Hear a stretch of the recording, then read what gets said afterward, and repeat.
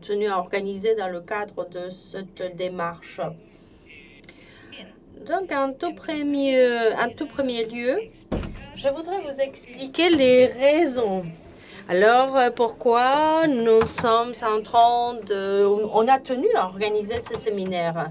Mais non seulement quel est l'objectif du séminaire, mais euh, vous, présenter ou vous expliquer les résultats ou les produits que nous, que nous attendons, ainsi que d'autres événements. Donc, ce séminaire, en fait, euh, est un moment de réflexion sur la gestion de la qualité dans les services sociaux.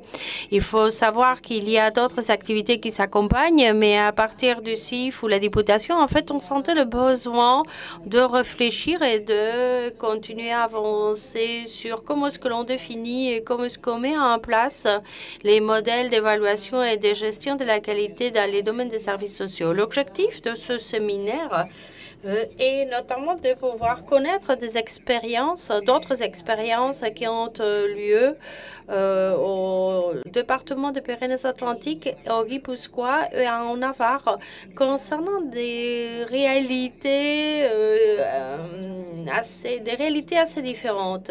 La gestion de la qualité, la, mise en place de plans et qui en termes sont liés à l'évaluation des politiques sociales, l'évaluation et la gestion de la qualité dans le domaine des services sociaux dans l'idée de quelque part apporter euh, ou de participer à ce débat et donc de l'idée de faire des propositions pour quelque part améliorer cet outil. Alors, le programme, euh, vous l'avez déjà regardé, mais dans l'idée quelque part de centrer. Alors, je vais euh, planter le décor. Le décor qui nous amène donc à ouvrir euh, ces processus de travail. Ensuite, comment avancer? Ensuite, nous allons avoir une table ronde surtout des organismes du secteur qui nous parlent des initiatives, des outils, qu'est-ce qu'ils sont en train de faire à partir d'approches euh, différentes. Mais euh, toutes ces approches, euh, toutes ces approches liées donc aux services sociaux et autour de la qualité. Et nous allons donc finir avec une table ronde qui va nous permettre d'écouter les élus, d'écouter les professionnels. C'est-à-dire, ils vont ou les responsables plutôt. En fait, ils vont nous parler des pratiques, ils vont nous parler de leur manière de faire la qualité, de, de, gérer la qualité et de faire l'évaluation dans ce domaine. Pour, euh, pour vous présenter le travail que nous sommes en train de faire au niveau du CIS et pour, vous, pour, vous, pour me référer surtout aux changements qui sont en train de se produire dans le domaine de l'évaluation des services sociaux. Je voulais vous parler des tendances, des fonctions, des outils et quelques structures, car c'est euh, de cela que nous allons donc, euh, de cela que nous allons parler aujourd'hui, et tous ces éléments donc vont être à la base. Alors, on sent tout d'abord euh, un intérêt croisant, donc un intérêt croisant de pouvoir croissant de pouvoir évaluer les politiques sociales et euh, un intérêt qui est euh, quelque part un peu nouveau. Et dans le domaine des services sociaux liés quelque part un peu à la COVID, et surtout ce que la COVID a, donc euh, sorti en lumière, il y a un intérêt de pouvoir évaluer et gérer la qualité de la prise en charge dans le domaine des services sociaux. Et il y a quatre changements, quatre changements qu'on est en train de percevoir autour de nous et quatre changements qui doivent quelque part se traduire dans les différentes politiques euh, dictées sur notre territoire. Euh, concernant ces changements, en fait, on passe d'évaluer la qualité de la prise en charge à évaluer la qualité de vie. Et cela ne veut pas dire que la qualité de la prise en charge, la qualité de vie soit pareille, mais il y a une manière différente de faire des inspections, de faire l'évaluation. Actuellement, on évalue moins les conditions, les prérequis, et on évalue plus les résultats. Et surtout, on est centré sur l'évaluation de la qualité de vie que l'on puisse proposer. Il y a un changement de paradigme que l'on commence déjà à avoir dans certains pays. Les Écossais le disent, il s'agit donc, on est passé donc de vérifier des, des, des prérequis, avoir des résultats. Jusqu'à là, qu'est-ce qu'on faisait? On regardait les prérequis qui marquaient la, la réglementation et actuellement, nous sommes, euh, nous sommes, nous faisons un travail un peu complémentaire et qui est donc d'évaluer les résultats en termes de qualité de vie des gens. Et c'est un changement fort et profond. Il y a un deuxième changement. Il y a de plus en plus beaucoup de pays, en fait, beaucoup de, dans beaucoup de pays, il y a des logiques euh, marchandes et il y a des politiques qui pensent que les, que les politiques s'améliorent s'il y a une certaine concurrence entre les entreprises qui fournissent. Et c'est là, donc, quelque part, amène à mettre en place des indicateurs, des comptes transparents qui nous amènent à dire euh, ce centre-là, il est bon, celui-là, il est moins bon. Étant donné que vous allez avoir euh, recours à ce type euh, d'institution, il faut que vous le sachiez, il faut que vous connaissiez la qualité. C'est vrai cette réalité, euh, on la retrouve aussi au niveau des écoles et autres. Mais dans beaucoup de pays, l'évaluation de la qualité est très liée à la publication d'indicateurs de qualité associés à chaque service et à chaque centre. Et ensuite, je pense qu'il faut aussi mettre l'accent sur la coproduction, la co-gouvernance et surtout l'idée de tenir compte de la vie des usagers et de tenir compte de la vie de la citoyenne et euh, mettre en place euh, donc des évaluations beaucoup plus ouvertes et avec la participation de tous. Il y a encore une autre réalité qui nous paraît importante et donc le processus d'institutionnalisation dans ces évaluations. Il faut créer des structures plus stables, mieux articulées qui permettent d'avancer dans l'évaluation, l'inspection, etc. Alors, c'est un peu quelques éléments, éléments que l'on a décelés tout autour de nous et qu'il faut, qu'il faut débattre qu'il faut revoir. Où est-ce que nous nous trouvons et vers où nous allons? Alors, en faisant cours, car euh, sûrement euh, on est un peu peut-être loin et il s'agit aussi de voir euh, vers où il faut avancer, mais quelque part ce tableau nous permet de voir non seulement au Guibousquois, savoir dans quelle, quelle est notre réalité actuelle et vers où nous allons.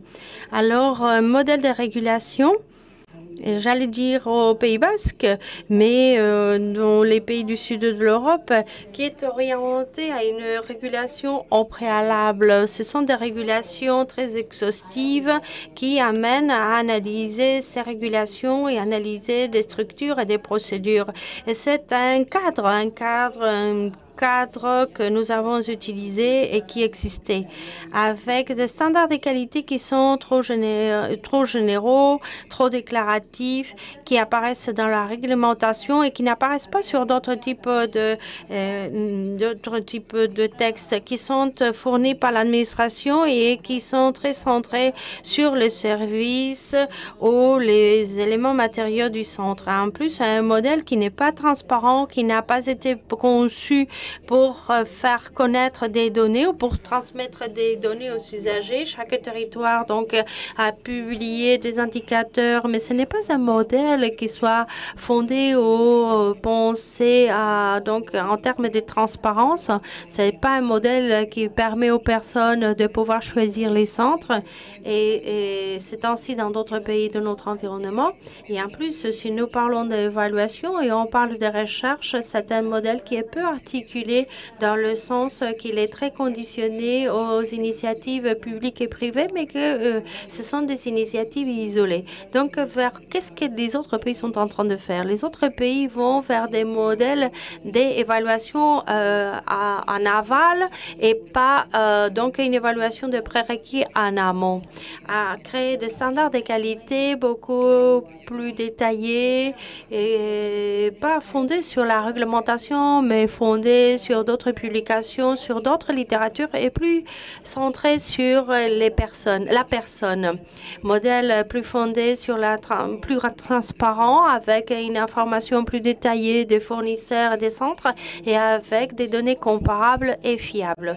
Modèle de recherche, développement, innovation et de gestion de la connaissance mieux articulé, bien mieux coordonné, plus stable et des modèles d'évaluation participative qui tiennent compte de la perspective des usagers, la vie des usagers et de l'ensemble de la, de, la, de la société.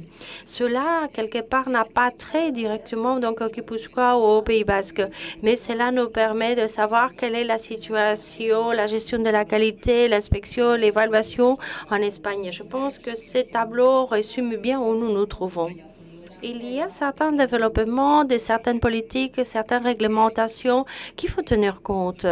Il y a tout d'abord un projet de loi d'institutionnalisation de l'évaluation des politiques donc de Madrid qui n'a pas trop de qui n'a pas euh, d'incidence sur nous, mais le gouvernement central commence déjà à lancer un projet de loi pour institutionnaliser. Il y a toute une série d'instructures et on commence déjà à institutionnaliser l'évaluation.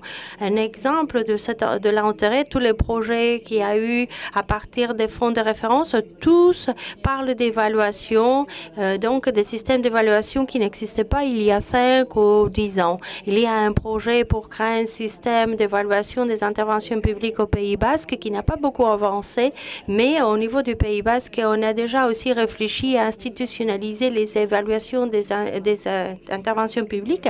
Et il y a encore deux autres changements. Tout d'abord, dans le domaine spécifique de la dépendance, on ne va pas parler de dépendance, on va aussi parler des mineurs, d'exclusion, d'un handicap. Mais dans le domaine de la dépendance, il y a un projet d'accord sur des critères partagés au niveau des centres qui parle notamment de toutes ces questions, qui parlent des ratios, qui parlent des tailles d'unités de cohabitation et parle aussi des indicateurs, de publication d'indicateurs, publication d'évaluation, parle aussi des centres ou structures stables pour gérer les connaissances et la gestion des évaluations dans le domaine de la dépendance.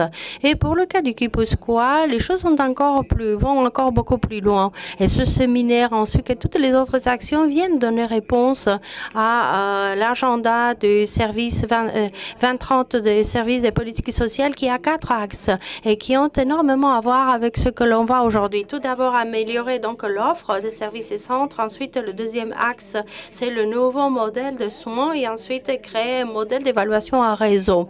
Et donc, euh, et là, tous ces différents axes marquent donc euh, un changement de paradigme dans ce qui est l'évaluation des interventions pour le, euh, pour le périmètre de Guipuscoa. À partir de là, les réalités, les besoins, les possibilités de pouvoir intervenir et faire des choses commencent à être quelque chose de beaucoup plus concret. Alors, c'est vrai que quand on parle de toutes ces questions, il y a un peu trop de choses. Parfois, ce sont des choses qui sont un peu trop mélangées. Et quand on regarde des choses dans d'autres langues, parfois, on met des noms différents à des choses différentes, où on se perd. On utilise des noms différents pour les mêmes choses. Ici, on a créé un schéma qui est assez simple et que l'on pourrait débattre, mais pour comprendre, c'est que l'on va peut-être créer au Guipuscoa.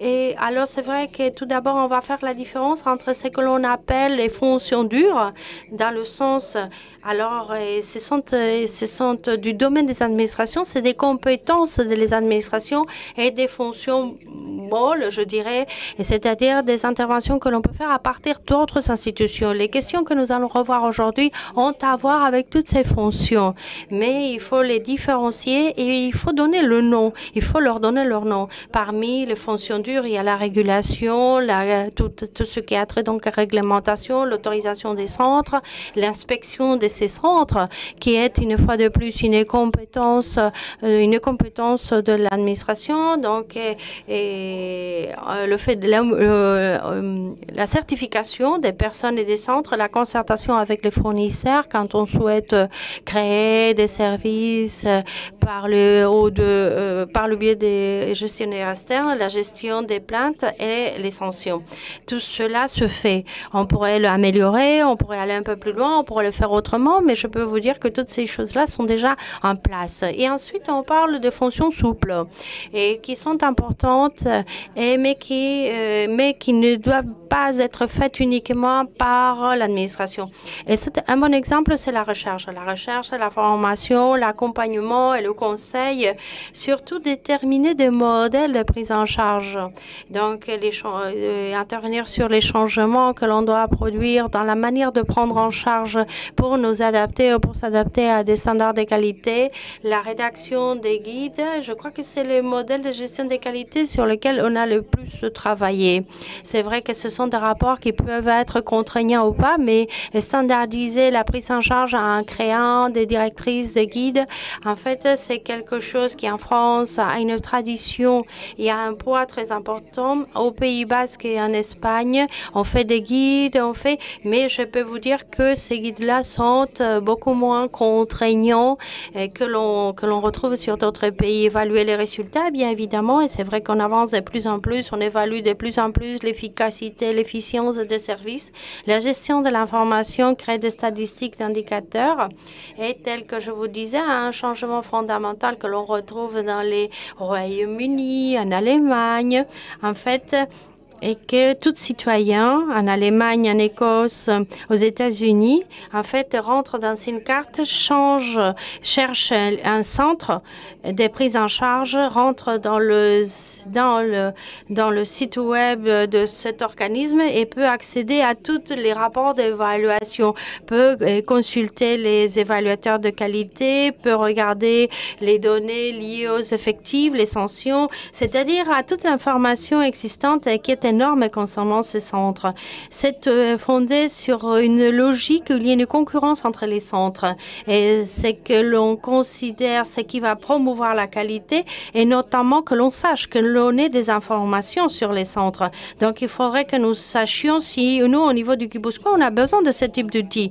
Mais je crois qu'il faut le faire car ces outils, en fait, c'est un peu un trip advisor, c'est-à-dire chaque centre, en fait, a deux, trois ou quatre étoiles. Et il y a beaucoup de littérature et qui euh, en disant que euh, parfois il y a une relation entre les étoiles, les qualifications et la qualité réelle de la prise en charge.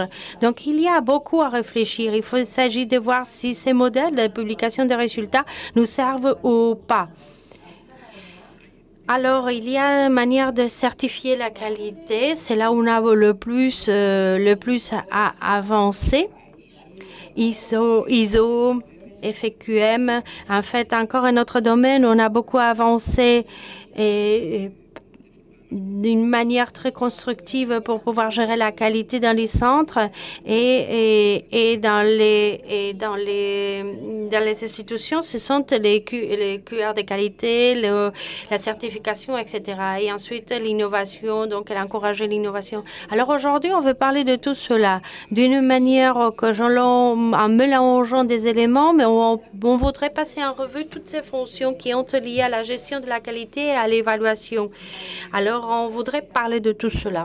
Alors, on a aussi euh, dit que c'est encore un élément qui me paraît important et que il est euh, dans certaines activités, on les a appelés des centres locomotives. Mais il s'agit quelque part d'identifier des centres qui peuvent être centres plateformes et réseaux. On peut donner beaucoup de noms, mais si tu commences à regarder tout autour de nous, on retrouve euh, de plus en plus de structures euh, qui sont orientées à évaluer, évaluer les politiques ou évaluer la qualité de l'attention, de la prise en charge.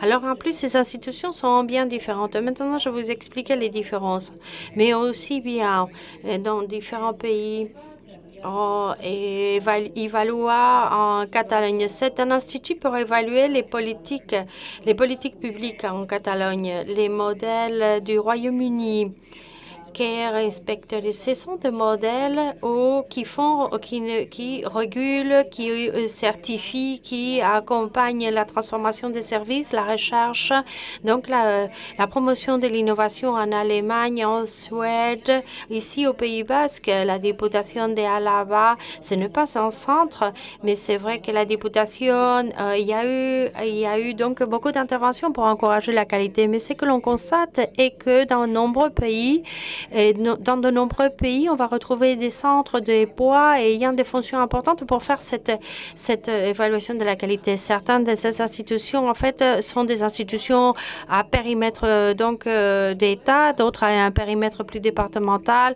Alors, euh, INEF qui va, il y a certains qui vont se concentrer sur la partie financière, il y en a d'autres qui vont plutôt évaluer la prise en charge de l'espace socio-sanitaire. Il faut savoir que la plupart de ces centres, par exemple, la Agencia de Salud de calidad sanitaria en Andalousie évalue les produits sanitaires, mais évalue aussi ou euh, certifie des procédures de travail. Mais la plupart de ces institutions, aussi bien euh, dans les pays euh, du Nord, ce sont des agences de qualité sanitaire et sociale. Et c'est un élément important qu'il y ait cette double casquette. Pour le cas de l'Allemagne ou de la Suède, les fonctions d'évaluation d'inspection sont euh, des, fonctions différentes et sont gérées par des institutions différentes. Il y en a certains qui vont faire l'évaluation et d'autres qui vont. Alors, en Écosse, l'inspection la régulation, la certification, en fait, euh, sont des casquettes du même, de la même institution. Et il y en a des, donc il y a certains centres qui assument des questions de recherche. Euh, euh, donc, dans ce contexte, alors nous, depuis le 6, en coordination avec la députation, on a créé des éléments pour proposer un nouveau modèle d'évaluation en réseau tel que l'agenda 2030 pour améliorer les systèmes d'évaluation sur notre territoire. Pour l'instant, le processus ou le produit final serait donc une proposition où l'on euh, l'on parle des euh, lignes pour améliorer l'évaluation et l'inspection. Ce modèle a quelques éléments euh, qui sont évidents, certains éléments de départ qui sont moins clairs et certains éléments qui sont mm, subjectif. Et ce que l'on souhaite avec cette journée ainsi que d'autres journées est notamment avoir des arguments, avoir un débat, avoir des expériences, une expérience pour pouvoir débattre sur des, des, des, choses qui sont en attente. Un élément de départ, c'est créer un organisme autonome qui fasse donc l'évaluation des services sociaux qui poussent quoi. C'est l'objectif clair. C'est un objectif clair. Ensuite, il s'agit aussi de voir qu'est-ce que nous appelons donc une structure d'organisation autonome. C'est une agence, c'est une c'est quoi Ou c'est un service, c'est un réseau, ou ce sont euh, c'est des fonctions qui doivent être assumées par des institutions existantes. Mais quelque part, institutionnaliser la qualité nous oblige à structurer l'organisation qui assume les fonctions souples. On parle pas de, on pas un organisme qui prenne en charge les compétences de l'administration, mais plutôt avec la, recherche, la diffusion de bonnes pratiques, créer des directrices. Mais si l'on, mais on cherche pas une agence qui puisse réguler, inspecter, faire des inspections ou mettre des sanctions. Un système de travail, des outils donc orientés au processus, à, à évaluer qu'est-ce que l'on fait, comment l'on fait et les résultats quel est l'impact de ces résultats sur la qualité de vie des personnes prises en charge et partant donc de la députation forale. Il faut que ce modèle-là soit très orienté à la personnalisation, c'est-à-dire une prise en charge à la carte en fonction de la personne. On pourrait dire euh, un modèle qui soit centré sur la qualité de vie, un modèle qui parte de la coopération de tous et qui introduise des technologies participative. Méthodologie participative pour, tenir, pour, tenir, pour quelque part avoir, tenir compte des, des opinions de, des usagers, de la citoyenneté. Et alors, en fait, ce sont des éléments de départ qui sont clairs. Il s'agit donc d'une évaluation participative des politiques sociales, c'est-à-dire comment est-ce que ces politiques sont organisées et comment est-ce qu'elles sont assurées, mais à partir d'une perspective aussi plus centrée sur la euh, qualité de, sur, euh, la certification de la qualité dans différents centres. Je crois qu'aujourd'hui, on va passer notre temps à sauter d'un niveau à l'autre, c'est-à-dire un niveau macro au niveau micro, c'est-à-dire euh, alors cela veut dire parler des quatre objectifs.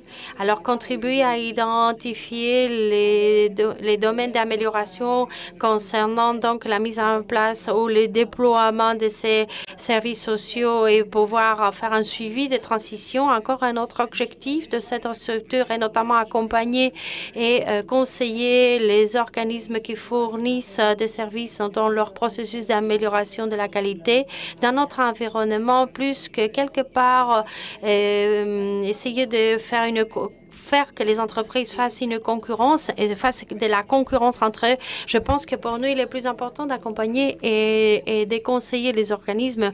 En plus, il faut garantir la transparence et ensuite, donc, canaliser l'innovation sociale et tirer des apprentissages de l'expérimentation.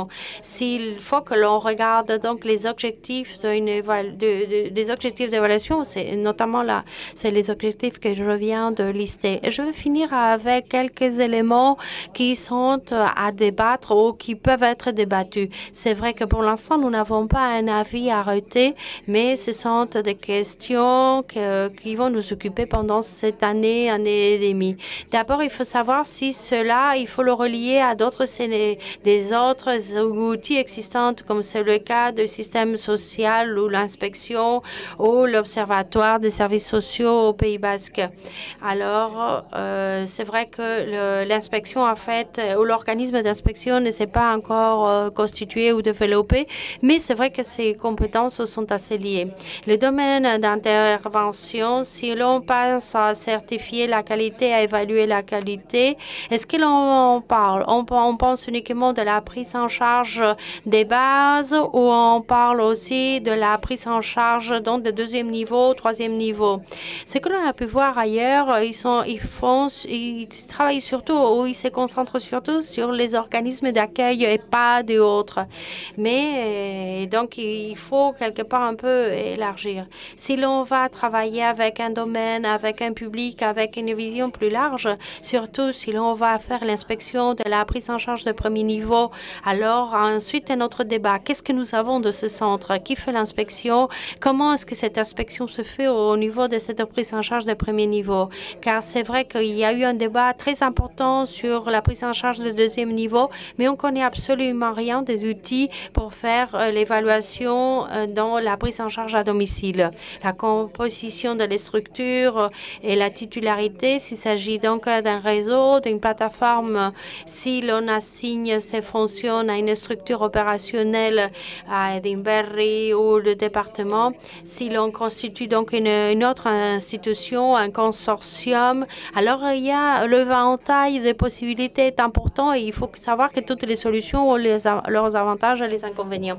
Alors que euh, en France, par exemple, il y a beaucoup de, de l'auto-évaluation. Ailleurs, il y a donc une évaluation externe. Si, le, si cette évaluation, nous le faisons en faisant appel à des collaborateurs, si les indicateurs sont plus centrés sur les résultats, il faut débattre sur les options pour publier les résultats, car euh, c'est un changement, mais il faut voir à quoi bon cette publication, qu'est-ce que l'on peut faire et pourquoi, pourquoi il faut publier des résultats et pourquoi il ne faut pas publier les résultats de ces évaluations, l'étendue de ces standards de qualité, les éléments qui sont centrés sur la méthodologie, identifier quelles sont les dimensions et quels sont les indicateurs de qualité que nous pouvons recueillir, que nous devons recueillir, que nous pouvons comparer entre des institutions différentes.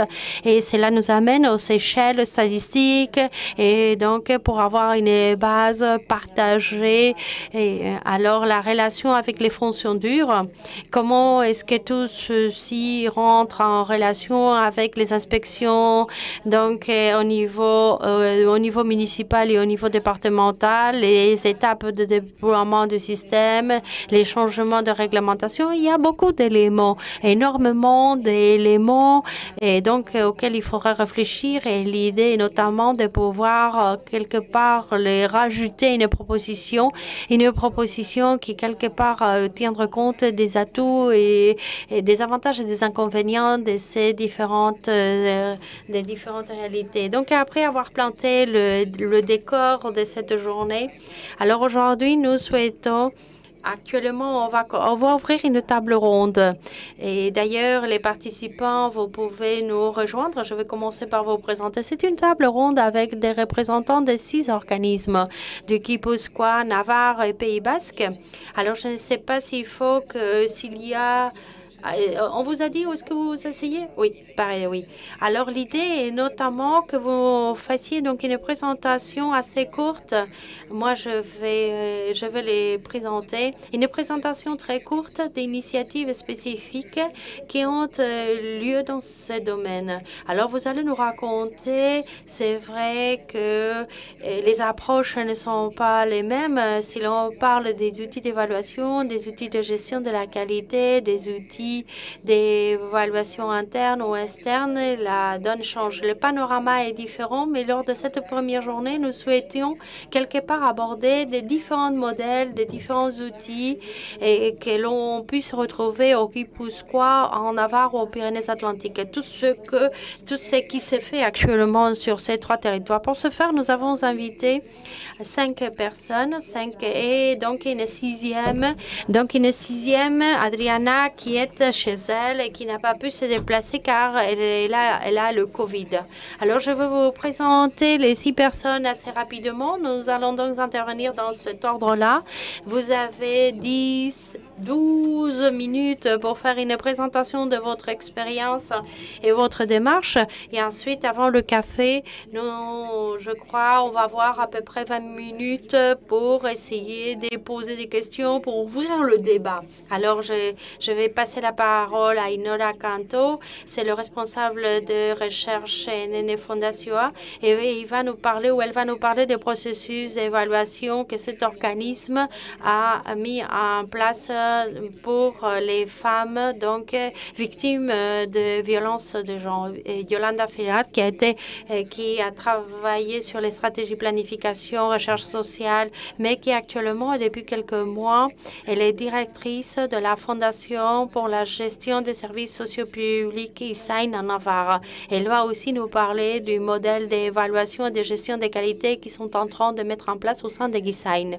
En troisième lieu, je vais passer la parole à Frédéric Cabiron, qui est la présidente du réseau des EHPAD, c'est-à-dire les centres, euh, les centres médicalisés pour des personnes âgées existants, euh, donc centres existants en France. Elle est présidente du réseau de résidence au Pays Basque et en plus, elle est la directrice du centre communal d'action sociale à Languetier. Elle va nous parler du modèle d'évaluation et donc le modèle qu'ils ont mis en place au niveau de son centre, au niveau du réseau et au niveau en France. Tony Heredia de Gouréac, il est pédagogue et, il s'occupe à Rouléac de concevoir et de mettre en place des indicateurs d'évaluation, des systèmes d'évaluation et il travaille aussi sur, avec la, le groupe qui travaille la, la transformation euh, numérique. Adriana Martinez, qui est la directrice de Artes, c'est une association pour la technologie sociale. Elle va nous parler d'un modèle de gestion qui, qui a été développé dans le cadre de Tarrasun et Fernando Sierra, qui est le directeur de Scalit et qui va nous parler des modèles de gestion de la qualité qui, dans, qui, dans les domaines des services sociaux, des pratiques sociales, en fait, des modèles qui, euh, en fait, ont été mis en place au Pays Basque. Donc, sans plus, Ainara, je ne sais pas si tu souhaites euh, donc te lever, je ne sais pas qu'est-ce que tu souhaites faire, Ainara, mais euh, c'est à, à toi.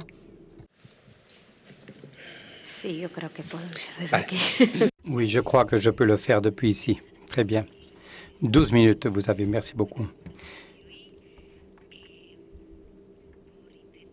Bien, pour essayer de me centrer quelque peu sur le temps octroyé par Joseba, j'ai résumé la présentation assez autour de ces trois questions. Qu'avons-nous fait? Pourquoi? Qu'est-ce que nous avons fait? Qu'est-ce que nous avons obtenu? Comme nous le disions auparavant, lors des dernières années, la députation forale de Guipuscoa a lancé une série de processus associés avec l'évaluation des services adressés aux victimes de violences machistes. Et nous-mêmes, nous avons accompagné certains des processus qui ont en commun quelque chose qui implique un processus de réflexion, comment on agit sur ces cas-là et qui aide à prendre des décisions pour que ces actions puissent s'améliorer à l'avenir et aussi à mettre en valeur de bonnes pratiques qui peuvent avoir lieu. D'une certaine manière, nous avons résumé évidemment depuis 2019 ce que nous une série de jalons ou de processus ou de moments que nous avons connus et dont tous sont complètement euh, connexés ou euh, associés, qui est aussi une question très intéressante à évaluer. Déjà vers 2019, euh, on avait lancé une évaluation. Ce n'était pas la première que l'on faisait. Il y en avait eu une autre au préalable, mais c'était une évaluation participative avec une perspective de genre de ces services adressés aux victimes de violences machistes et qui présentait certaines singularités que nous allons essayer de déployer.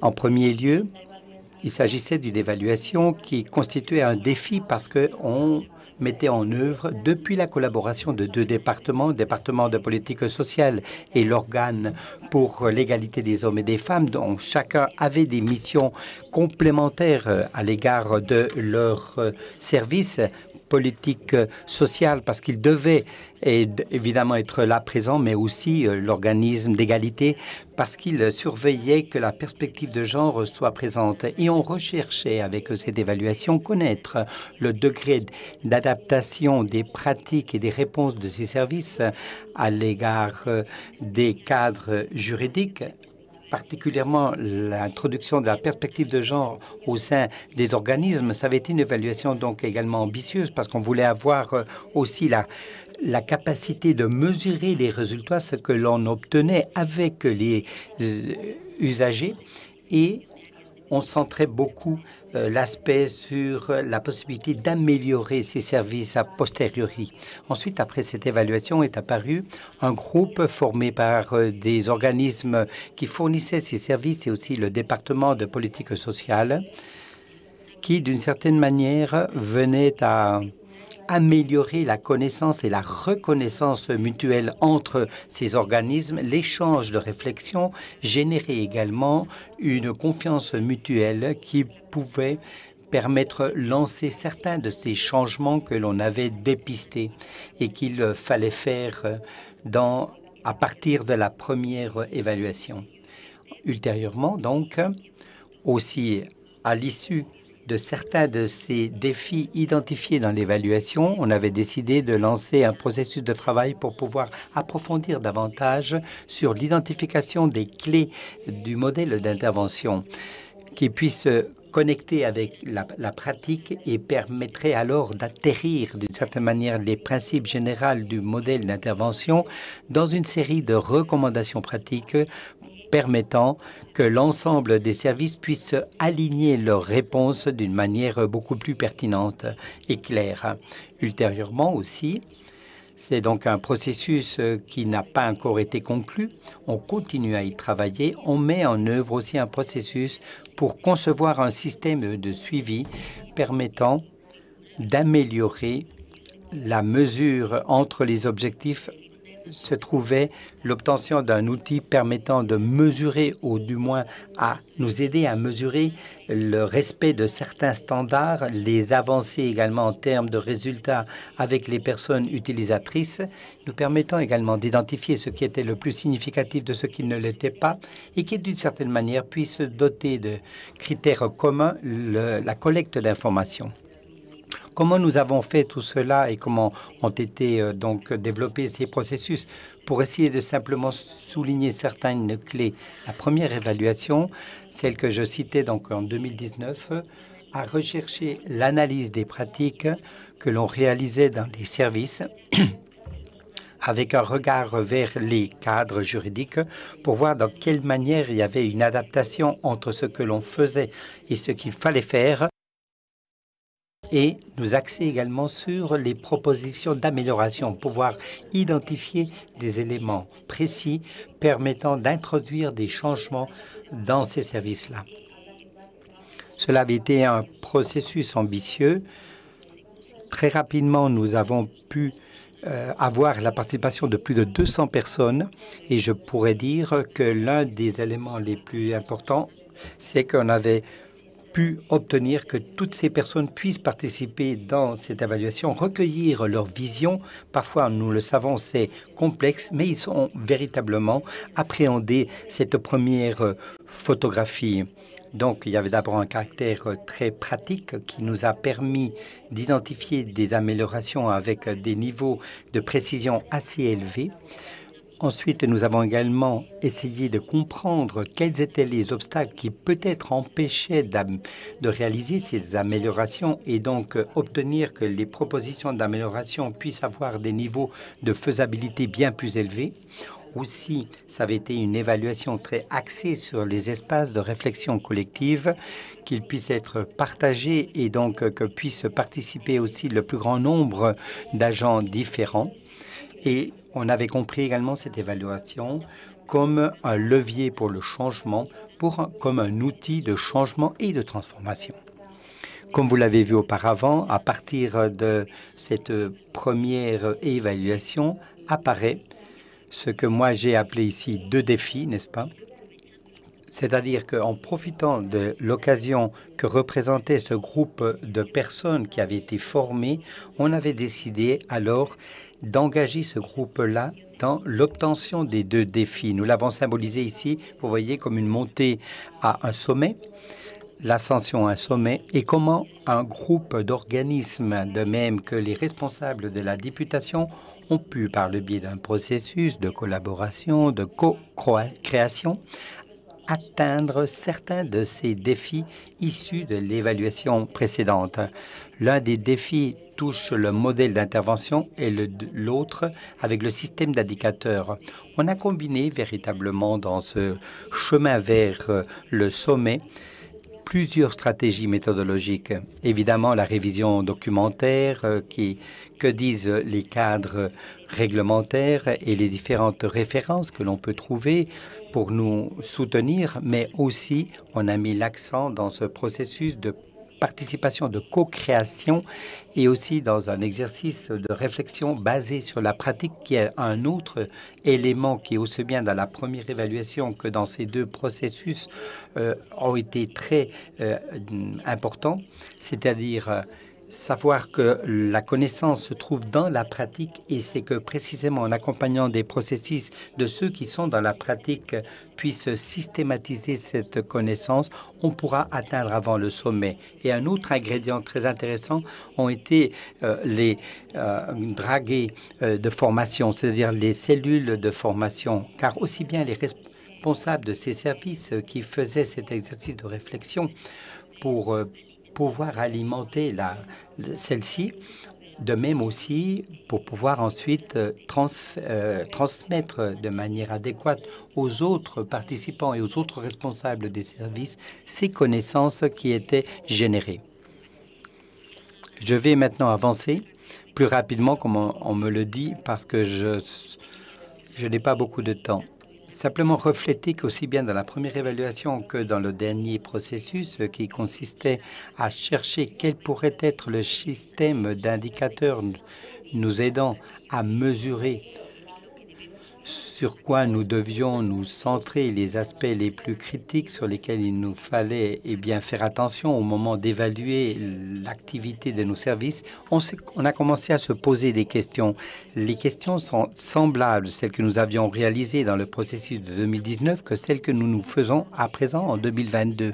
Mais la réponse ou les réponses sont différentes, car c'est aussi une espèce d'apprentissage accumulé que nous avons développé dans le temps et de donner des meilleures réponses. Et comment est-ce qu'on a euh, distingué davantage quels étaient les meilleurs indicateurs, comment nous avons incorporé certains critères euh, pour pouvoir sélectionner des indicateurs qui ne soient pas seulement des, euh, indicateurs micro, mais aussi méso.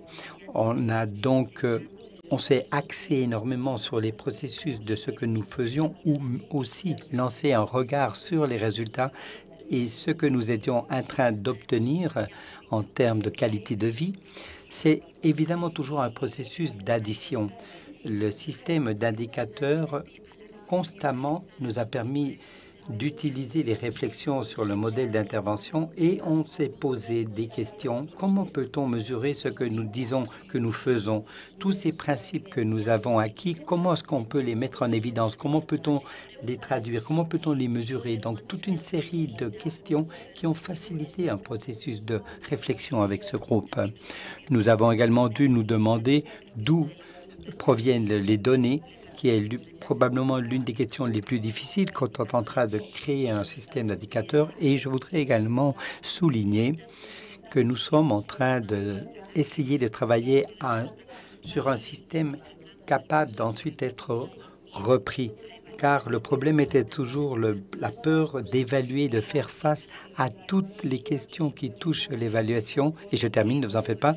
Qu'avons-nous obtenu? Nous avons obtenu beaucoup de choses. D'abord, certaines coïncident avec les objectifs que l'on poursuivait avec l'évaluation de 2019, mais il y a eu certains peut-être résultats non attendu ou pas aussi clair. Dans la première évaluation, je pourrais dire qu'a permis de mettre en évidence une expérience positive d'évaluation et mettre en valeur la pratique de mesurer. Ceci a facilité les processus ultérieurs qui n'auraient pas pu être possibles sans cette première étape. Également, nous avons pris conscience de combien était important ce groupe de personnes pour concevoir des processus de co-création, avoir déjà un groupe nous facilite énormément la mise en œuvre de ces processus et que le fait de tisser ces relations de confiance nous permettait d'avancer en gouvernance de collaboration entre secteur public et privé. Aussi, nous avons pu obtenir des éléments concrets quand on parle de principes et c'est très facile d'en parler et il semblerait que nous tous, on adopte ces valeurs, mais ce n'est pas toujours très clair euh, qu'est-ce qu'il y a derrière ces valeurs. Et ensuite, en dernier lieu, le système est en train de nous permettre d'identifier des données. Quelles sont les données importantes? Quelles sont les différentes utilités que peuvent avoir ces données aussi? Que croyons-nous que véritablement ça vaut le coup Alors, euh, je crois que nous avons appris beaucoup de choses dans ce processus ici. Cela est profitable pour vous, nous les partageons. D'abord, euh, engager d'agents divers qui permet d'incorporer des visions multiples, c'est une très bonne idée. Des professionnels qui se trouvent à l'intérieur des services, ceux qui ne sont pas de nos services, mais qui collaborent avec nous et aussi des utilisateurs, aussi viser des espaces de partage qui permettent de changer des comportements, des attitudes au niveau micro, mais qui ensuite peuvent permettre aussi des changements à des systèmes méso ou macro également euh, promouvoir le travail conjoint entre différents départements de la députation, mais également entre des organismes et la députation. Nous semble que cela aide à aligner les euh, recherche et les travaux, également eh bien, engager également dans la planification et développer des outils de collecte et de stockage de données, car cela peut réduire énormément l'énorme effort que suppose toujours réaliser une évaluation et un suivi. Et également oser faire des, passer des étapes et construire des outils le parfait est ennemi de ce qui est bon. Il nous faut continuer à avancer, construire également un groupe moteur nous a semblé que cela avait été très utile pour prendre des décisions conjointement et voir euh, comment les mesures prises avaient des résultats et de manière interne dans cet exercice d'accompagnement avec euh, les cabinets, eh bien, avoir confiance ou faire confiance plutôt à une équipe multidisciplinaire qui permettait donc euh, d'avoir diverses visions nous a semblé également quelque chose de majeur et à recommander. Merci. Merci beaucoup. Merci aussi donc pour euh, vous adapter et beaucoup au temps octroyé. Et maintenant, Yolanda, on vous cède la parole, je vous en prie. Oui, moi je vais plutôt me lever, d'accord. Pues tienes 12 minutos. Cojo esto también, ¿no? Joseba. Bye. Eh, ¿El PowerPoint lo habéis puesto?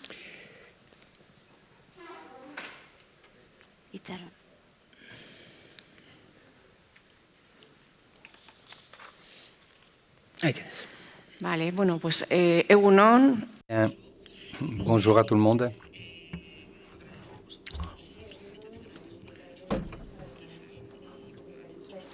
Merci beaucoup donc de nous avoir invités et un plaisir également d'avoir euh, de partager cette table ronde avec vous. Je vais vous parler un peu plus de ce que nous sommes, en- comment nous sommes en train d'aborder toute cette question du défi de l'évaluation et la qualité au sein de notre euh, groupe.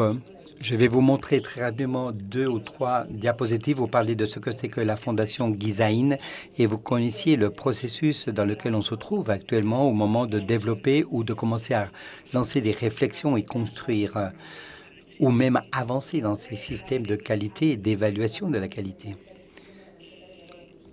La fondation euh, Gizaïn est jeune. Elle a été constituée en 1919. Je suis consciente car même euh, au- auparavant, dans le café, il y a certains euh, organismes qui ont 60-67 ans. Eh bien, nous, on est né à peine euh, il y a 2-3 ans de vie. Et elle a été constituée par un accord du gouvernement de la Navarre. Et ça a été donc un organisme instrumentaire qui dépend du département des droits sociaux du gouvernement de la Navarre. D'ailleurs, la mission de notre fondation, c'est exécuter et respecter ce que le département des droits sociaux, dans le cadre de ses politiques et des services, nous exige. Et toujours, euh, c'est un peu euh, au sein de notre finalité qui, selon les statuts, c'est l'exécution directe d'abord des centres de services sociaux. Les établissements de services sociaux, dans le cas de la Navarre, seraient la pièce à l'intérieur de l'architecture des services sociaux, la pièce que comme je dis, où, qui structure les six aires différentes du département, où il y a un établissement social dans chacune d'entre elles, et c'est la manière de pouvoir gérer les soins primaires. En conc- concrètement, ces centres ou ces établissements sont les services de soutien à l'attention primaire pour compléter les services de base, avec des services également de proximité. Voilà un peu le centre de, ou l'axe central de cette fondation. Nous, ensuite, nous avons également des centres d'accueil de jeunes et également de assistance juvénile. Eh bien, depuis 2019, la fondation a assumé différents services aussi, toujours euh, en utilisant également le personnel qui déjà s'occupait de ces établissements comme un, un modèle de gestion d'incorporation de services, par exemple les services directement associés au déploiement des services sociaux et l'articulation du système. Là, nous avons les établissements des services sociaux, mais également ceux qui sont directement liés à l'évaluation ou l'observation vers d'autres ressources spécialisées du système.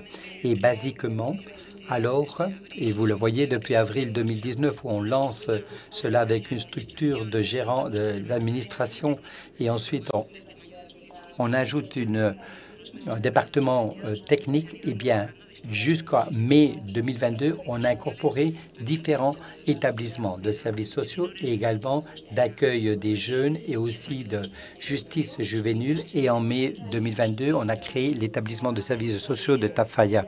Et je, mets, je continue la ligne parce que l'idée est de continuer à consolider avec les différentes incorporations des établissements de services sociaux. Ce que je voulais vous transférer, que c'est une organisation jeune, mais les équipes qui y travaillent ne sont pas jeunes dans notre organisation. Nous les incorporons. Nous incorporons des professionnels avec de très longs parcours et prestiges qui ont développé également leurs tâches dans des services privés qui font partie donc de cette gestion publique globale. Et c'est également un organisme qui est en construction permanente, en consolidant et en expansion constante. Pour que vous voyez très rapidement l'organigramme, actuellement, nous sommes 86 euh, employés, hommes et femmes, la plupart des femmes, 75 femmes et 11 hommes. Et pour euh, savoir combien de personnes nous avons sous notre responsabilité, eh bien, 1700 personnes sont passées par les différents services. Vous voyez que c'est un organigramme, nous dépendons d'abord d'un conseil de la Fondation, la présidence et le ministère régional des Affaires sociales. Et les membres sont, de ce conseil sont des personnes associées au poste de responsabilité dans les aires où ils déploient leurs services. Aussi bien d'un secrétariat technique, Nacho nous en parlera, du gouvernement de Navarre, de même que dans le milieu des mineurs, ou l'agence de dépendance. Et il y a également d'autres membres du Conseil nommés par le Parlement de la Navarre et du ministère des Affaires régionales des Affaires sociales. De là apparaissent eh bien, les différentes directions techniques, administration et d'autres éléments de coordination pour coordonner les différentes équipes au sein des différents établissements. Ceux-ci s'occupent surtout de l'attention ou des soins euh, euh, donc euh, spécifiques appelés EIA, les EAIV qui sont qui s'occupent des questions liées à la violence de genre et les IOSOL sont des autres euh, équipes spécialisées et qui donnent un support à ce déploiement des soins primaires avec toujours une relation très étroite avec les services sociaux et ensuite l'établissement de mineurs et également de justice juvénile. Voilà un peu simplement pour que vous ayez une photo de ce que nous sommes. Que faisons-nous dans ce domaine de la qualité de l'évaluation ou de l'évaluation de la qualité, excusez-nous? Eh bien, essayé un peu de développer cela sous trois axes. Nous faisons des choses. Alors, euh, en premier lieu, ce premier domaine qui serait le processus clé de soins, le soutien, l'intervention, la réponse aux personnes dans les différents établissements gérés par la Fondation toujours des services spécialisés, donc euh, dans le domaine des services sociaux. Et ici, basiquement, l'un des objectifs de la Fondation, je le disais auparavant, comme un outil pour le déploiement des services sociaux, c'est aussi d'unifier, homogénéiser le modèle de soins adressés aux personnes, car évidemment, dans le cadre réglementaire et aussi les stratégies marquées par les départements où toute cette dimension des soins eh repose sur les personnes. C'est un point euh, essentiel. Mais nous avons le défi précisément à travers tout cet énorme euh, puzzle de différents éléments, de générer aussi ou d'unifier euh, les méthodologies de ces soins outils essentiels sur lesquels nous avons travaillé, ce sont des manuels de, des protocoles, des méthodologies de travail basées également sur les manuels lancés par le gouvernement de Navarre avec une très large participation de la Fondation et avec le développement également de toute une série de protocoles et de processus de, de soins qui servent aux professionnels pour aborder tous ces processus d'accueil, de formation, de violence de pratiques, de régime interne, donc toute cette batterie, si on peut le dire ainsi, de systèmes réglementaires. Mais je le reprends sur ces aspects euh, majeurs. Comment nous sommes en train d'aborder tout cela? Eh bien, d'abord, il faut évoqué tout un système général de travail avec des groupes de travail dédiés différents services professionnels de différents établissements, comme également entre les, établissements, avec une systématique de travail pour euh, permettre également un suivi et une évaluation permanente et une amélioration de ces manuels de procédure.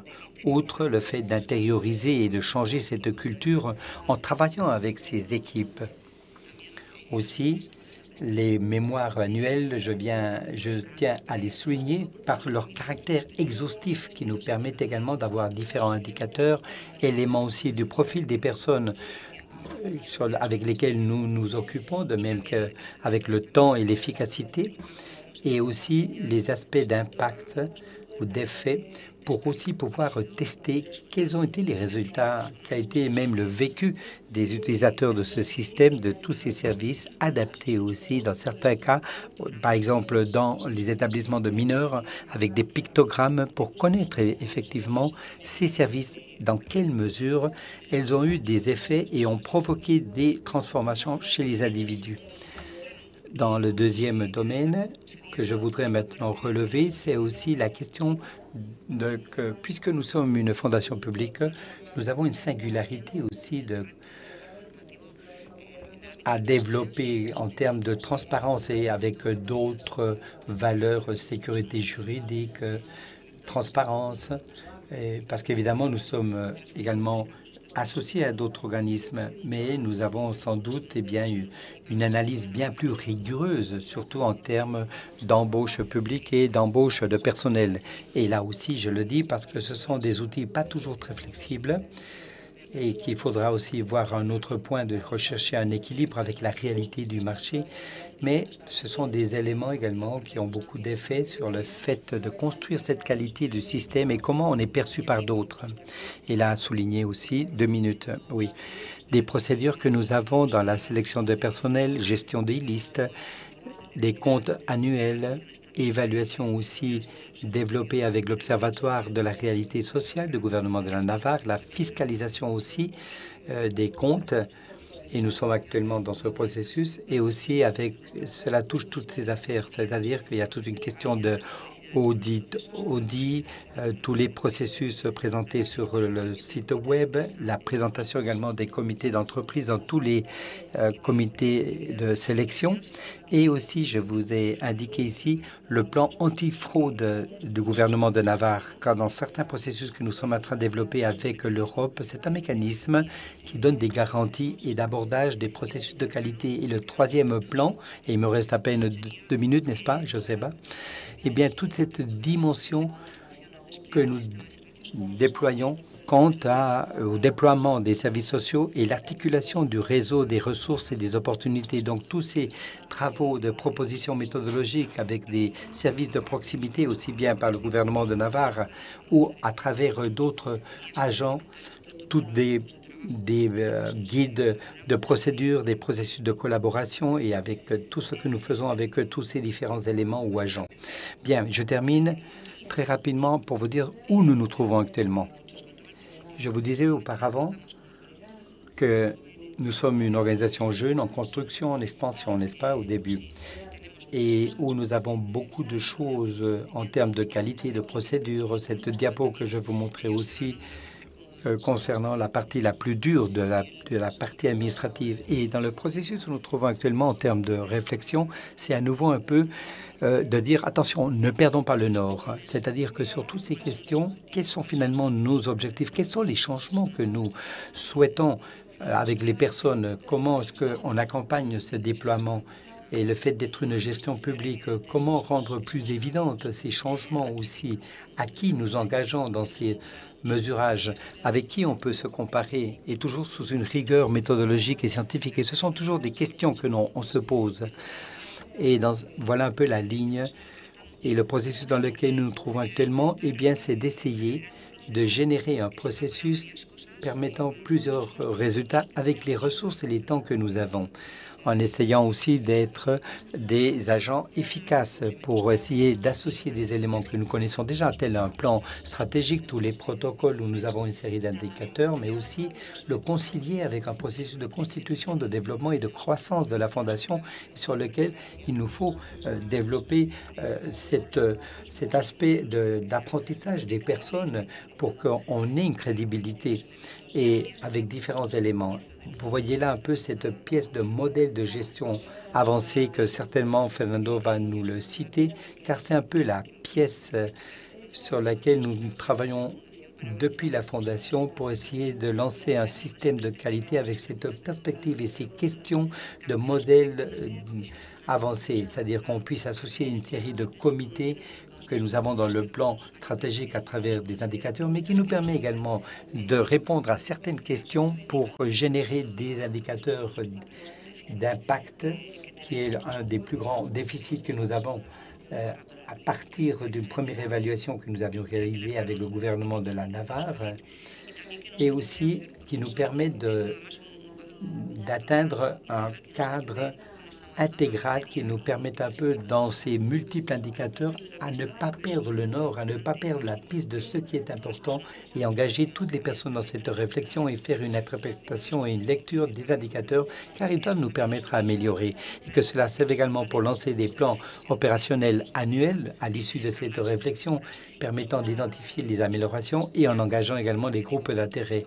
Et tout cela connecté, évidemment, depuis la position que nous avons aussi privilégiée d'être aussi dans les différents établissements euh, de services sociaux. On, atteint beaucoup de connaissances avec la population et cela, nous sommes en train de le connecter avec toute la partie d'évaluation des politiques du service, euh, donc des services sociaux depuis l'Observatoire également de réalité sociale. Voilà, je m'arrête ici. Merci beaucoup, Yolanda. Nous allons à présent euh, continuer. Merci beaucoup. Frédéric, c'est à vous.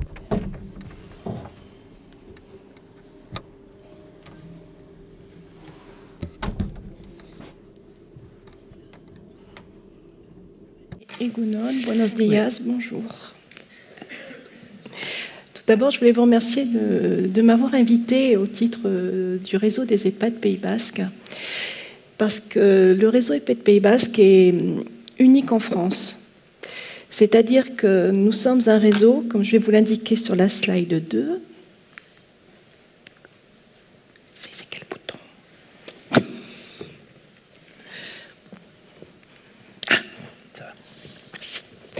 Comme je vais vous l'indiquer sur la slide 2, nous sommes une association qui existe depuis 2004. Nous sommes une association d'établissements, mais nous avons comme, particularité d'être des établissements publics, c'est-à-dire de collectivités territoriales, ou des établissements autonomes qui dépendent des hôpitaux, ou des privés associatifs qui sont ce qu'on appelle des associations ou des fondations, ou des privés commerciaux. Les privés commerciaux, bah, des groupes dont vous avez peut-être entendu parler euh, de ce côté-ci.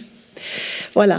Et euh, la particularité qu'a un EHPAD, c'est-à-dire un établissement d'hébergement pour personnes âgées dépendantes, notre particularité, c'est qu'en France, nous sommes très centralisateurs. Quand j'entends les témoignages de de mes collègues, vous, euh, êtes fédéraux, vous êtes des fédérations.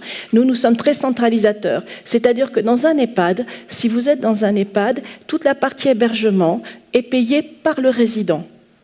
Donc si vous êtes dans un EHPAD public ou privé associatif, c'est le département qui dit, donc chaque département fixe ce qu'on appelle un prix de journée. C'est-à-dire pourquoi fixe-t-il ce prix de journée? Parce que pour les résidents qui n'ont pas l'argent pour payer, il y a ce qu'on appelle l'aide sociale. Voilà, c'est pas compliqué. Soit on a l'argent, soit on ne l'a pas, on ne laisse personne au bord de la route, et il y a ce qu'on appelle l'aide sociale, qui est payée par le département. C'est pour ça que le département, vous allez entendre Nicolas Lempereur tout à l'heure, euh, nous fixe un prix de journée. Voilà, en ce moment, dans mon établissement, je suis à peu près à 56 euros par jour. Ensuite, vous avez toute la partie soins, puisque nous avons, si c'est âgé dépendant, nous sommes des établissements médicalisés. Donc la partie soins, c'est l'État. Donc c'est l'État, par l'intermédiaire des agences régionales de santé, qui nous fixe une dotation. Voilà. C'est cadré, on a une dotation soins. Donc avec ça, nous devons euh, payer ben, nos infirmières, enfin, tous les soins afférents à la personne âgée, le personnel et le matériel. Et c'est la même chose. Donc, la dotation soins est la même pour les publics, les associatifs et les privés commerciaux. Le calcul se fait suivant des évaluations internes des pathologies. Je ne rentrerai pas dans le détail, parce que même pour moi, c'est pas facile. Et ensuite, toute la partie dépendance. La partie dépendance, le, le résident, qu'il soit privé commercial, associatif et privé, c'est aussi le département qui paye ce qu'on appelle un ticket modérateur, qui est à peu près entre 5 et 7 euros suivant les établissements par jour, et le reste de la dépendance, suivant la perte d'autonomie, est payé aussi par le département. Donc vous pouvez vous rendre compte que donc un établissement, c'est le résident, c'est l'État et le département sur qui repose beaucoup, beaucoup d'argent sur la perte d'autonomie. Donc je pensais que ce petit point était intéressant, économique était intéressant. Donc le réseau EHPAD Pays Basque, unique en France, 38 EHPAD, tous statuts confondus, et 5 résidences autonomie. Ce sont des résidences où les personnes n'ont pas besoin de soins, mais elles ont juste besoin ben, qu'on veille sur elles ou qu'on leur prépare des repas, elles ont des petits logements. Mais après, elles peuvent aller dans l'EHPAD euh, si leur, euh, leur taux, leur santé euh, le demande. Ensuite, nous sommes une association d'établissements. Nous avons fait un petit entre guillemets, c'est dans le Béarn. Vous savez que les Pyrénées-Atlantiques, on est cédé entre le Pays Basque, Schkaleri, et le Béarn. Donc moi, je suis là au titre du, Pays Basque. Voilà. Et notre, association met en place les valeurs de la gérontologie, on mutualise les formations et on fait des groupements d'achat afin d'essayer d'avoir un poids par rapport aux fournisseurs, parce que les fournisseurs se disent toujours, oh là là, ce sont des établissements, ils peuvent payer, mais non, on ne peut plus. Donc on est obligé, on se groupe et on négocie des prix. Euh, voilà. Donc voilà, donc nous sommes uniques en France euh, et moi-même je dirige un établissement public de 65 lits à Arkang, c'est proche de Biarritz, euh, Luis Mariano, voilà, c'est là. Et j'ai aussi, j'ai la chance aussi d'avoir une unité de 15 patients Alzheimer et maladies apparentées. Voilà. Donc ça c'était pour une petite présentation. Donc nous, euh, donc l'évaluation, vous avez bien compris, en France, c'est centralisé. Ça descend comme ça. Voilà, il y a l'État et ça descend. Donc jusqu'avant 2022, il y avait, bon, on a la loi de 2002 qui centralise, c'est la colonne vertébrale du secteur personnes âgées et personnes euh, handicapées, parce qu'aussi il faut bien séparer les personnes âgées des personnes handicapées. Avant 2022, nous avions nécessité de faire sur 15 ans trois évaluations internes en, auto-évaluation. On rendait des rapports à l'autorité de tarification, c'est-à-dire l'agence de régionale de santé, le conseil et le département, et deux évaluations externes avec des évaluations avec des évaluateurs externes. De toute façon, dans tous les cas de figure, quand on ouvre un établissement, c'est soumis à décision d'État. Donc on est obligé de faire des évaluations et a évaluation pour 15 ans. Voilà, 15 ans, c'est posé. Ensuite, en 2019, il y a eu une, fusion de l'Agence nationale des évaluations qui nous donnait aussi des bonnes pratiques euh, et de la qualité des établissements sanitaires et médico-sociaux avec la haute autorité de santé. C'est bien compris qu'on descend toujours comme ça. Alors donc il y a de nouveau des rédactions de procédures uniques. Donc il y a une nouvelle organisation qui s'est posée à ce moment-là. Est-ce que c'est clair? Donc, depuis 2022, mars 2022, c'est tout neuf. Nous avons un nouveau référentiel, c'est-à-dire nous allons avoir deux documents. Il va y avoir un référentiel commun national dont je vais vous parler et le manuel d'évaluation associé qui va nous dire comment il faut faire. C'est notre boîte à outils. La fusion vers une procédure d'évaluation unique. Donc on va quand même devoir faire une première phase d'auto-évaluation. Avant 2022, je vous ai dit, qu'il fallait l'envoyer à nos autorités de tutelle. Maintenant, on ne l'envoie plus. On fait notre auto-évaluation. Elle nous sert à nous pour nous préparer, pour voir ce qui va, ce qui ne va pas, et pour ce qu'on appelle les CEPOM. Mais ça, Monsieur l'Empereur va en parler tout à l'heure, donc je ne parle pas. Et une seconde phase, un organisme habilité par la haute autorisation de santé réalisera l'évaluation. C'est-à-dire que nous serons évalués par des organismes indépendants par rapport à ce que nous aurons fait à l'auto-évaluation et par rapport aussi à trois publics cibles dont je vous parlerai tout à l'heure. Donc, l'auto-évaluation va être allégée. Hein. On va faire un rapport, on le gardera pour nous, mais c'est toujours le même socle commun. C'est-à-dire, nous sommes toujours obligés d'évaluer les mêmes choses dans les établissements, c'est-à-dire euh, ben, la prise en charge sur le plan d'hébergement, l'animation, les soins, la prise en charge de la dépendance et tout ce qui est vie sociale des résidents. Donc nous avons différents outils pour euh, la mesure, la qualité des prestations. Donc en interne, on fait des enquêtes de satisfaction. Nous sommes obligés de produire des plans d'action. Nous avons des tableaux de bord pour évaluer ben, tout, déjà tout ce qui est chiffrable, tout ce qui est chiffre et tout ce qui est pourcentage par rapport ben, au, personnel. Et nous devons aussi prouver que nous maîtrisons nos coûts euh, liés à la qualité. Donc une grande maîtrise des coûts afin de ne pas gaspiller, parce que n'oubliez pas que nous, avons, nous sommes de l'argent public pour plus d'un tiers. Même plus d'un tiers, oui. Donc voilà, donc le nouveau référentiel de 2000, de 2022, il a plusieurs choses. Il va d'abord aller sur, pour qui? Ben, L'ensemble de tous les établissements de services médico-sociaux, qu'ils soient personnes âgées ou personnes euh, handicapées. Une évaluation réalisée tous les cinq ans par un tiers extérieur. Et ce que je vous ai déjà dit, l'évaluation interne et externe disparaît une mobilisation interne, donc il va vraiment falloir qu'on se mobilise. Ce qu'il ne faut pas perdre de vue, c'est que on est plutôt, ce n'est pas du contrôle, c'est vraiment une évaluation de la qualité et comment on prend en, charge ou en soin le résident. Ce n'est plus, du contrôle tel qu'il a pu être, pu être fait autrefois. Voilà. Donc, les enjeux stratégiques et les valeurs. Voilà. Donc, vous voyez, il y a trois enjeux stratégiques c'est-à-dire dans la nouvelle évaluation, c'est permettre à la personne d'être actrice de son parcours. Qui est la personne? C'est l'usager. Renforcer la dynamique de qualité dans les ESMS. Parce que actuellement, ce que je ne vous ai pas précisé, c'est que les établissements sanitaires médico-sociaux, nous sommes du champ du médico-social. L'hôpital, les cliniques, c'est du sanitaire. Donc en France, le sanitaire est déjà dans une qualité d'évaluation plus la qualité, et maintenant c'est en train de glisser vers le champ du médico-social. Le seul inconvénient, c'est que dans le sanitaire, avant, on va parler d'avant la crise Covid, parce que je crois qu'on a tous le même problème, il y avait un petit peu plus de personnel que chez nous. Alors que maintenant, ben, la qualité, elle se fait aussi pour les services que l'on rend aux résidents, et cela devient de plus en plus compliqué. Donc, et promouvoir une démarche porteuse de sens, c'est-à-dire donner du sens aux gens qui, nous donner du sens pour que nous puissions euh, euh, dire aux professionnels, mais voilà, on le fait dans ce sens-là, on le fait pour le résident, on le fait pour vous, pour améliorer votre travail. Ce n'est pas juste du contrôle. Il y aura quatre valeurs prioritaires. Le pouvoir d'agir de la personne, donc la personne c'est le résident. Le respect des droits fondamentaux, il existe ben, euh, tout, être humain a des droits fondamentaux. Euh, le premier, ben, ce sont des citoyens, ce sont des personnes malades et ce sont des personnes en perte d'autonomie. Ils ont des droits fondamentaux et quand on ne respecte pas ces droits, c'est le code pénal. L'approche inclusive des accompagnements transverses.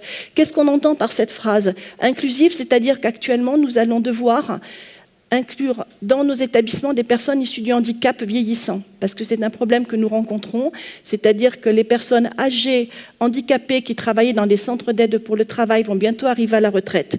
Et actuellement, il n'y a pas d'établissement fait pour accueillir ces retraités.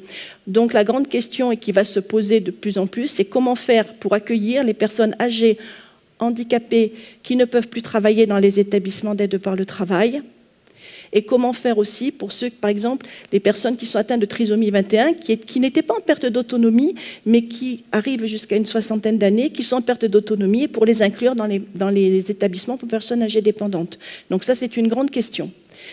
Et la réflexion, éthique des professionnels. Comment les professionnels quelle éthique ils mettent dans leur travail? Mais toujours, on est toujours dans la même chose, c'est leur donner du sens, qu'on ne réduise pas le résident juste à quelqu'un de malade à qui on doit juste faire des soins. Non, le résident, ben, il a le droit d'aller au restaurant, il a le droit d'accomplir ses devoirs citoyens, il a le droit, il est chez lui dans un établissement. Donc tout ça, c'est une éthique que l'on pose. J'ai presque fini. La finalité. Donc il faut refaire un renouvellement d'autorisation, apporter une, réponse pertinente et surtout à nous, directeurs, nous donner euh, euh, pardon, un outil de management interne. Voilà. Donc Trois minutes. La, la, structuration du nouveau référentiel. Donc, vous voyez les trois chapitres dont je vous ai parlé. Donc, ce qui est important, c'est que ben, on va considérer la personne qui est le résident, les professionnels et l'établissement lui-même en tant que structure. C'est-à-dire ben, euh, tout ce que représente l'établissement en tant que, que bâtiment. Il y aura neuf thématiques qui vont être traités. Bien-traitance, expression et participation de la personne accompagnée, continuité, fluidité des parcours, c'est-à-dire la personne est au domicile, elle va à l'hôpital, elle va en soins de suite, elle vient chez nous. Comment on peut fluidifier ce parcours et comment on accompagne dans l'autonomie? Vient aussi la politique ressources humaines, euh, c'est-à-dire les recrutements, mais avant les recrutements, les formations et comment attirer les jeunes à venir travailler dans ces secteurs c'est très compliqué en ce moment de pouvoir former des aides-soignantes et des agents de service. Ensuite, il y aura 139 critères standards et 18 critères impératifs que nous serons, correspondent à ce qui n'est plus possible de voir au sein des établissements. C'est-à-dire qu'il y a des choses, il y a des critères qu'on va nous autoriser à garder et d'autres critères, on va nous dire non, cela on ne les veut plus. Voilà. Attendez, j'en ai une. Voilà. Donc les méthodes d'évaluation, voilà, elles sont, très, elles sont très claires. Moi, je vous ai parlé du référentiel, les méthodes. Donc il va y avoir la méthode de l'accompagneur tracé, c'est-à-dire la personne va venir, on va lui donner, nous, le directeur, trois noms de résidents dont on pense qu'ils vont pouvoir répondre aux questions. C'est l'évaluateur qui va choisir. Donc après, il va prendre une personne, il va la rencontrer, il va y avoir des entretiens avec la personne et avec les professionnels. La même chose au niveau des professionnels, c'est-à-dire l'évaluateur va rencontrer des professionnels, il va regarder chaque circuit, par exemple une aide-soignante, tout ce qu'elle doit faire, et ensuite il y aura d'autres rencontres. Il aura des indicateurs, et après, au niveau de l'établissement, euh, comment la gouvernance, comment on se rencontre avec la direction, quel est le, mode de gouvernance et toutes les rencontres avec les professionnels. Donc on revient toujours sur le même, euh, le même euh, principe de, de rencontre, d'analyse et de synthèse. Et bien voilà. Je pense avoir fait le, tour. Euh, est-ce que cela est, clair? Oui, parfaitement, oui. Bon. Eh bien, Miesker. bah, 10 minutes. Parfait. Eh. Bon, je pense que c'est à Tony de nous présenter.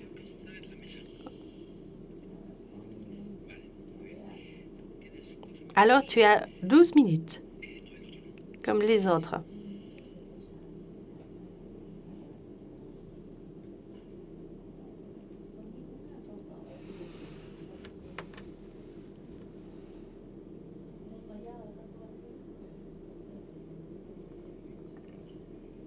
Donc, micro, micro. Maintenant, d'accord. Euh, bonjour tout d'abord. Ah, tout, d'abord, je tenais à remercier le CIS de nous avoir invités à cette rencontre. Euh, c'est bien donc de partager notre réalité et de connaître d'autres réalités, telles que Yoseva vient de le dire. Je travaille au centre de Gouléac. Gouléac, c'est un centre qui a comme tâche qui a comme tâche de gérer et créer des opportunités de travail stables et adaptées aux personnes ayant un handicap, surtout avec des personnes ayant un handicap intellectuel de notre territoire. Nous couvrons tout le territoire du Guipuscoa. C'est vrai que nous avons quelques sièges et quelques installations en dehors du territoire. Alors, Gouléac compte quatre directions. Alors, on a tout d'abord la division d'industrie, les services, marketing et itinéraire. Itinéraire est la division à laquelle j'appartiens.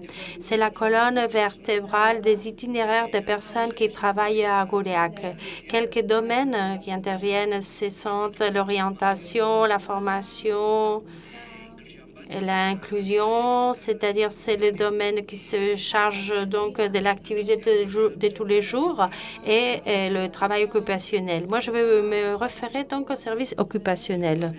Nous sommes plus de 5 700 travailleurs. Il y a le 84% en handicap et 57% de ces 5 700 ont des besoins d'accompagnement donc plus accrus. Alors, et on est distribué, c'est Goudeac va se constituer en 1965. C'est l'association qui va le constituer. C'est l'association euh, donc au Guipuscoa pour les personnes ayant un handicap intellectuel. Nous avons un vécu de plus de 45 ans et nous avons traversé différentes étapes. Actuellement, on est face à un gros défi. On est en train de mettre l'accent surtout sur pouvoir partager avec la société les apprentissages, l'expérience, donc en transférant donc à l'entreprise ordinaire euh, donc les accompagner pour qu'il y ait donc une diversité au niveau des effectifs des entreprises courantes.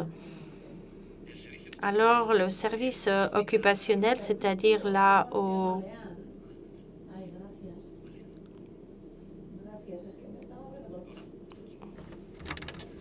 Alors, je reprends mes moutons.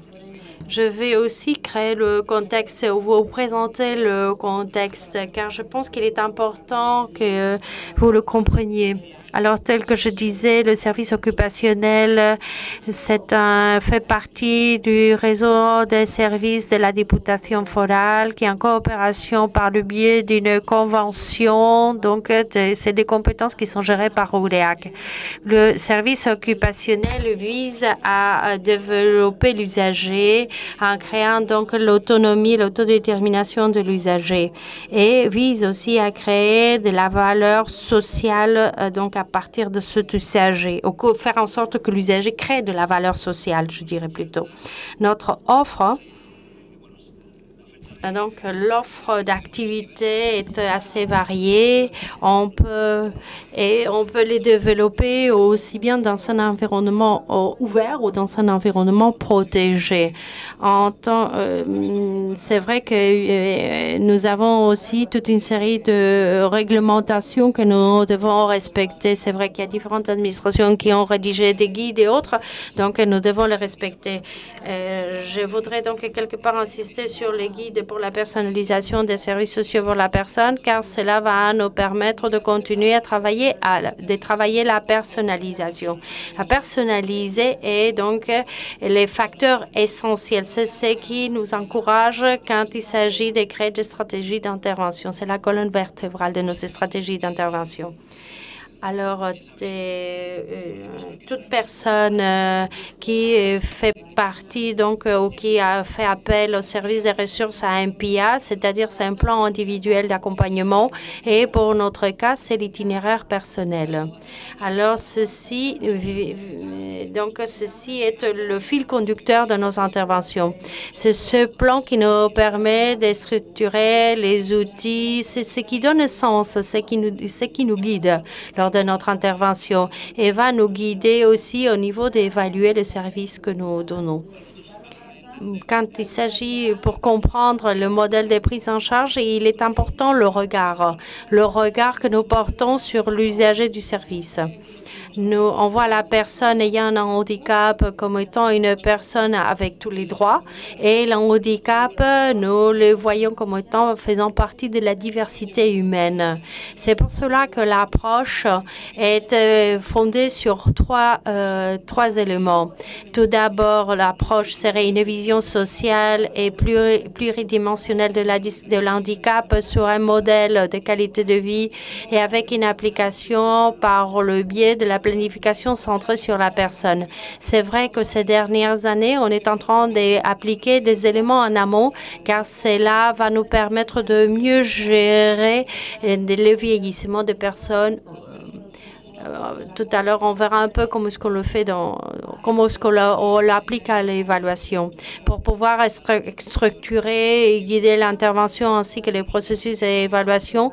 Nous faisons à partir des huit dimensions de qualité de vie des Charles Verdugo, on a défini toute une série. Partant de là, on a défini des indicateurs. Ces indicateurs seront toujours présents dans les itinéraires. Donc, à partir donc de le recueil des intérêts personnes jusqu'à l'évaluation que l'on peut faire pour évaluer les résultats passant par toutes les actions que l'on réalise au sein de ces itinéraires. Ces dimensions seront présentes dans tous les itinéraires. Alors, euh, sur l'évaluation, ou l'approche de l'évaluation. Notre approche est fondée sur des évidences et sur l'impact euh, chez les personnes. En fait, fondée sur l'évidence nous permet de faire une évaluation en continu et une évaluation critique de nos interventions. Cela nous met en question. On n'attend pas au bout de deux ans, un an, trois ans. Non, cette évaluation nous permet quelque part d'adapter et de savoir si notre intervention fonctionne ou pas. Et au niveau de l'impact sur les personnes, on évalue les résultats de la personne grâce aux différentes actions qu'on a pu mettre en place grâce aux, itinéraires personnels. C'est les deux approches. Pour ce faire, nous utilisons différents inputs. Nous recueillons des, des, informations avec différents outils des différentes situations. Quelles sont ces situations? On mesure la satisfaction par rapport au service. Dans ce cas, ce sont des résultats MESO mais c'est la personne qui va évaluer sa propre satisfaction du service. Ensuite, nous évaluons où c'est la personne, l'usager, donc évaluer le fonctionnement des actions que l'on met en place dans le cadre de l'itinéraire, c'est-à-dire qu'on est évalué. Il nous évalue si les, les buts, euh, si, si on a atteint ou pas les objectifs. Nous évaluons la qualité de vie, le niveau de qualité de vie de la personne. Et ensuite, on et, en, et, sur la planification en amont, on mesure l'intensité d'accompagnement des appuis que cette personne-là aura euh, besoin. Comme première situation, en raison de la qualité ou la satisfaction, c'est que nous avons mesuré avec euh, l'univers l'Université du Pays Basque un questionnaire nous permettant de mesurer cette satisfaction à partir de différents facteurs. D'abord, ce que nous avons fait, c'est nous avons numérisé ce questionnaire car cela nous permet alors d'être beaucoup plus rapide dans la collecte d'informations et la rendre plus accessible pour que les personnes puissent répondre à ces questionnaires. Cette numérisation nous permet également d'avoir presque en temps réel les résultats de ce questionnaire. Aussi, cela nous permet de faire une étude longitudinale, c'est-à-dire de voir comment est l'évolution de la satisfaction par rapport au service. Et cela est important car euh, après chaque moment ou étape, l'analyse des résultats obtenus, nous les lançons aux équipes et nous mettons alors en œuvre des actions précisément de correction dans certains cas. C'est ce que nous permet cette étude longitudinale. On ne fait pas seulement une photo à un moment précis, mais oui, évaluer avec des évidences les actions que l'on ensuite introduit après euh, les différentes étapes pour voir euh, les effets que cela a directement sur cette évaluation d'évaluation. C'est pourquoi cette étude longitudinale nous semble extrêmement importante aussi souligner que lors de cette dernière analyse, nous avons commencé à introduire euh, certains éléments de match ramming qui nous permettent de manière automatique d'analyser aussi où euh, se concentrent, par exemple, les faibles satisfactions et avec quelles variables. Et cela, évidemment, ne remplace jamais les équipes de professionnels qui sont en train d'évaluer ou interpréter les données. Ce que nous faisons par ce biais, c'est simplement accompagner cette évaluation plus euh, personnelle que font précisément ces équipes de professionnels aussi, ce que nous réalisons, c'est une, évaluation, c'est-à-dire voir si les actions qu'on mettait en œuvre étaient en train de fonctionner ou pas. Et là, c'est la propre personne qui décide ou qui nous informe de ce niveau de, fonctionnement. Donc, euh, hormis le fait de, de, savoir si la personne nous indique si ça fonctionne ou ça fonctionne pas, on recueille avec eux des informations plus qualitatives. Et cette information qualitative nous permet de réagir avant de finir l'itinéraire. Si par exemple on nous dit qu'une action mise en œuvre ne fonctionne pas, nous allons la changer pour pouvoir répondre véritablement aux besoins de la personne.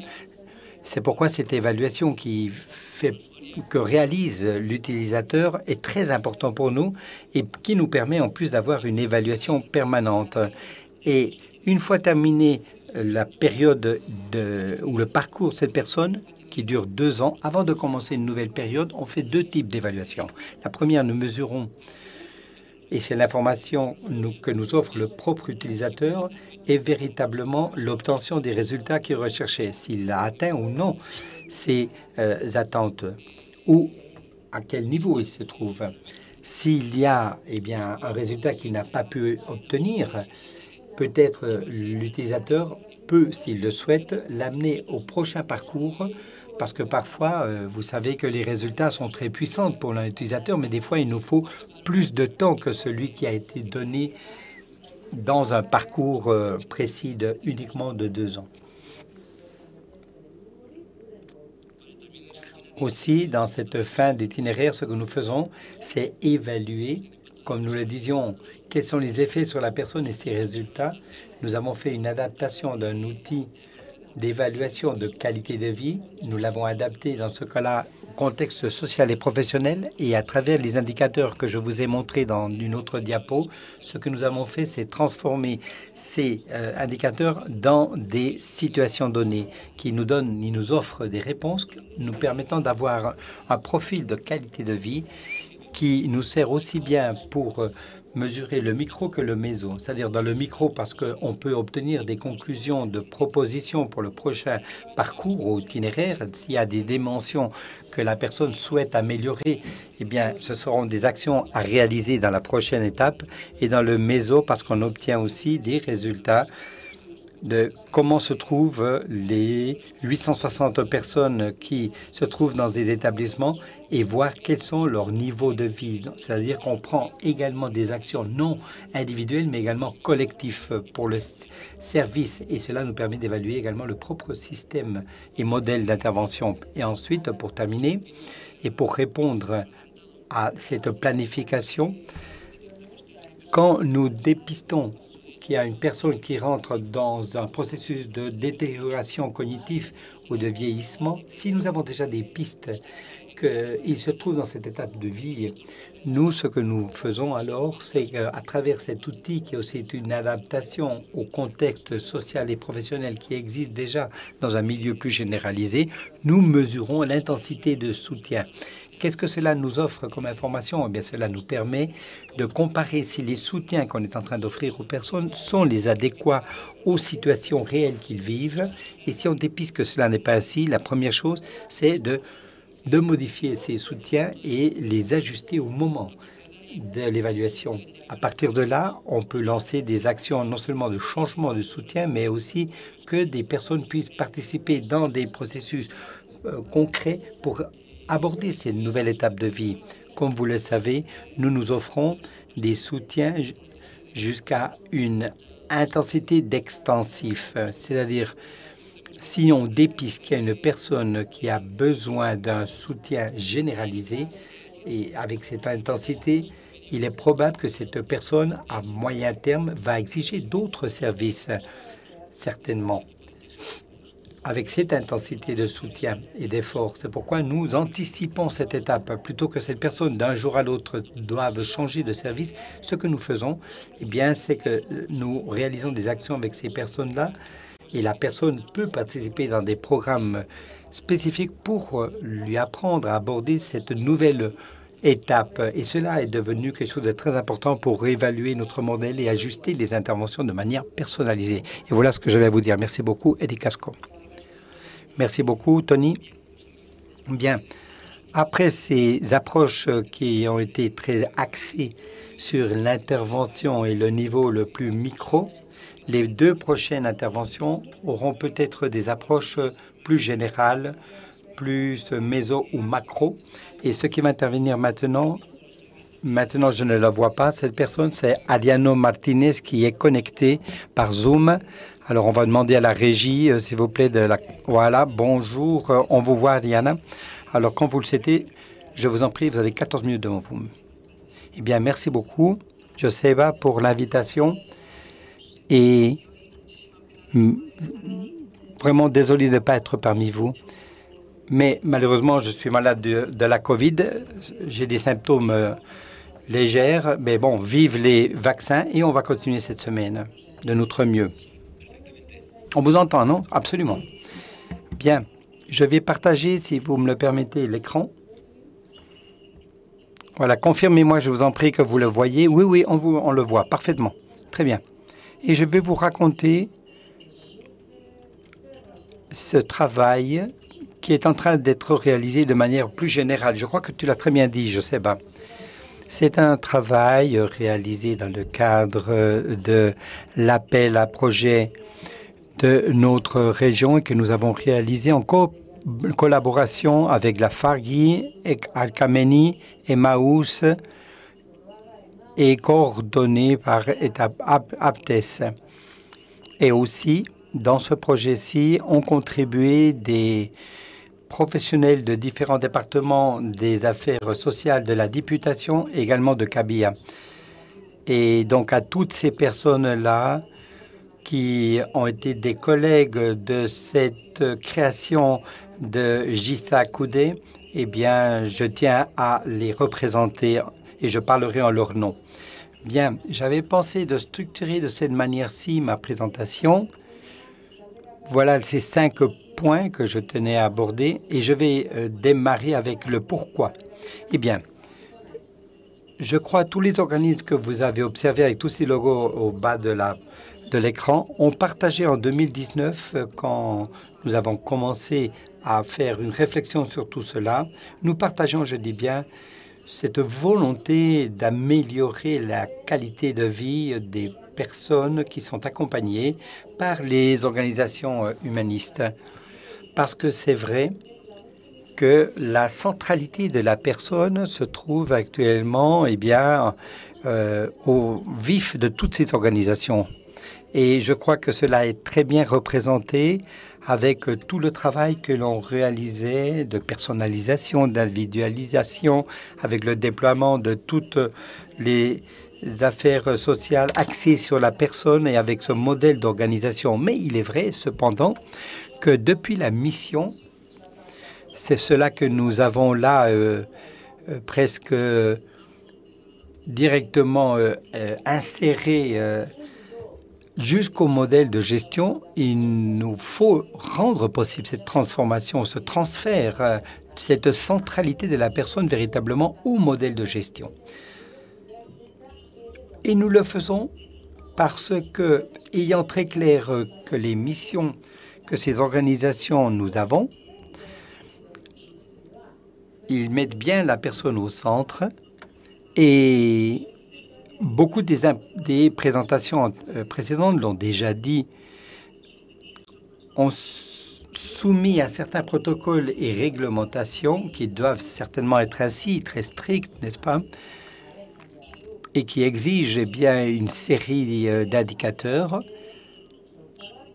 Et on soumettait aussi cette euh, personne à une intangibilité et un soin à pouvoir accompagner, s'occuper, renforcer des capacités.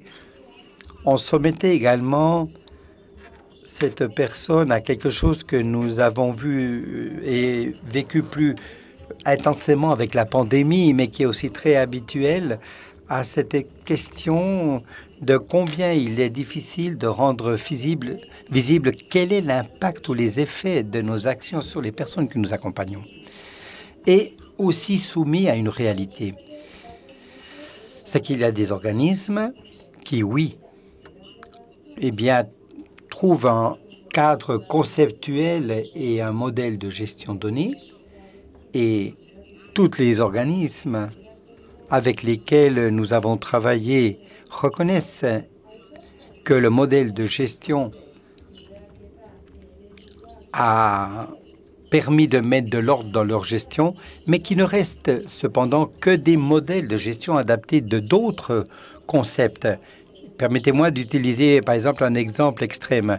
Le même modèle de gestion au polygone 27 dans une entreprise de mécaniciens que dans un organisme, que dirais-je, euh, consacré à accompagner des, des enfants ou des personnes dépendantes ou des personnes qui exigent des soutiens pour euh, certaines étapes de leur vie. Ça, dans le meilleur des cas, je dis bien, de ceux qui ont déjà un modèle de gestion. Mais il y a aussi, il faut reconnaître qu'il y a beaucoup, beaucoup d'organismes ou d'entités qui s'occupent et suivent ces personnes-là qui n'ont pas de modèle de gestion en soi. Tous ces euh, organismes de secteur tertiaire euh, qui, en raison de leur taille, n'ont pas fait ce parcours, n'ont pas ce modèle de gestion. Eh bien, je crois, pour qui on disait auparavant, eh bien, tout cela est pour ces organisations qui sont nées pour améliorer, accompagner les personnes dans leur qualité de vie. Et ne, ça a été un véritable problème de chercher le verbe le plus adéquat pour décrire cela, parce qu'il y a ceux qui accompagnent, ceux qui soutiennent, ceux qui euh, donnent des capacités, ceux qui soignent. Eh bien, derrière de tout cela, il y a beaucoup de philosophie.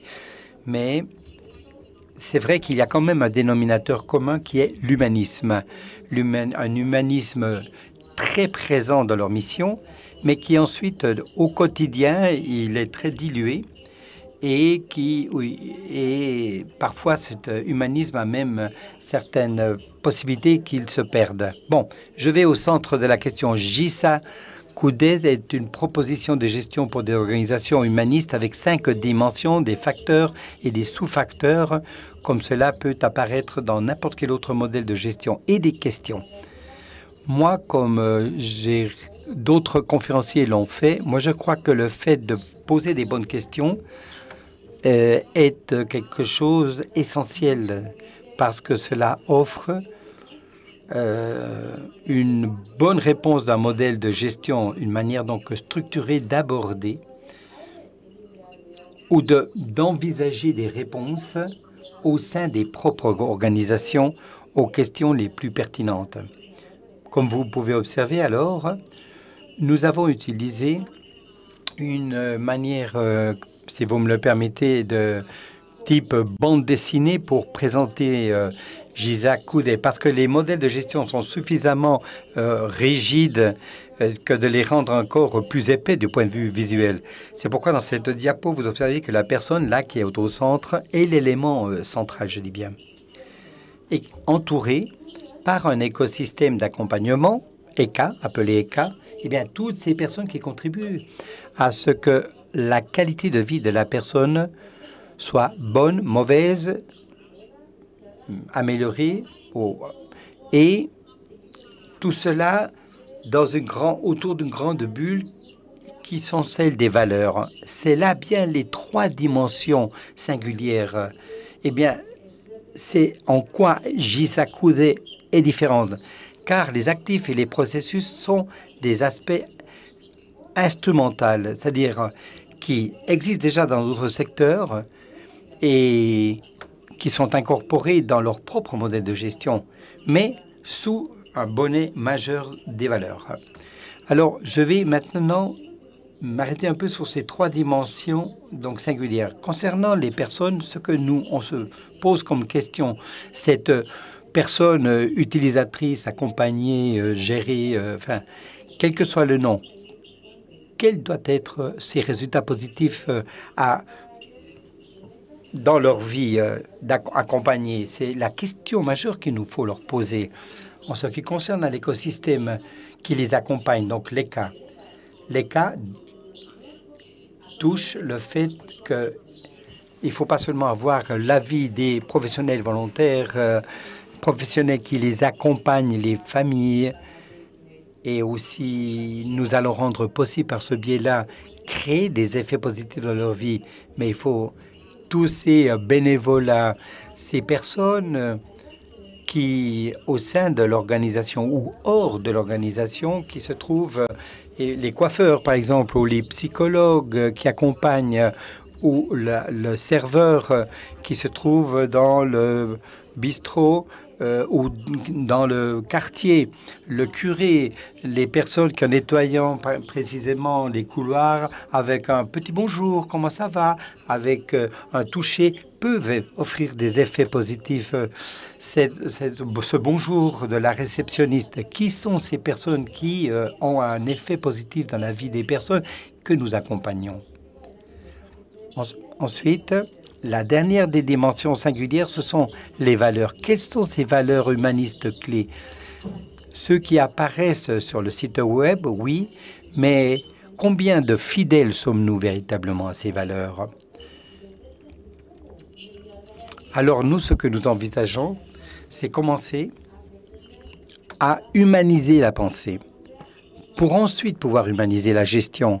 Et humaniser la pensée veut dire mettre sur la table ces trois questions. En premier lieu, identifier quels, sont les résultats positifs sur la personne, identifier qui font partie de cet écosystème d'accompagnement. C'est non réel de penser que avec les professionnels, avec les personnes qui constituent le réseau de la famille et peu de choses de plus, on peut accompagner convenablement une personne et on peut offrir des bons euh, impacts ou effets. Il nous faut identifier, je dis bien, tous ceux qui apportent un peu euh, d'humanisme à cette personne Et en, en troisième lieu, quelles sont ces valeurs humanistes qui, comme organisation, doivent être notre ADN, qui doivent nous permettre d'être un référent? À partir de cette identification, on va pouvoir mesurer quels résultats, combien de fidèles sommes-nous à ces valeurs euh, avancées et comment, euh, quel est l'impact de ces effets, ou quel est l'impact de ces gestes sur la personne, et ensuite agir. Et vous pouvez me demander, bon, et qu'est-ce que vous disiez de ces deux dimensions euh, supplémentaires? Bon, comme moi-même, je suis tombé malade de Covid, les processus et les actifs doivent être également contagiés par l'humanisme, qui sont ces trois dimensions, doivent absolument être soulignés. Et à tout cela, nous devons également le faire en envisageant des questions. C'est le parcours qu'il nous faut réaliser. Trois minutes, Adriana. Parfait. Pour tous ceux qui sont plus familiarisés avec d'autres modèles de gestion, voilà un peu l'aspect en dimension facteur et sous-facteur que nous avons. Chacun d'entre eux ont leur euh, élément correspondant de réflexion et de questions associées. Je crois que c'est très important de partager avec vous que nous ne sommes pas aussi naïfs pour penser ou croire qu'une organisation qui a déjà eu un parcours, n'est-ce pas, avec un modèle de gestion qui, en plus, ces modèles de gestion leur ont donné un ordre dans le passé et dans le présent, n'est-ce pas, et qui va permettre de dire voilà, je vais embrasser Isakude et tout ira mieux. Non.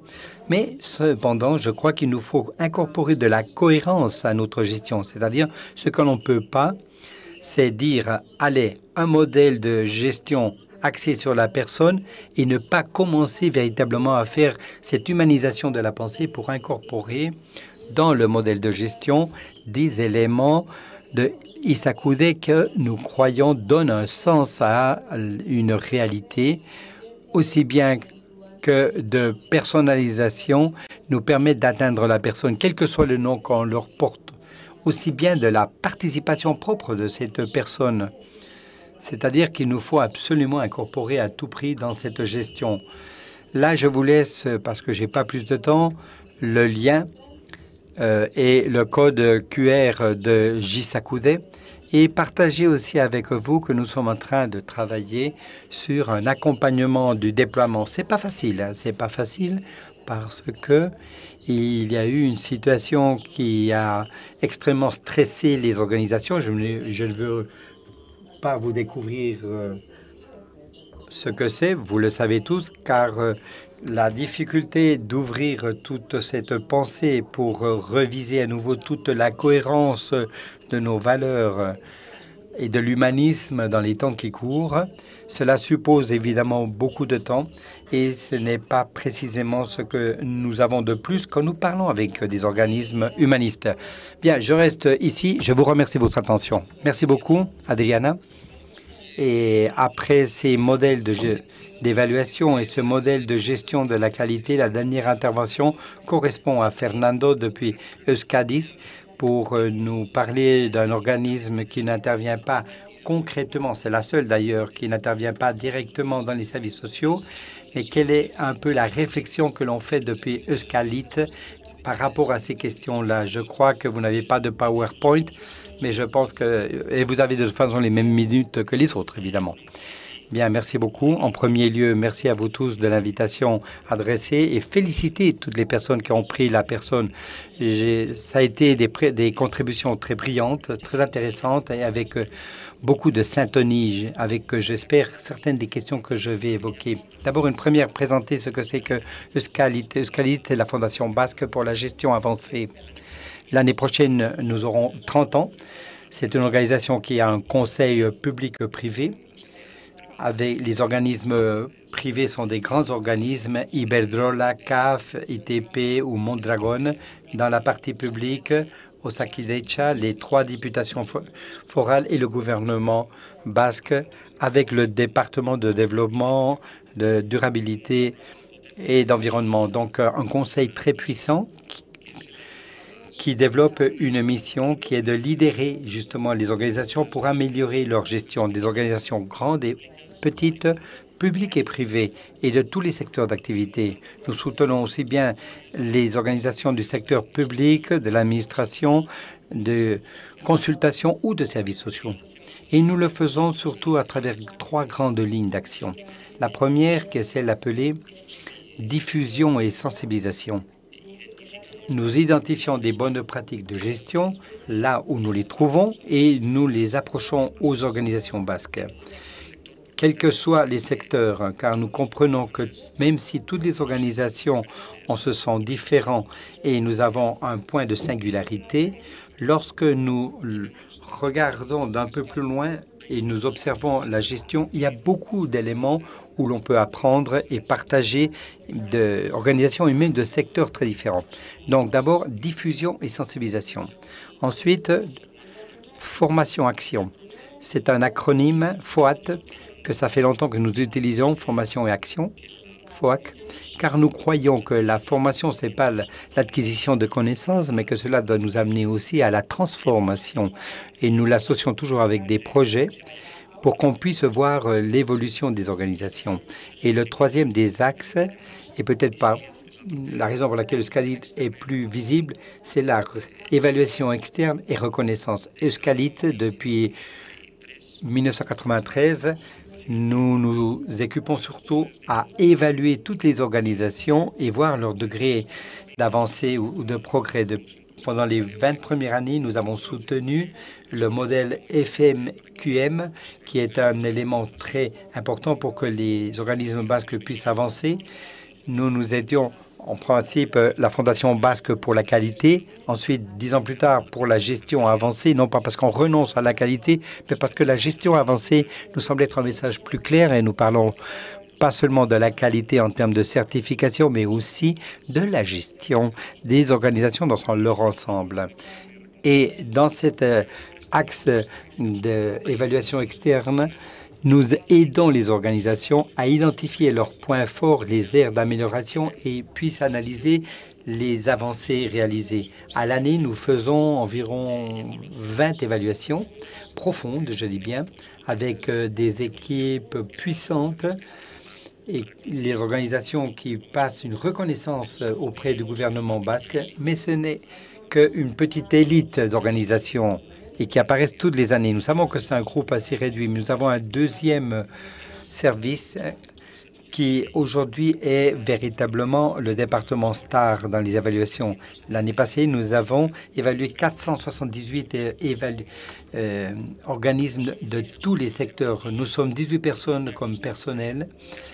Pour faire un diagnostic de 500 organisations, il n'y a pas de magie, c'est ça. Simplement, nous avons un club d'évaluation Euskalite qui est véritablement le joyau de la couronne.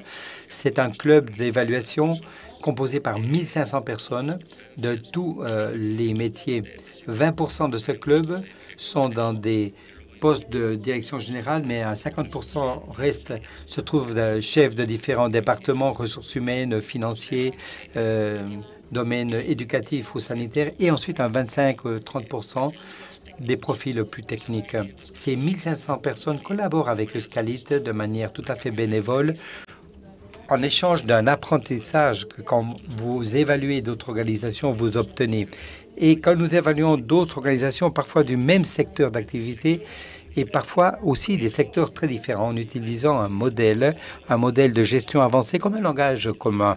Le modèle de gestion avancée est un modèle qui, depuis 2014, est utilisé et que nous soutenons et des milliers d'organisations utilisent ce modèle toutes les années comme un miroir de référence.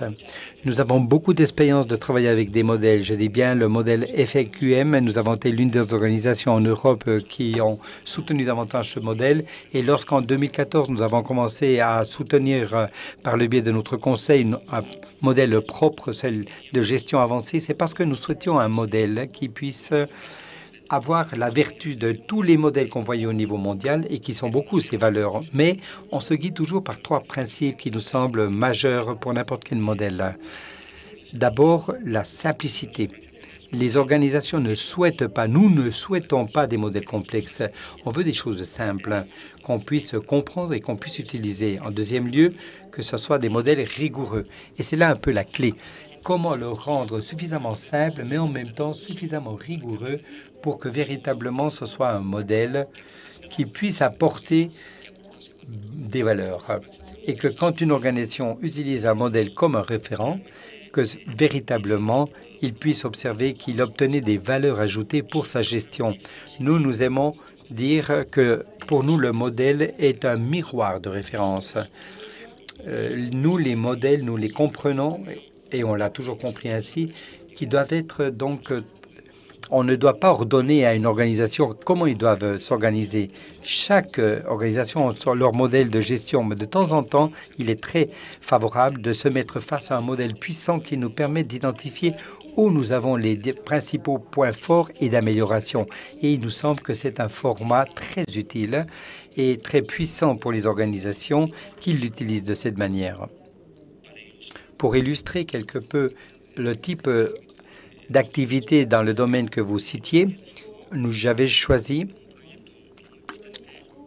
un projet très puissant que nous développons depuis 2018 avec la députation forale de Biscaya et particulièrement avec les affaires sociales, un programme d'inclusion. Yolanda le connaît très bien nous, nous avions identifié en 2018 que l'on souhaitait soutenir tout le monde des handicaps. Il y avait 30 organisations, parfois très grandes et d'autres plus petites, certaines figures juridiques avec certaines maturités, mais parfois on méconnaissait les avancées dans ce domaine.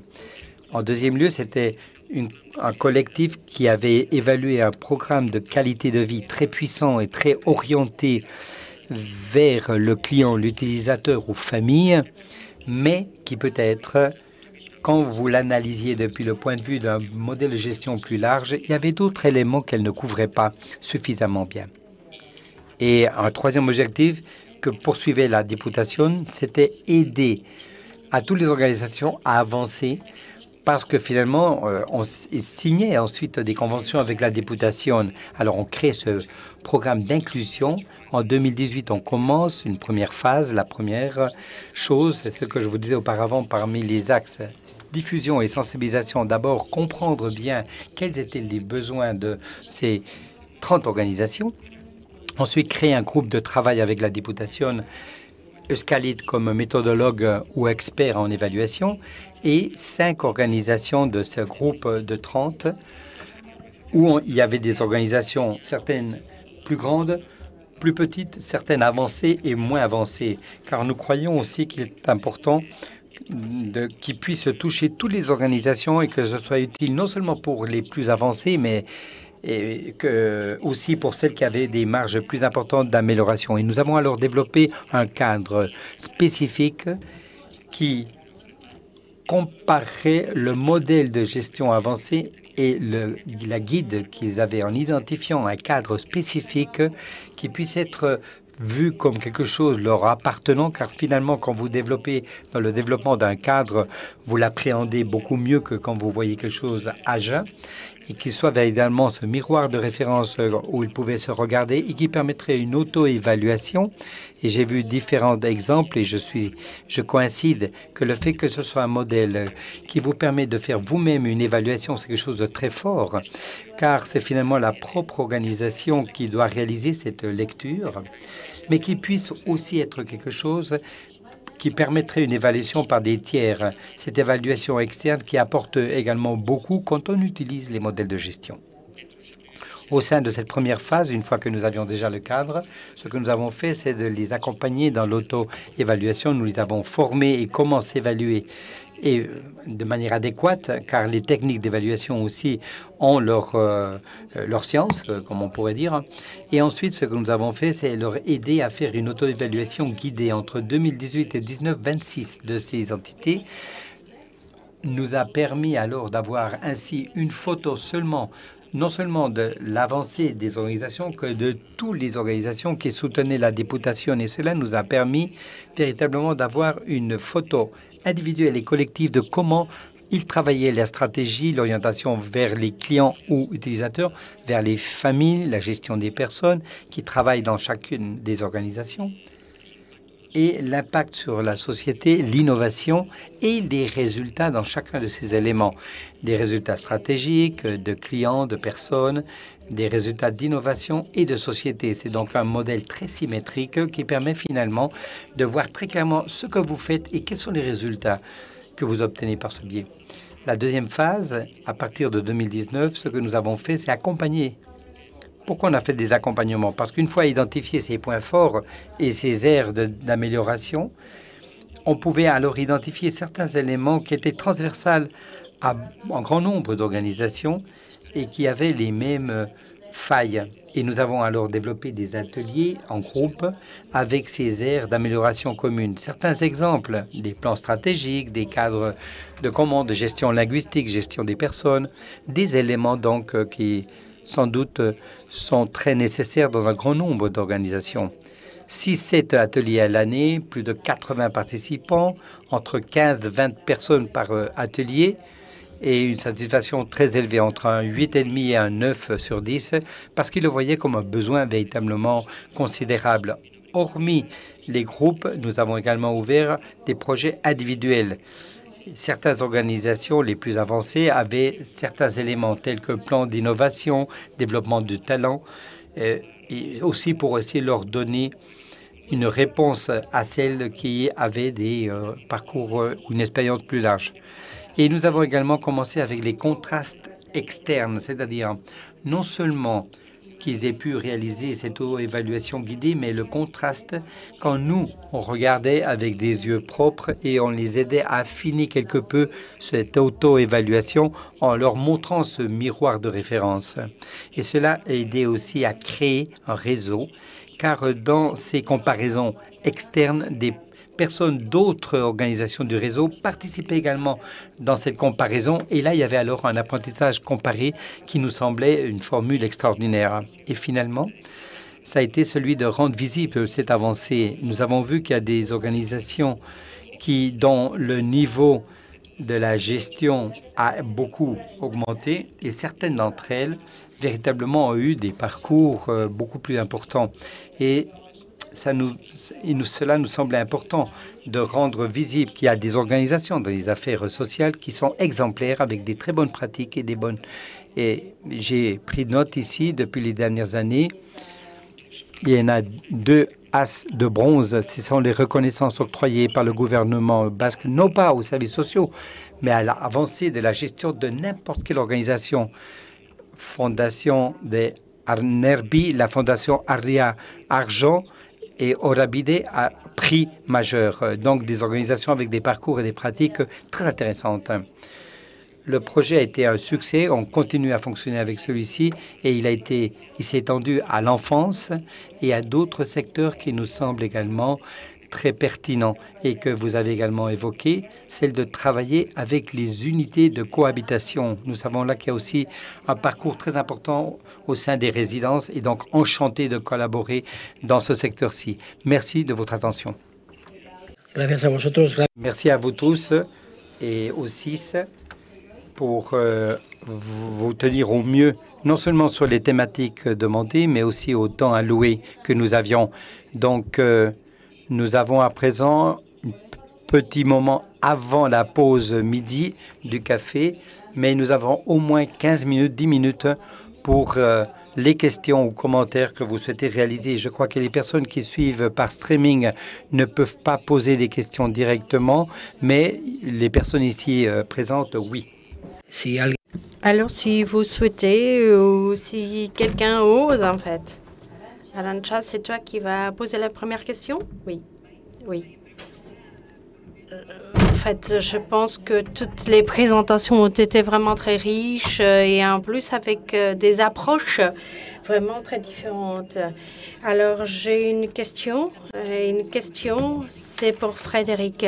Alors, quand vous nous avez expliqué au niveau du réseau que le système euh, donc a une auto-évaluation des centres et ainsi qu'une évaluation externe tous les cinq ans au niveau du réseau, étant donné que vous avez donc des PAD qui sont publics, qui ont différents statuts, ces processus d'auto-évaluation, ces outils lors de l'évaluation externe tous les cinq ans, ce sont les mêmes, les mêmes auto-évaluations indépendamment donc de les statuts de l'organisme, de l'EHPAD, le système partagé, c'est la question. Et ensuite pour le débat, pour le débat, je, poserai ma question un peu plus tard. Oui, tout à fait. En effet, euh, puisque c'est étatique, peu importe le statut de l'EHPAD, public, privé ou associatif, l'évaluation est la même pour tout le monde. Nous sommes tous tenus, peu importe le statut, de faire une auto-évaluation et une évaluation, puisque les autorisations sont données pour 15 ans, et peu importe le statut de la, hum, de la structure. Et ce que je voulais aussi préciser, c'est par exemple s'il y a un EHPAD privé commercial qui veut, mon- par exemple, venir à Bayonne, il ne pourra pas créer de lit. Il pourra en acheter s'il y a des associatifs ou des publics ou un autre privé qui les vendent, mais il n'y aura pas de création de lits. Les créations de lits sont exclusivement faites par, euh, conjointement par l'Agence régionale de santé et le département, donc l'État et le département, puisqu'il y a des financements conjoints. Mais les évaluations sont exactement les mêmes pour tout le monde.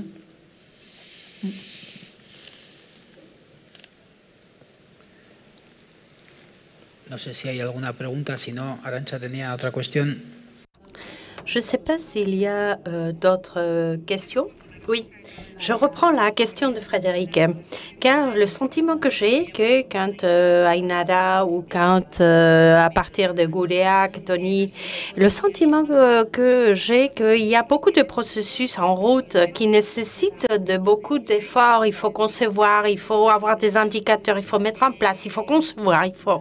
Et que à la fin tout ce travail là, ce- ces apprentissages alors, où, où, où, où- ça va? Où, qui, qui, qui recueille tous ces apprentissages?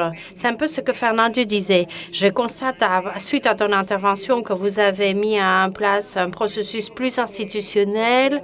hein, et donc, euh, je crois que c'est le débat et le séminaire d'aujourd'hui, c'est-à-dire toutes ces, toutes ces, ces interventions dispersées. Et alors, comment est-ce qu'on va les réunir? Comment est-ce qu'on va les réunir, en fait? C'est des, des outils, mais qui sont éparpillés, un peu trop perdus. Alors, je ne sais pas si euh, quelqu'un peut répondre. Alors, moi, je pense euh, pour nous, c'est- on a choisi ces, ces expériences parce que ces expériences étaient très bonnes, mais elles ne font que démarrer. Pour l'instant, nous ne faisons que travailler là-dessus. Donc, euh, pour l'instant, euh, alors actuellement, il s'agit quelque part de faire un transfert en interne auprès de services et c'est après, c'est après qu'on pourra faire donc un transfert vers l'extérieur, qu'on va pouvoir exporter tout cela. Je ne sais pas, Tony, si tu souhaites. Micro, pardon. Alors, nous avons travaillé avec, euh, on a travaillé, mais en- au niveau individuel avec toutes ces instances. C'est vrai qu'il y a eu des expériences très intéressantes, mais c'est vrai que c'est lors de- dans le cadre de ce dernier projet, on a, con- on a constaté un saut qualitatif, car euh, euh, quelque part, ça permettait non seulement que les centres avancent, mais cela permettait à la députation d'avoir une photo d'ensemble.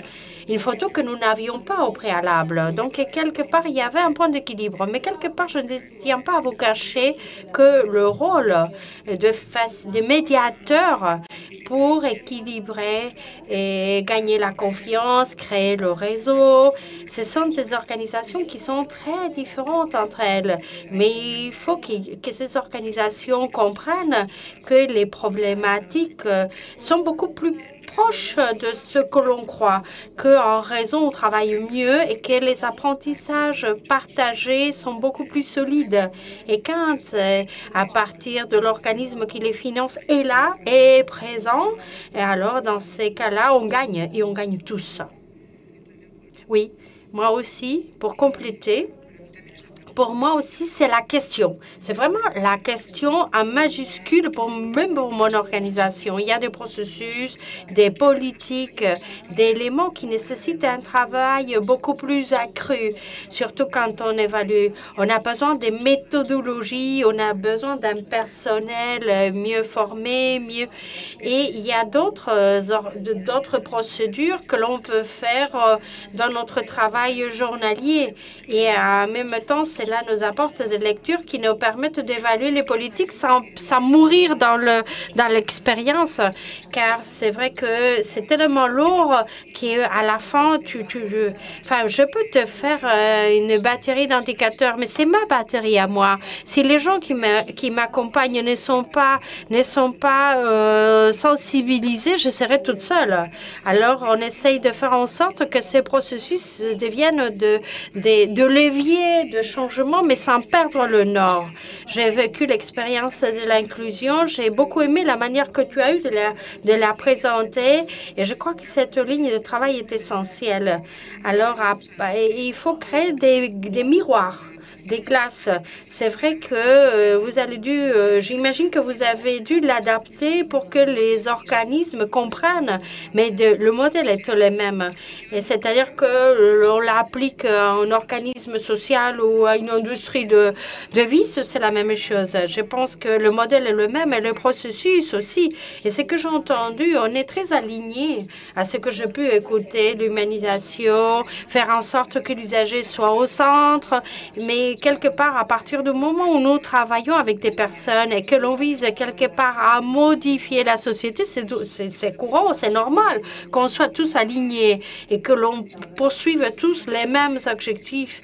Je crois qu'on est tous alignés. On a un vocabulaire différent, mais et je pense que c'est des apprentissages partagés. Je ne sais pas qui l'a dit. Ce sont des choses que l'on ne peut pas imposer. Il faut les transférer, il faut les partager, il faut travailler dans une sorte d'amélioration continue. Il nous faut, indépendamment des, espaces de travail, et quelque part, la validation externe est essentielle pour moi. Je pense que la validation externe va en réunir les deux approches. Quelque part, tu as ta propre évaluation, mais quelque part, c'est un regard externe qui te permet de mieux évaluer, de mieux voir. Et en même temps, cela t'encourage à améliorer, c'est-à-dire au fait que tu sois pas, tu sois jamais conforme avec ce que tu as, avec ton résultat. Eva, tu souhaites intervenir? Alors moi, en vous écoutant, en regardant. Moi, je travaille là au sein de l'administration, services sociaux de l'administration. Donc, vu un peu les différentes interventions, les processus d'évaluation. Donc, mais il y a une chose qui, qui me, il y a quelque chose qui suscite un questionnement de ma part. Alors on teste, on teste des choses, mais l'on dirait que les structures de l'organisation ne changent pas. Il n'y a pas d'autocritique, rien ne change. Alors on ne revoit pas ce qui est en arrière, ce qui est derrière tout cela. On dirait que tout est, on voit tous les atouts, mais on laisse de côté les ombres. Alors on touche pas les côtés euh, cachés et tous ces espaces dans l'ombre interviennent parce que toi, tu fais des mouvements, tu as le sentiment que tu fais des changements et tu ne touches rien à l'organisation. Alors, c'est un peu ce qui se passe. Moi, je l'ai vécu et je l'ai vécu et je le vis. Alors, on a une nouvelle mode. Il n'y a pas d'accompagnement. On revient, on revient à la qualité. Mais il y a eu déjà un autre mouvement autour de la qualité dans le passé. En fait, euh, une sorte de mode. C'est une question que je me pose. Pourquoi on n'analyse pas les éléments clés qui nous ont amenés quelque part à ne plus bouger, les organisations changent, les organisations évoluent. Dans quelle étape nous trouvons-nous? Dans une étape ancienne, vieille? Alors, moi, je me, je me, pour moi, ce sont les éléments qui vont motiver l'échec ou le succès de ces organisations et de toutes ces politiques-là. C'est une question qui m'interpelle et que je vous la laisse sur la table.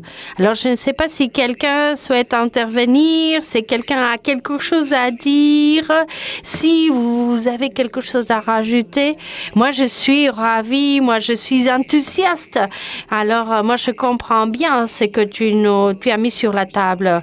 C'est vrai que je ne fais comment je alors je ne fais que je travaille dans l'administration depuis peu, mais peut-être que je il se peut que dans un certain temps je change d'avis, même les discours de handicap. Et alors tu reviens, tu reviens viens donc euh, à certaines euh, réunions et tu te dis mais rien a avancé. Mais si, euh, mais je crois qu'il y a, il y a des changements et on peut pas perdre de vue que nous sommes quelque part responsables. Je ne sais pas si c'est à nous de porter, mais il faut faire en sorte qu'il y ait une réflexion critique au sein des équipes et que, que les équipes se demandent pourquoi je suis là, qu'est-ce que, qu'est-ce que, quel est mon but, quel est le but de mon organisation et provoquer, faciliter ces réflexions et ces changements pour modifier l'organisation. C'est, et ça, on peut le faire à partir d'une évolution interne ou externe. Et il faut quelque part aussi motiver les travailleurs à partir de, donc identifier les espaces d'amélioration. Moi, j'ai beaucoup aimé ça, c'est-à-dire euh, identifier les espaces d'amélioration et, euh, et, donc attendre. En fait, il faut, euh, on entend les mêmes discours, mais je pense qu'on a beaucoup avancé, donc il faut, on, on doit être enthousiaste. Moi, je partage l'avis de Yolanda. Je peux vous dire que nous, en fonction de notre expérience, il ne s'agit pas de ne pas souhaiter arriver au fond ou d'avoir besoin d'un accompagnement pour arriver, pour arriver au fond des questions. Je crois que les organisations en général nécessitent des chemins faciles pour euh, perdre la peur et pour évoluer. Et sans percevoir toute cette réalité comme quelque chose qui, que tu ne vas jamais attendre. C'est pour cela qu'il euh, y a la métaphore de monter des, des, des, des de, de, de, monter, de, de, monter une montagne, quoi. Et quand on fait une évaluation, une évaluation nécessite beaucoup d'efforts. Parfois, tu n'as qu'une photo de la réalité, mais quelque part, en fait, et, et quelque part, il s'agit de voir s'il ne s'agit pas d'une étape qui va provoquer d'autres pas, d'autres réalisations. Euh, le fait d'avoir euh, d'avoir des mécanismes plus durables dans le temps et le fait de travailler avec ces mécanismes est important et on l'a constaté. Et quelque part, c'est un point intermédiaire. C'est un point intermédiaire qui nous amène un peu plus loin. Ce sont des petits pas, des petits poids d'espoir qui sont portés d'espoir. On a les mêmes problématiques euh, des deux côtés de la frontière. Mais euh, ici, on est dans une université et je pense que parfois, pour changer une organisation profonde, elle vient de l'enseignement que l'on va donner aux cadres qui vont encadrer nos structures. Je prends par exemple, nous, maintenant, pour pouvoir diriger un établissement, on nous demande d'avoir des Masters 2. Et ils ont revu l'enseignement. Et je vois les jeunes qui arrivent, les trentenaires, 25, 30 ans, elles ont même d'autres façons de voir les choses que celles qui ont 50, 60, Moi, j'ai repris mes études tard, alors je ne sais pas où je me mets, mais ce que je veux dire, c'est ça. C'est, je pense qu'il y a, y a tout ce que vous dites sur les évaluations, la politique des petits pas, mais il y a aussi l'enseignement. Et on voit bien que même dans la vie quotidienne, et quand on veut faire changer quelque chose, elle part de, l'éducation et de l'enseignement que l'on va donner. Donc, je pense que la façon dont vous allez former des deux côtés de la frontière les cadres, et ça peut aussi aider à bouger les organisations puis on est dans une université. Donc, je pense que la notion de qu'est-ce qu'on veut donner comme sens au travail, quel, sens on veut donner aux, personnes qui travaillent pour d'autres personnes qui ont besoin d'aide, eh ben, peut-être que cette notion de sens, on peut déjà essayer de l'inculquer au niveau de l'université ou des écoles qui forment les cadres des différents secteurs. Nous allons de conclure avec l'intervention de Fernando. Je comprends je comprends parfaitement ta réflexion. On a tous le sentiment du déjà vu et c'est notamment pour cela qu'il faut être dans une démarche d'amélioration continue. Mais je pense qu'il est important. J'ai beaucoup aimé lors de ton introduction quand tu as identifié les fonctions souples et les fonctions dures. Je crois que c'est un très bon exemple. Il va y avoir une inspection, il va y avoir de la réglementation, il va y avoir des changements obligatoires et à côté de cela, dans ces fonctions souples, c'est là, c'est là où améliorer la gestion, ce n'est pas une mode, ce n'est pas un caprice. Si vous le percevez comme ça, vous vous trompez, car toutes les organisations alors, nous devons être conscientes que l'avancée au, niveau de la gestion est quelque chose que ou nous le faisons par notre propre chef ou sinon la vague va nous attraper. Quand on est des usagers, quand on est client, on est plus exigeant. La société est, est, est de plus en plus exigeante. Il faut que l'on mette en place des processus, il faut qu'on attire du talent, il faut que l'on forme, il faut que l'on ait des stratégies. Donc, travailler tous ces éléments d'une manière structurée, d'une manière euh, la plus organisée possible, est une manière de nous anticiper à des défis qui vont se poser.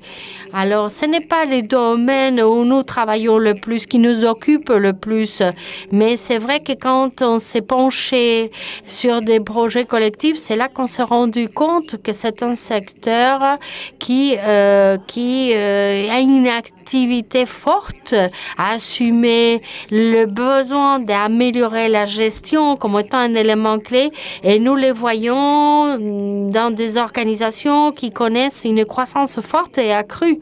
Alors moi, je le regarde, je le regarde toujours en étant très optimiste, mais quelque part, je le regarde parce que je pense que c'est une question vitale, non seulement dans ce domaine, mais dans tous les domaines. On ne peut pas regarder à côté. La gestion des organisations est de plus en plus complexe. On vit dans une réalité avec énormément d'incertitudes. Regardez ce qu'on a vécu.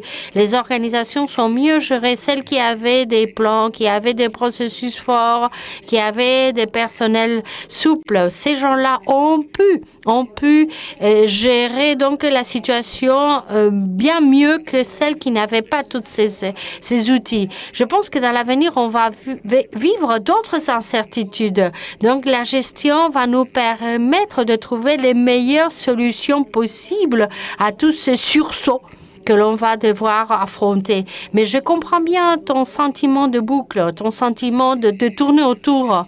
Alors, merci beaucoup à vous six. Moi, j'ai des questions, mais bon, j'imagine que vous avez peut-être faim, vous avez envie de prendre un café. Nous allons faire une pause jusqu'à midi et demi.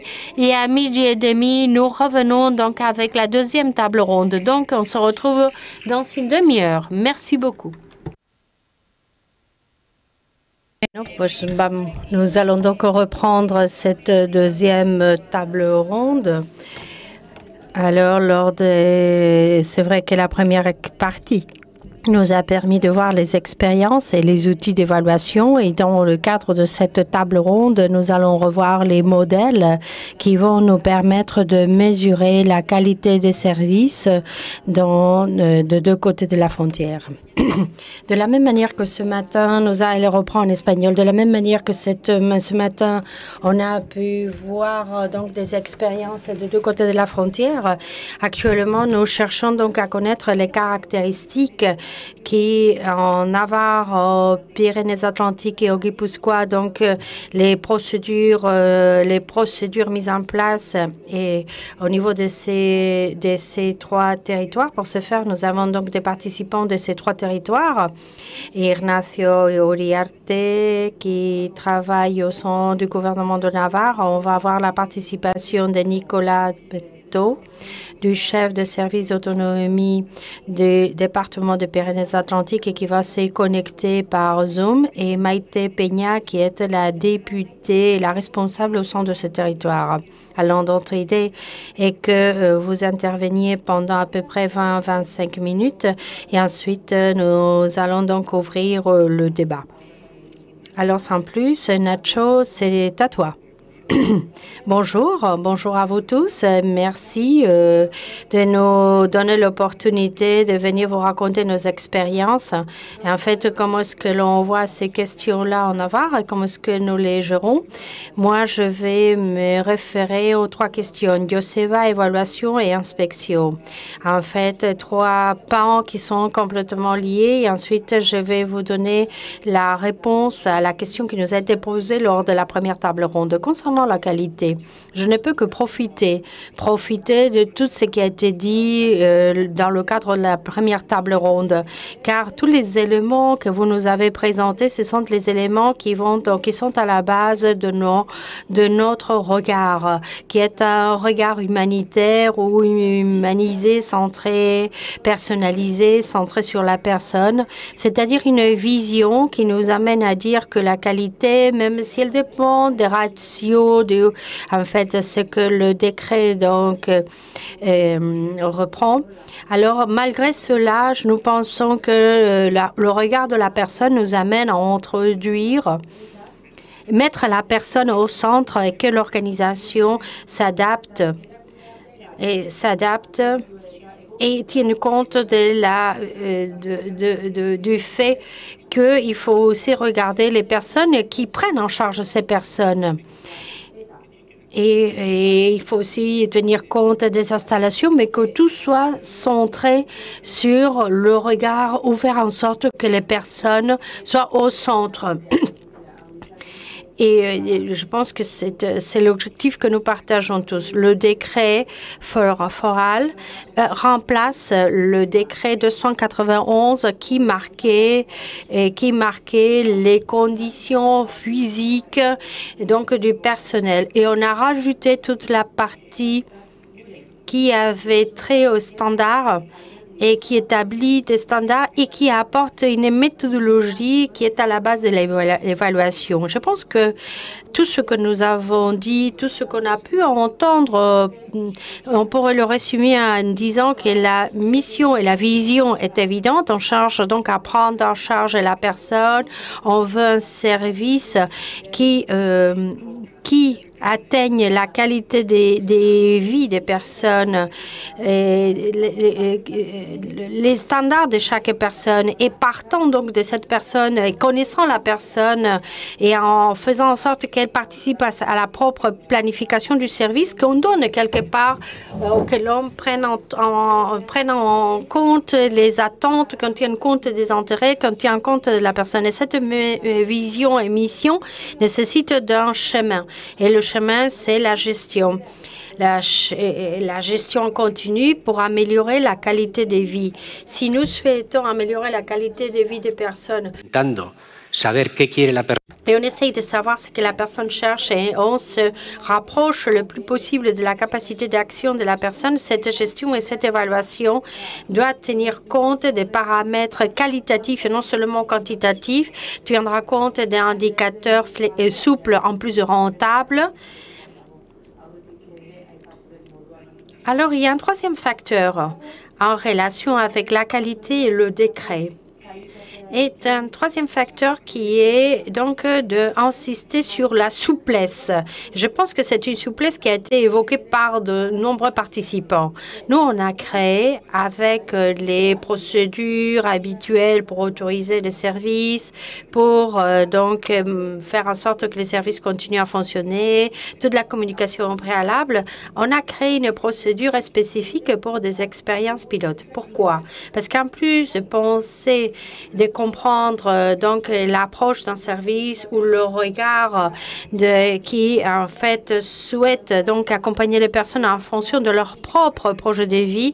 Nous croyons que la manière donc d'atteindre ces objectifs doit être différenciée. Même les, les prérequis qui étaient plus évidentes peuvent tomber si en fait une partie sont complétées avec notre aspect qui cherche ce résultat par le biais d'autres moyens.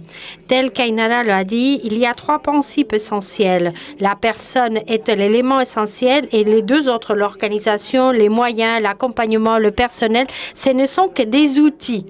Et en tant qu'outils, même eux, ils peuvent, ils peuvent euh, donc, à partir de, de, qualité de vie, on crée de nouveaux services. D'ailleurs, euh, dans les 209-91, nous avions un annexe avec les conditions de service. Il y avait énormément de services, un éventail important, et il fallait donc respecter tous les prérequis. Et si quelqu'un avait un service qui ne respectait pas tous, on appliquait donc les prérequis qui étaient les plus proches.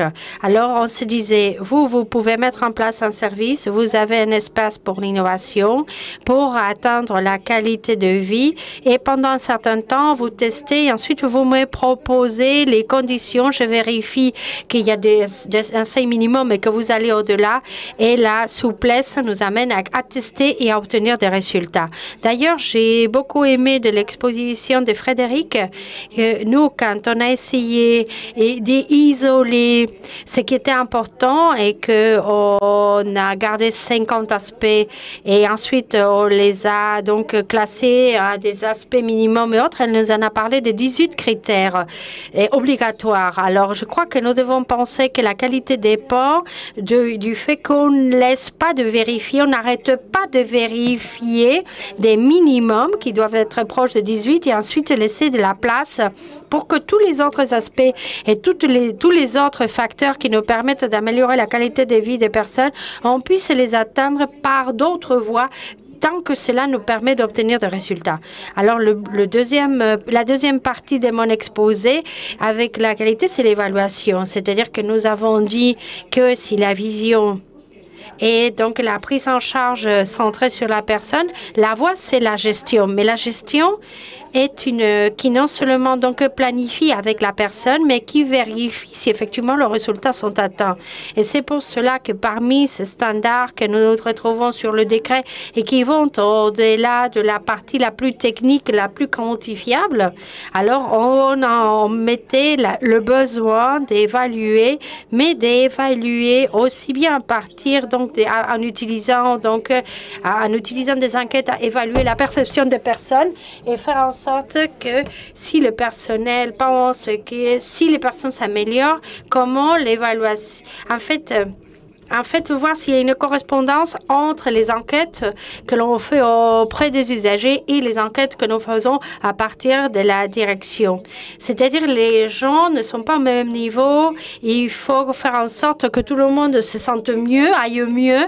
Et pour ce faire, il est important de mettre des appuis, créer de la confiance et, faire en sorte que tout le monde rentre en concurrence avec soi-même pour obtenir sa meilleure version.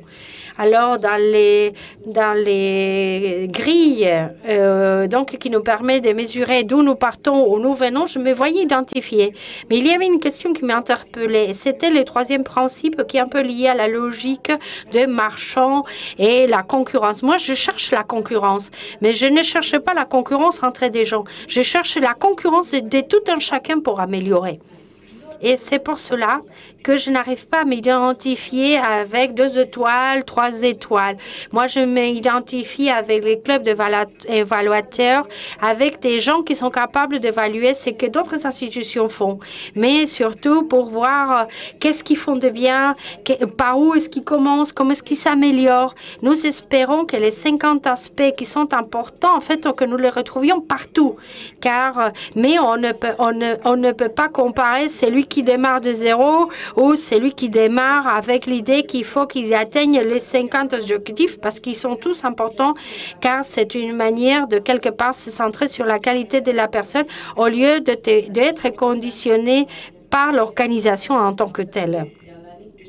Alors, euh, cette évaluation elle nécessite d'un accompagnement, de la confiance.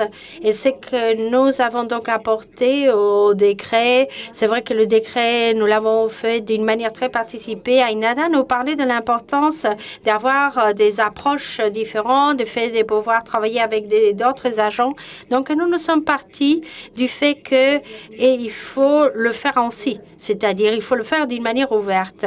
Et indépendamment du temps, il ne faut pas être pressé. Il faut faire des, règles, participer et ensuite assumer, assumer les conséquences. Alors, parce qu'en plus, cette, cette, cette, réglementation, en fait, tient compte de toutes les visions, étant donné que c'est une réglementation qui a été faite ensemble.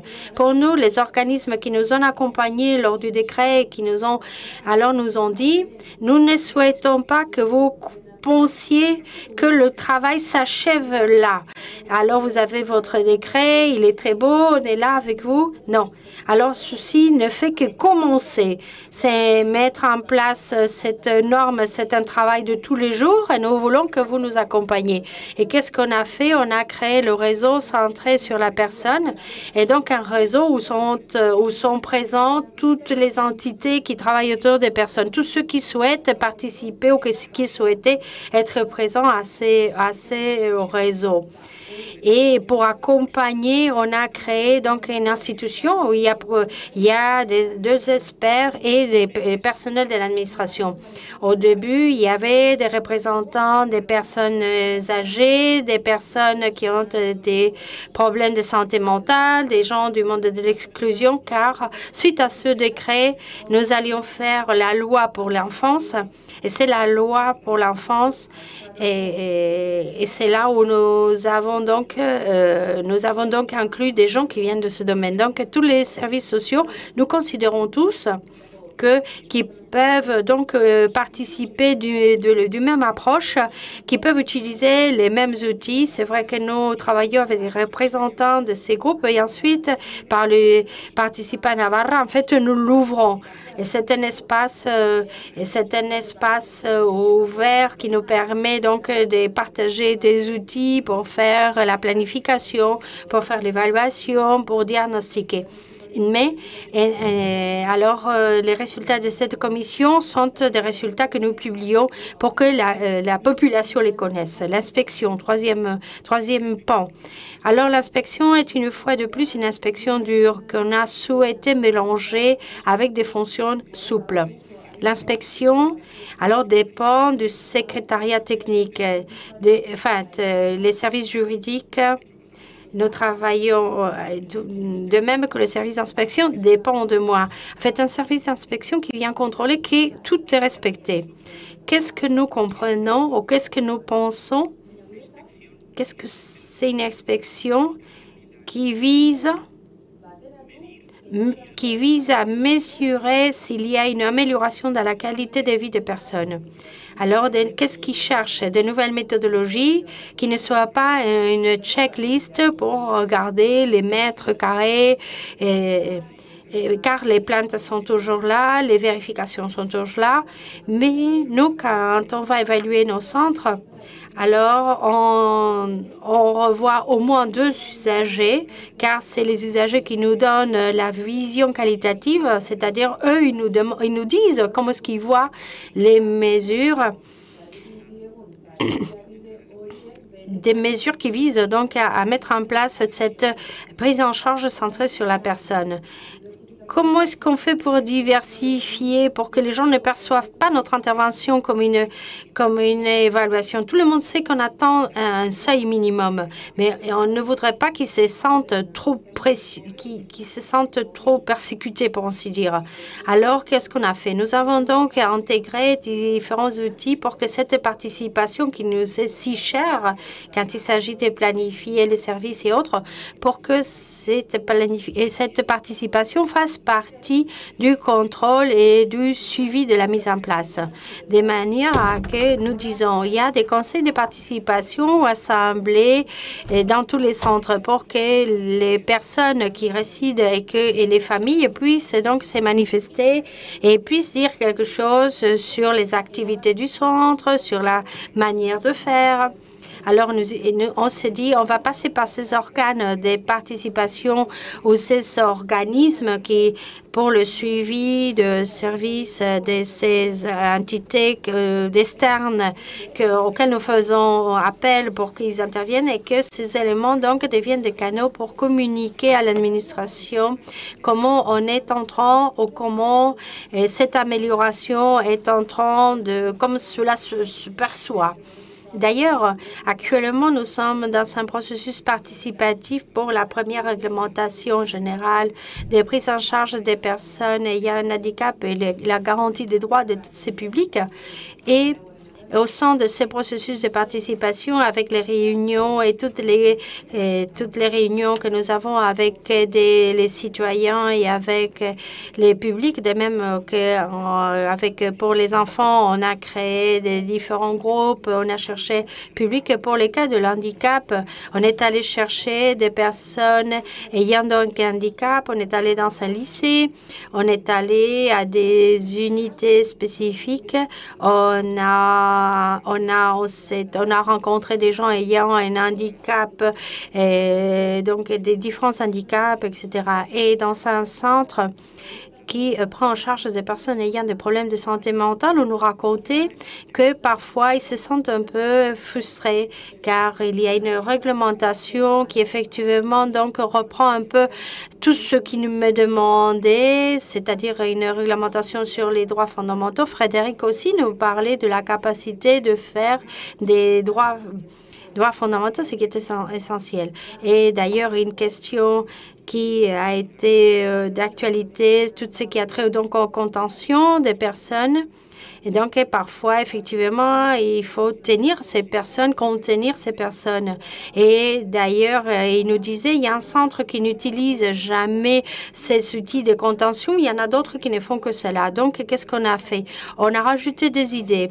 La première idée est que ces personnes aient l'obligation de faciliter non seulement aux résidents, mais à les travailleurs, donc euh, aux familles, faciliter, communiquer, qui permettent quelque part de quelque part de faire part de ces contentions et donc communiquer et que quelque part chaque fois qu'une famille communique et donc euh, communique cela que cela euh, soit transféré au service d'inspection et qu'il y ait une commission qui soit là et que quelque part on puisse consulter et voir quelle est la vision enfin, et pourquoi ils considèrent que leurs droits n'ont pas été respectés.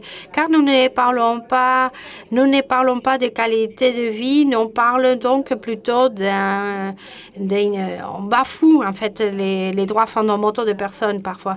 Donc c'est la manière que nous avons eu d'adapter l'inspection à l'évaluation et à comment nous considérons qu'il faut chercher la qualité des services centré sur la personne et sur la qualité de vie des personnes. Et d'ailleurs, dans les domaines qui ont été euh, cités par Tony, de Bertouk et Chalon, ce sont ces critères qui alimentent les 50 aspects que nous avons développés à partir de la commission et on, a, hum, on les a transformés dans un questionnaire pour que chaque organisation euh, donc sache donc à quel où ce qui se trouve et donc à partir de là avoir des bonnes pratiques pour que les gens aient sache sont, quel est le seuil minimum et savoir quel est le chemin emprunté pour l'excellence. Et ça à partir de, du niveau de tout un chacun, mais en essayant donc de, de, de s'améliorer. Alors, Et je vous ai dit que j'allais donner une réponse à une question qui a été posée ce matin. C'est-à-dire quand moi j'ai le sentiment que j'entends parler des choses qui sont très bien sur le papier. C'est vrai que pendant qu'on on rédige, qu'on rédigeait, en fait, on a beaucoup entendu dire, effectivement, c'est très joli, mais on va avoir besoin de votre participation quand on parle des investissements. Et c'est vrai qu'on a profité des fonds pour obtenir de l'argent euh, pour les investissements et créer des unités de cohabitation, faire que nos chambres soient des chambres doubles, augmenter, faire en sorte que les centres, les EHPAD se rapprochent d'un foyer et que, euh, donc les centres ne soient pas la seule solution. Alors quelle est la réponse?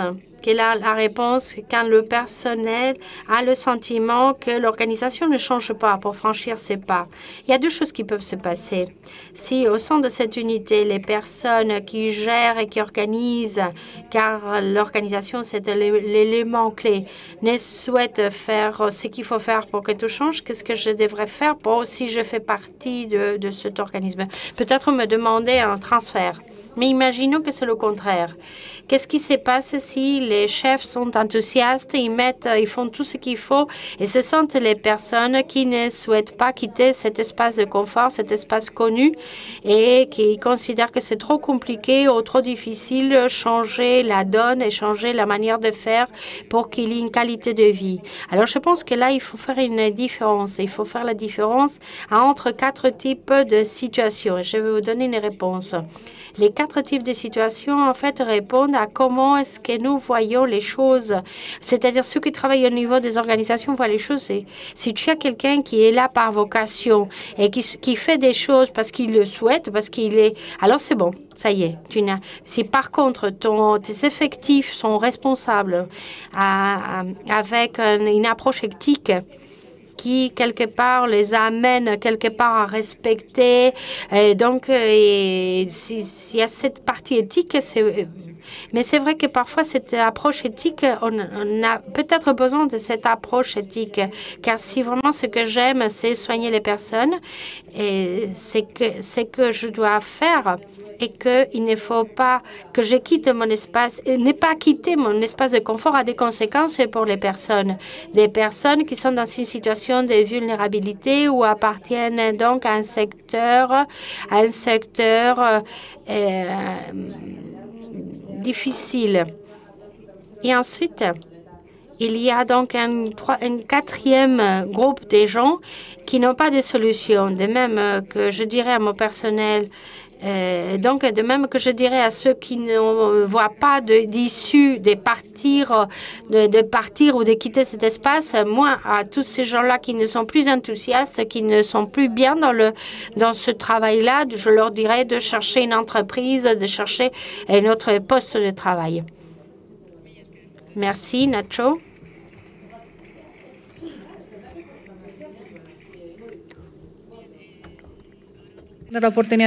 Bien, nous allons avoir maintenant la possibilité d'écouter à Nicolas. Il va se connecter donc directement à travers de Zoom. Il est chef d'autonomie de département 64, euh, département des Pyrénées.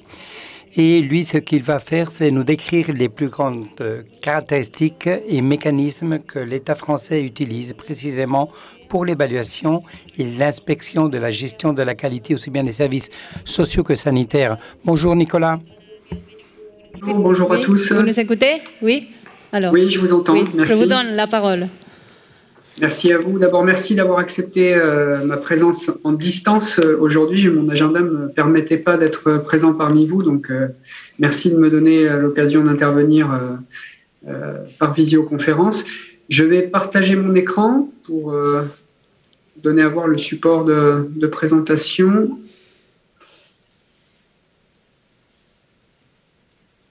Voilà, j'espère que vous le voyez. Oui, oui, oui, nous le voyons. Absolument, allez-y. Effectivement, euh, quelques mots euh, sur euh, donc notre modèle en France autour de l'évaluation et de la, gestion de la qualité dans les, structures sociales et médico-sociales. je, vais peut-être introduire par quelques mots de contexte pour rappeler un peu comment l'organisation administrative se, passe en France. Je pense que vous la connaissez, mais je vais passer assez vite, mais quand même en dire deux mots pour resituer ce contexte-là, et puis ensuite balayer avec vous effectivement quelques, quelques modèles qui nous permettent de, suivre effectivement la qualité des prestations qui sont, qui sont proposées, de les évaluer, voire de les contrôler euh, en lien avec euh, les établissements et services concernés. S'agissant du, contexte d'abord, donc quelques mots encore une fois assez rapides parce que je pense que, vous connaissez déjà un peu ce, panorama, mais c'est important de le rappeler. Euh, en France, effectivement, le suivi administratif, financier du secteur social et médico-social euh, fait l'objet de compétences qui sont, euh, qui sont euh, partagées entre plusieurs organismes. Les deux principaux organismes qui interviennent aujourd'hui en France sont d'une part des organismes d'État, gérés directement par l'État, et en l'occurrence, ce sont des agences régionales de santé qui interviennent à ce titre-là. Et puis, ces interventions se font euh, en parallèle ou en même temps que euh, des collectivités territoriales, en l'occurrence les départements, dont, le département des Pyrénées-Atlantiques dont, je fais partie, euh, qui également a des compétences sur ce, sur secteur d'intervention. Ces compétences, elles sont multiples, hein, mais elles sont principalement administratives, comme je l'ai dit, c'est-à-dire des compétences qui sont liées à l'autorisation des activités, au contrôle des activités, et puis des compétences qui sont également financières, c'est-à-dire euh, la tarification et le, financement des structures qui vont euh, accompagner, accueillir des personnes en situation de handicap ou des personnes âgées au domicile ou donc en, structure. Alors les gros principes de, répartition, hein, les, principaux, les principaux critères, on va dire, de répartition des compétences entre l'État, donc l'Agence régionale de santé, et les collectivités, c'est-à-dire les départements, euh, c'est principalement lié à la nature des prestations qui vont être apportées aux bénéficiaires. Euh, lorsque ces prestations sont principalement axées autour du soin, euh, l'agence régionale de santé va être première compétente. On parle alors de structure médicalisée. Donc c'est l'agence régionale de santé qui sera, qui sera compétente en la matière. Lorsqu'on est sur des structures qui ne sont pas médicalisées et qui sont davantage euh, orientées sur l'accompagnement des personnes, l'accompagnement qui peut être euh, de lien social, éducatif, le cas échéant, euh, là c'est le département qui va effectivement être le principal, organisme compétent. Et puis on a des structures qui sont mixtes, c'est-à-dire qui vont proposer à la fois de, de l'accompagnement au sens vie sociale, lien social, euh, accompagnement à l'autonomie, et puis également des soins en parallèle. Et donc, dans ce cas-là, euh, ces structures mixtes, entre guillemets, vont être placées sous la compétence conjointe et de l'État et du département. Ce qui induit du coup une euh, articulation très forte entre ces organismes pour pouvoir travailler de concert et non pas côte à côte de façon un petit peu isolée. Ça, implique effectivement une très bonne coordination qu'il faut rechercher entre nos, entre nos institutions. Par exemple, si on prend le cas des maisons de retraite en France, les, les fameux EHPAD, euh, ils sont placés sous compétence conjointe du département et de l'Agence régionale de santé. Alors pour illustrer ça, simplement deux tableaux très rapides hein, pour, euh, pour, vous montrer un petit peu ce que ça peut représenter. Là, vous avez euh, à l'écran un tableau qui, qui, vous donne quelques, quelques types de structures qui sont destinées à accompagner, accueillir des personnes en situation de handicap.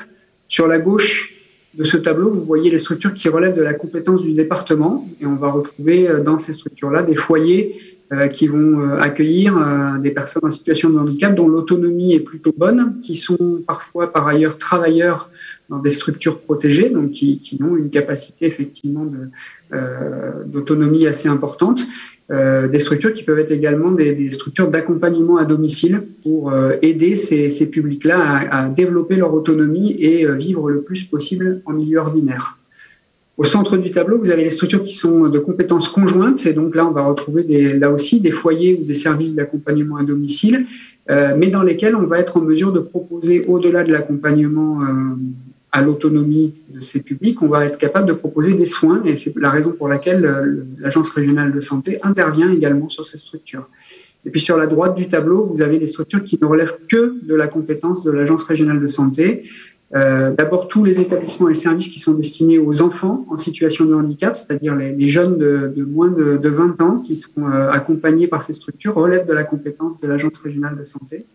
Et puis, des maisons d'accueil spécialisées qui sont des structures très, très médicalisées et qui s'adressent là pour, le, coup à un public euh, qui est en, très grosse perte d'autonomie et qui a besoin d'une surveillance soignante quasiment, quasiment permanente. Même type euh, d'illustration pour l'offre à destination des seniors. Euh, sur la gauche du, tableau, vous allez retrouver des structures qui relèvent de la compétence du département et on va retrouver euh, donc des établissements ou des services d'accompagnement à domicile, mais qui vont intervenir sur des prestations d'aide à la vie quotidienne, de lien social, de, maintien des capacités d'autonomie des personnes, mais dans lesquelles on va retrouver aucune prestation de soins. Au centre du tableau, vous allez retrouver bah, les fameuses EHPAD, donc les maisons de retraite, hein, pour, pour, ce qui concerne l'intitulé qu'on leur donne en France, avec effectivement une compétence conjointe, comme je l'ai décrit tout à l'heure, et où le département et l'Agence régionale de santé vont être compétentes conjointement euh, sur ces structures. Et puis, sur la droite du tableau, exemple de services euh, sur lesquels l'Agence régionale de santé est exclusivement euh, compétente, ce sont les services de soins infirmiers à domicile qui, comme le nom l'indique, euh, sont des services qui interviennent au domicile des personnes, mais pour réaliser des actes de soins infirmiers, donc euh, pansements euh, thérapeutiques, interventions, intervention certes bénignes, mais qui, qui nécessitent une technicité de soins, et donc effectivement avec une exclusivité de la compétence de, l'État sur ces sujets-là. Donc simplement dans ce contexte, pour vous resituer, pourquoi c'est important de le redire? Parce que du coup, tout ce qui va concerner euh, le suivi euh, euh, de l'évaluation et de la qualité des prestations qui sont fournies va être également articulé entre ces organismes.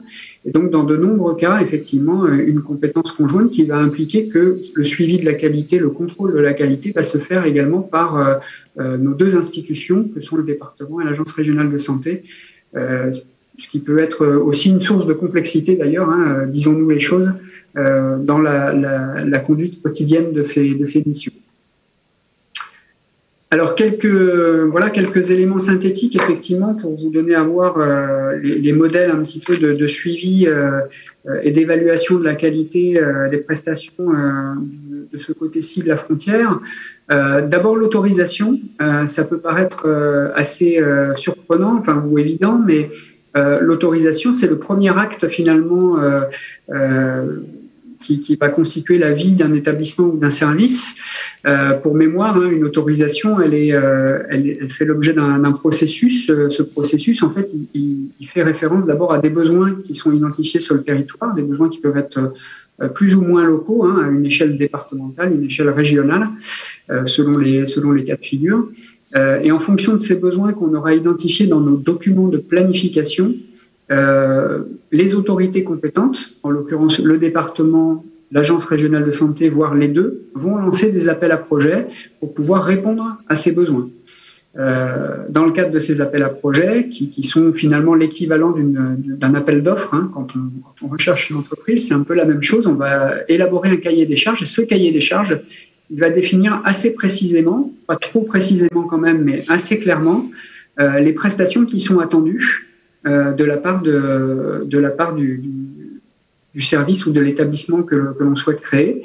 Le coût de ces prestations, en tout cas une fourchette de coûts qui sont acceptables pour les, pour publics qui vont être euh, accueillis ou accompagnés, les modalités dans lesquelles on souhaite que cette offre soit mise en œuvre, et les critères de qualité également sur lesquels on va demander euh, aux futurs euh, gestionnaires de se positionner, c'est-à-dire de donner aussi des gages et euh, des, précisions sur les outils qu'il va mettre en place pour lui-même, à son niveau, contrôler la qualité des prestations qu'il va, va rendre.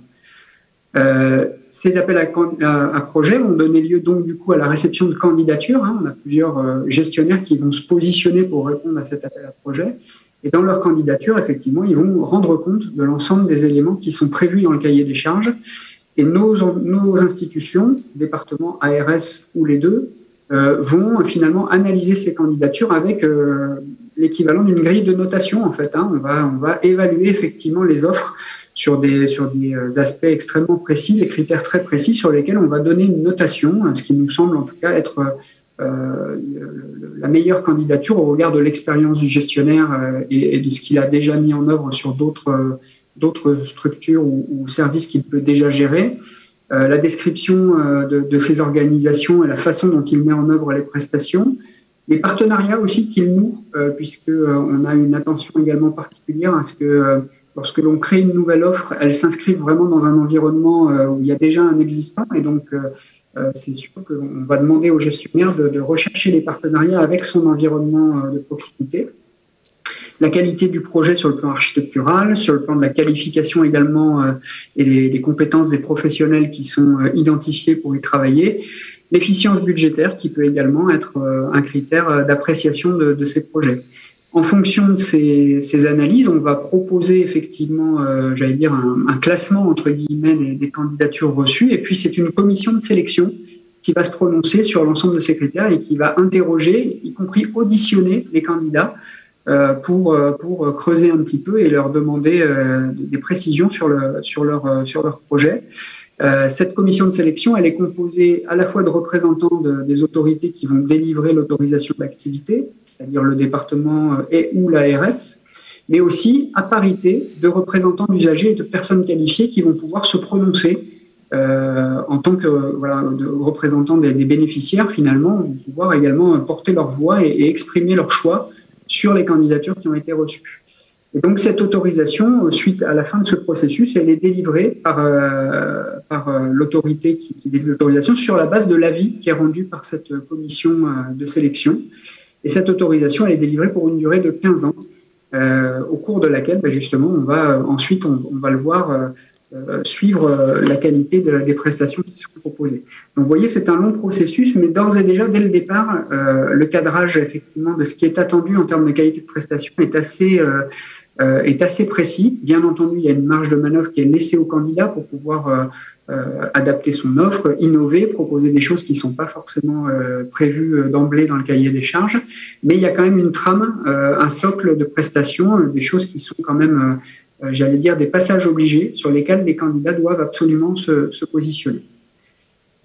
Dans la foulée de cette autorisation, une fois qu'elle est donnée, il y a ensuite la visite de conformité, c'est-à-dire qu'une fois que le candidat a été retenu et qu'on lui a donné l'autorisation d'activité, il va préparer son, le démarrage de cette activité et au moment où il va ouvrir son activité au public, avant qu'il le fasse, euh, les autorités vont procéder à ce qu'on appelle une visite de conformité, c'est-à-dire que euh, si on est par exemple dans l'exemple d'un établissement qui, va, qui se construit et qui va ouvrir ses portes, eh bien on va aller vérifier euh, sur site auprès du gestionnaire que effectivement les conditions dans lesquelles il prévoit de mettre en œuvre son, son autorisation correspondent bien aux critères sur lesquels on l'a autorisé au départ.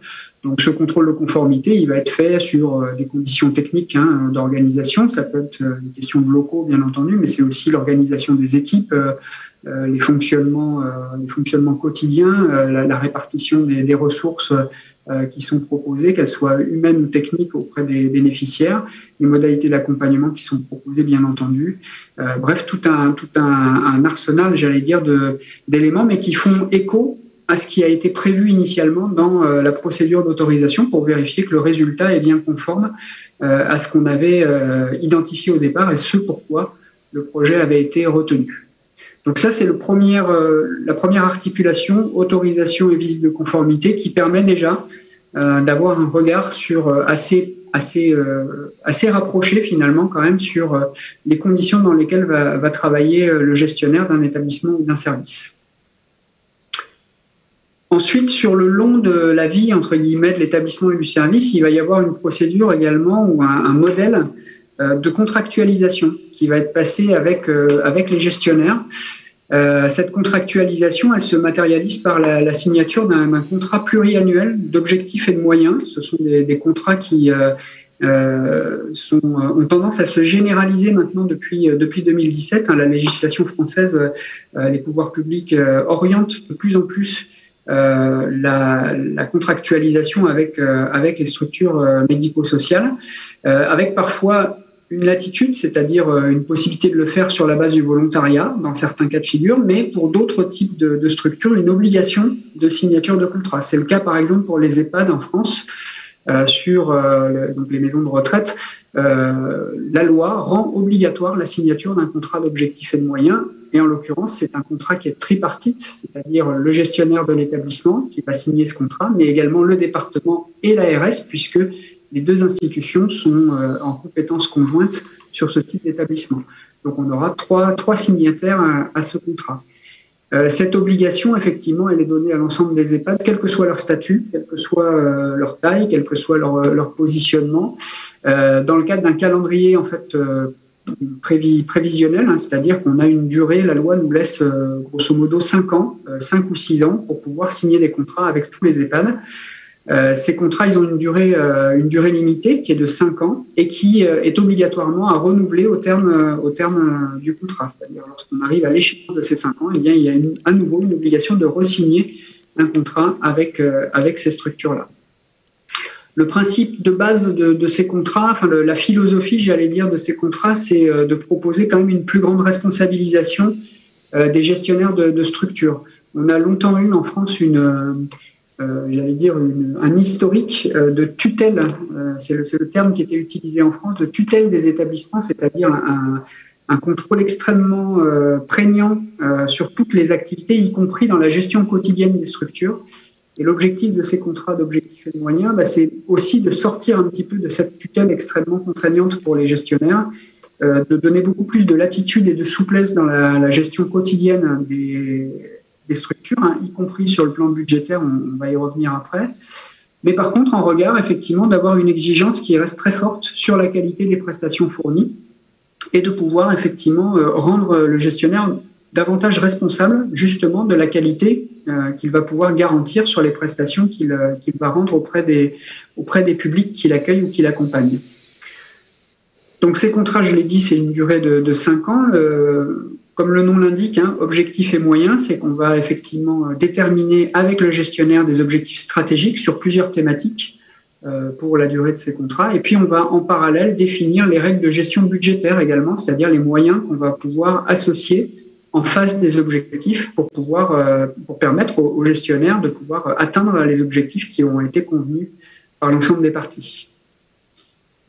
Alors de façon plus précise, comment ça se passe euh, la signature de ces contrats? En fait, on a tout un travail en amont de la signature qui consiste à faire un état des lieux partagé de la situation de l'établissement.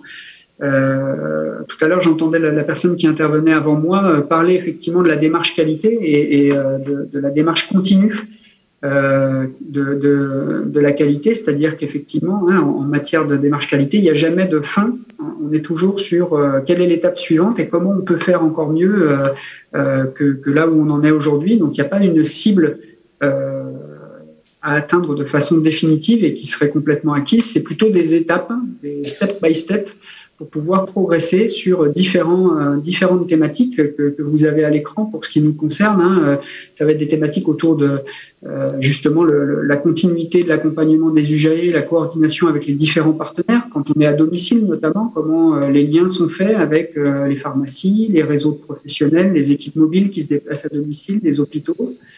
Ça va être également des objectifs qui vont être euh, un état des lieux et donc des objectifs qui vont être identifiés sur l'évolution de l'offre et l'adaptation aux besoins, c'est-à-dire comment on fait évoluer dans le temps euh, les prestations qui sont proposées pour mieux répondre euh, aux besoins des, personnes, y compris en termes d'individualisation de, ces réponses aux besoins.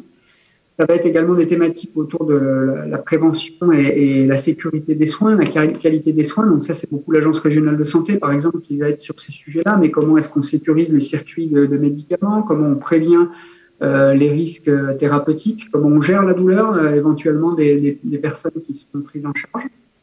Euh, la personnalisation de l'accompagnement, ça j'en ai parlé, donc beaucoup autour des questions effectivement là aussi hein, de, euh, de bien-traitance, de prévention, euh, d'animation, de lien social également. L'objectif étant de, s'adapter vraiment non pas de façon uniquement collective, mais également au sein du collectif, de pouvoir apporter des réponses les plus individualisées possibles. Et puis, il y a tout un volet également de, performance ou de management de la qualité, c'est-à-dire comment est-ce que le gestionnaire euh, finalement euh, évalue lui-même et, se dote d'outils également à son niveau qui lui permettent de vérifier euh, et de contrôler la qualité des prestations qu'il fournit, que ce soit de, en termes de, effectivement de, qualité pour le, bénéficiaire, mais également vis-à-vis des professionnels, à travers effectivement la prévention des risques professionnels, la qualité de vie au travail, la formation des, intervenants qui, qui, sont salariés par, par la structure. Et puis il y a également une logique de, de, suivi et de management autour de l'équilibre financier de, la structure, c'est-à-dire effectivement, est-ce que les moyens dont ils disposent sont utilisés de façon optimale? Est-ce qu'ils sont suffisants pour fournir et atteindre les objectifs de qualité que, l'on s'est donnés Et donc, effectivement, là aussi, l'état des lieux va permettre de faire un point sur où on est aujourd'hui et vers où on se dirige dans la durée de, ce contrat d'objectif et de moyens. Une chose que ne règle pas et que ne fixe pas le, contrat d'objectif et de moyens, ce sont des, règles minimales sur les effectifs. Euh, par exemple, ce contrat ne va pas euh, formaliser un tableau précis des effectifs qui vont être euh, mis en place dans, la structure. La loi d'ailleurs ne le prévoit pas en France et c'est un, débat important aujourd'hui euh, puisqu'il y a beaucoup d'interrogations sur le fait d'aller vers cette logique de, fixer des règles minimales en, termes de, présence d'effectifs. La seule exception qui existe aujourd'hui en France pour les EHPAD notamment, principalement, c'est le, temps de présence du médecin coordonnateur dans la structure. En fonction de la taille de la structure, il y a un temps de présence minimale qui est prescrit par, la réglementation, mais c'est le seul cas de figure sur les autres types de professionnels, que ce soit les, infirmiers, que ce soit les aides-soignants, euh, que ce soit les, professionnels de type psychologue, etc., il n'y a pas de règle minimale d'effectifs. De, et encore une fois, c'est un sujet qui, euh, dont le débat a été relancé récemment euh, en France et qui pourrait déboucher dans les prochains mois ou les prochaines années sur l'écriture, la formalisation effectivement d'une réglementation à ce titre. Mais aujourd'hui, ça n'est pas le cas et le contrat d'objectifs et de moyens euh, qui est passé avec ces structures-là ne, fixe pas non plus euh, de règles en la matière, c'est-à-dire que quand j'évoquais tout à l'heure la souplesse qui est laissée aux gestionnaires, c'est aussi euh, une souplesse dans la gestion de ses effectifs. Et Nicolas, je suis désolée, mais nous, nous, manquons de temps. Vous pouvez finir en je vais, 3 5 je vais accélérer. je vais accélérer. Euh, voilà, simplement pour finir sur les contrats, vous dire que donc euh, sur le plan financier, il y a effectivement euh, un diagnostic aussi hein, de la situation financière, des règles budgétaires, comme je l'ai dit tout à l'heure, qui sont proposées pour donner une visibilité à l'établissement ou, au service dans la durée du contrat. et ces règles budgétaires, elles sont définies aussi sur la base d'indicateurs qui sont liés à l'évaluation de la situation des, personnes accueillies ou accompagnées. En EHPAD, par exemple, on va mesurer, on va essayer d'évaluer à partir de grilles spécifiques le besoin en soins des personnes euh, ou le besoin d'accompagnement lié à leur perte d'autonomie. Et ça va donner l'objet d'une cotation, et cette cotation va être euh, utilisée dans le cadre de, plusieurs équations tarifaires qui vont permettre de, déterminer le niveau de moyens financiers euh, qui sera alloué à la structure. Ce contrat il fait l'objet ensuite d'un dialogue de gestion dans la durée. Hein, il est signé pour 5 ans, mais dans la durée des 5 ans, il y a des dialogues de gestion réguliers qui sont, qui sont menés avec le gestionnaire. Autre élément, les, évaluations elles-mêmes qui sont, euh, qui sont euh, réalisées régulièrement. Donc, euh, comme je vous le disais tout à l'heure, une autorisation, c'est 15 ans. Mais pendant cette durée de 15 ans, il y a des évaluations régulières qui sont prévues. Alors, on a une réforme actuellement de, des évaluations, des processus d'évaluation qui, qui, vient d'être mise en place et qui prévoit désormais que, par la loi, hein, c'est la loi qui le fixe, que ces évaluations soient réalisées tous les 5 ans par un organisme euh, externe à la structure qui est agréé au niveau national, un organisme agréé au niveau national, mais qui est externe à la structure et qui vient euh, donc tous les cinq ans faire une évaluation. Alors c'est organisé autour de différents critères. Toutes les structures sont concernées par cette obligation-là, quelle que soit leur nature et le public qu'elles accompagnent. Et on a neuf thématiques autour desquelles vont être évaluées les prestations qui sont rendues. Euh, je les ai mises à l'écran, je ne les cite pas toutes, mais on va retrouver notamment les questions de bien-traitance, l'expression et la participation des usagers, euh, les, questions de, soins et d'accompagnement, qualité des soins et qualité d'accompagnement, la gestion des ressources humaines qui sont proposées, etc. Les résultats de ces évaluations sont transmises au niveau national à, une autorité qu'on appelle la haute autorité de santé. Cette euh, autorité de santé, c'est elle qui en fait euh, euh, propose au niveau national les outils d'évaluation, les grilles d'évaluation qui sont en fait les mêmes pour l'ensemble des, structures. Maintenant, elles sont harmonisées et on a un modèle qui est un peu national et qui doit s'appliquer à l'ensemble des, structures concernées. Et ensuite, l'établissement ou le service, ben, il doit assurer lui-même en interne une diffusion du rapport d'évaluation qui aura été restitué, à la fois auprès de ses organismes de gouvernance, bien sûr, mais aussi auprès de ses bénéficiaires, et je pense notamment aux, résidents des structures, à travers le, Conseil de la vie sociale, qui est l'instance de consultation, on va dire, et de participation des, bénéficiaires, qui doivent donc se voir restituer le résultat de cette évaluation. Ces résultats d'évaluation aussi, à terme, ils auront vocation à être diffusés euh, publiquement, à faire l'objet d'une diffusion publique, mais pour l'instant, ces modalités de diffusion elles ne sont pas encore euh, mises en place au niveau national et c'est en train d'être euh, précisé. Dernier élément autour de, autour de, ce suivi d'évaluation, c'est le suivi des réclamations. Enfin, ce n'est pas tout à fait le dernier élément, mais les, deux derniers éléments sont liés. C'est le suivi des réclamations et des signalements on distingue en fait les deux process. Les réclamations sont en fait les, plaintes, l'équivalent des plaintes euh, qui sont émises par les usagers de nos structures, euh, bénéficiaires à domicile ou résidents d'un établissement. Les signalements sont euh, en revanche les dysfonctionnements qui sont identifiés par les structures elles-mêmes, par les gestionnaires et qu'elles font remonter aux autorités pour signaler qu'elles ont eu un problème dans, dans la gestion d'un accompagnement ou le suivi d'une situation.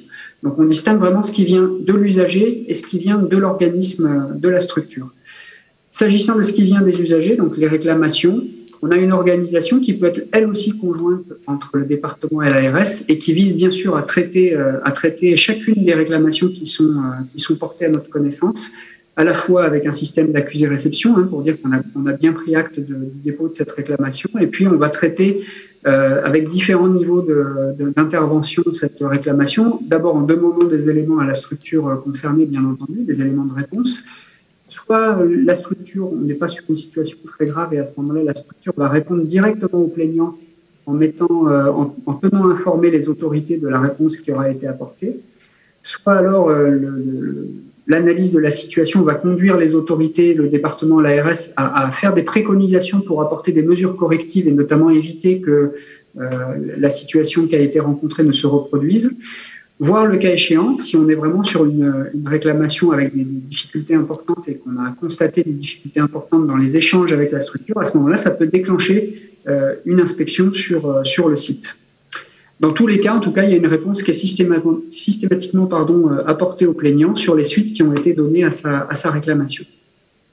Lorsque ça vient des structures, c'est un peu le même système, sauf qu'on n'a pas forcément euh, de lien avec un plaignant pour le coup. C'est la structure qui s'adresse directement à nous pour signaler un événement euh, indésirable. C'est une obligation réglementaire qu'ont les structures en France de pouvoir faire remonter, de devoir faire remonter aux autorités compétentes les dysfonctionnements qu'elles rencontrent dans la gestion quotidienne il y a une analyse qui est faite sur ces dysfonctionnements et bien entendu qui peuvent là aussi conduire à, une préconisation de, mesures correctives. Et enfin, eh bien, lorsque effectivement, euh, parfois la situation le nécessite, ou bien sur la base d'une programmation régulière, euh, nous pouvons être amenés effectivement à réaliser des contrôles et inspections sur site, comme ce qui a été expliqué par, la personne qui m'a précédé dans son intervention. C'est le, même principe d'aller vérifier sur site euh, ce qui se passe, d'aller contrôler sur site. Donc soit, en tout cas, parce qu'on on, on donne suite à une réclamation qui justifie d'aller vérifier sur site dans le cadre d'une inspection, soit indépendamment d'une réclamation, parce qu'on a euh, inscrit en fait dans un programme prévisionnel de contrôle euh, des structures qu'on va aller visiter pour vérifier un petit peu comment les choses s'organisent. Ce qui est important à retenir, c'est que ces visites, elles sont systématiquement inopinées, c'est-à-dire que la structure qui est contrôlée n'est pas prévenue à l'avance. Elles euh, ces inspections peuvent être ciblées sur des thématiques très très précises ou alors beaucoup plus globales. Et dans ce cas-là, on va aller regarder l'ensemble des conditions d'organisation et de fonctionnement de la structure.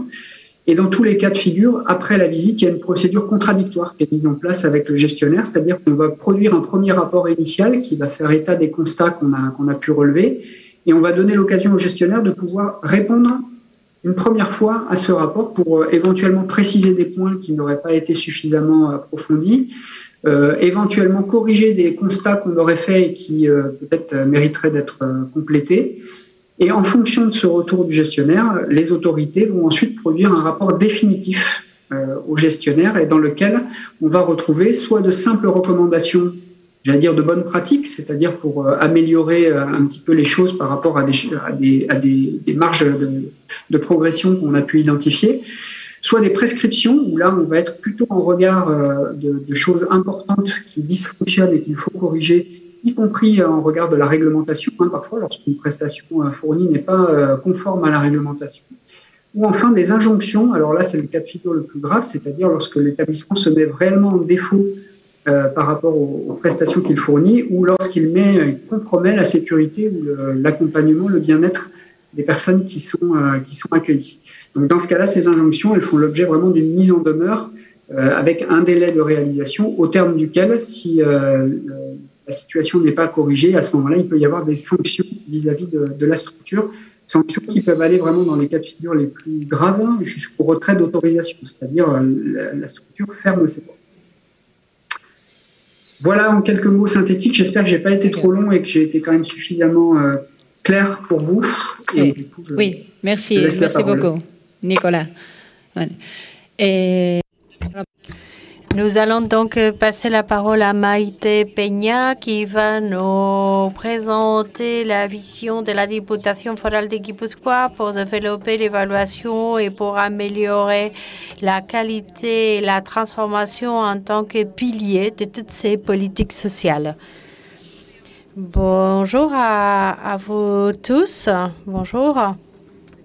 Alors, je pense que c'est, euh, je dois quelque part un peu clore euh, cette matinée. Je dois vous expliquer quelque part ce que nous avons pu faire à jour d'aujourd'hui, ce qui nous a occupé et ce que nous pensons réaliser dans l'avenir. Je vais essayer d'être euh, le plus rapidement possible.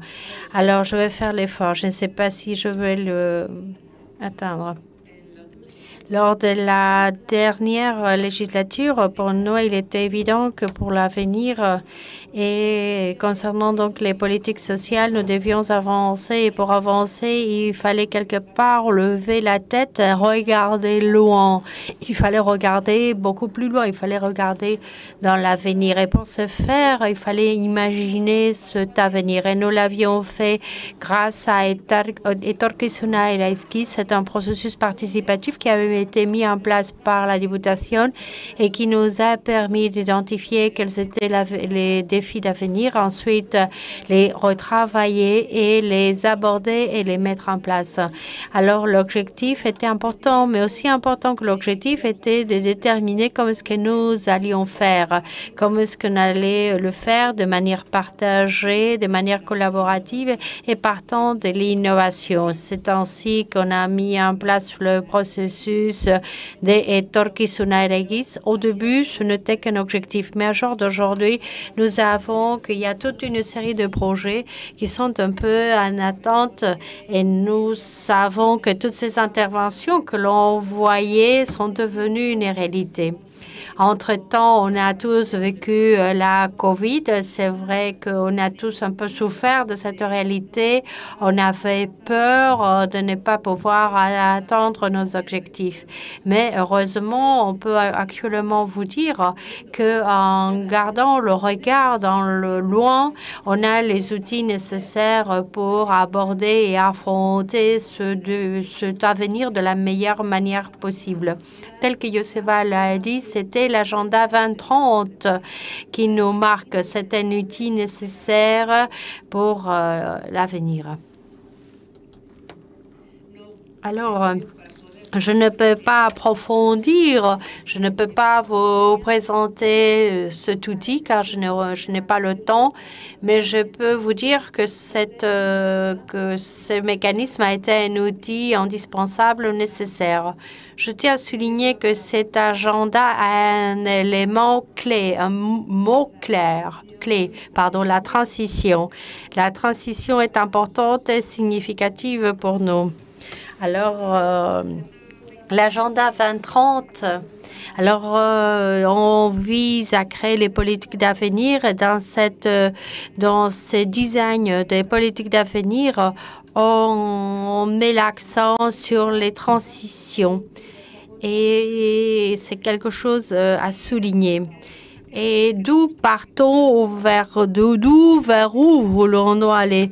Nous voulons donc aller des politiques centrées sur les services sociaux vers des politiques centrées sur la personne. La phrase est très simple, mais le comment allons-nous faire, comment est-ce qu'on va accomplir cette transition a une importance euh, énorme? Alors, on le disait, euh, on le voyait sur le PowerPoint, cette, démarche, ce changement, nous allons le faire par le biais de la personnalisation. Donc, il a fallu tout d'abord se centrer sur la personnalisation, ce que c'est et comment est-ce que nous allions faire. Dans toutes ces politiques sociales de transition, je crois qu'il y a euh, quatre piliers pour la transition. Tout d'abord, il faut changer les modèles. C'est la, la première question que nous devons nous poser et de savoir qu'est-ce que l'on souhaite changer, c'est-à-dire un modèle fondé sur les services, passer à un modèle qui est fondé sur les personnes. Et ce qui est le plus important, quels sont les pas, quel est le tableau de bord pour pouvoir passer d'un modèle à l'autre.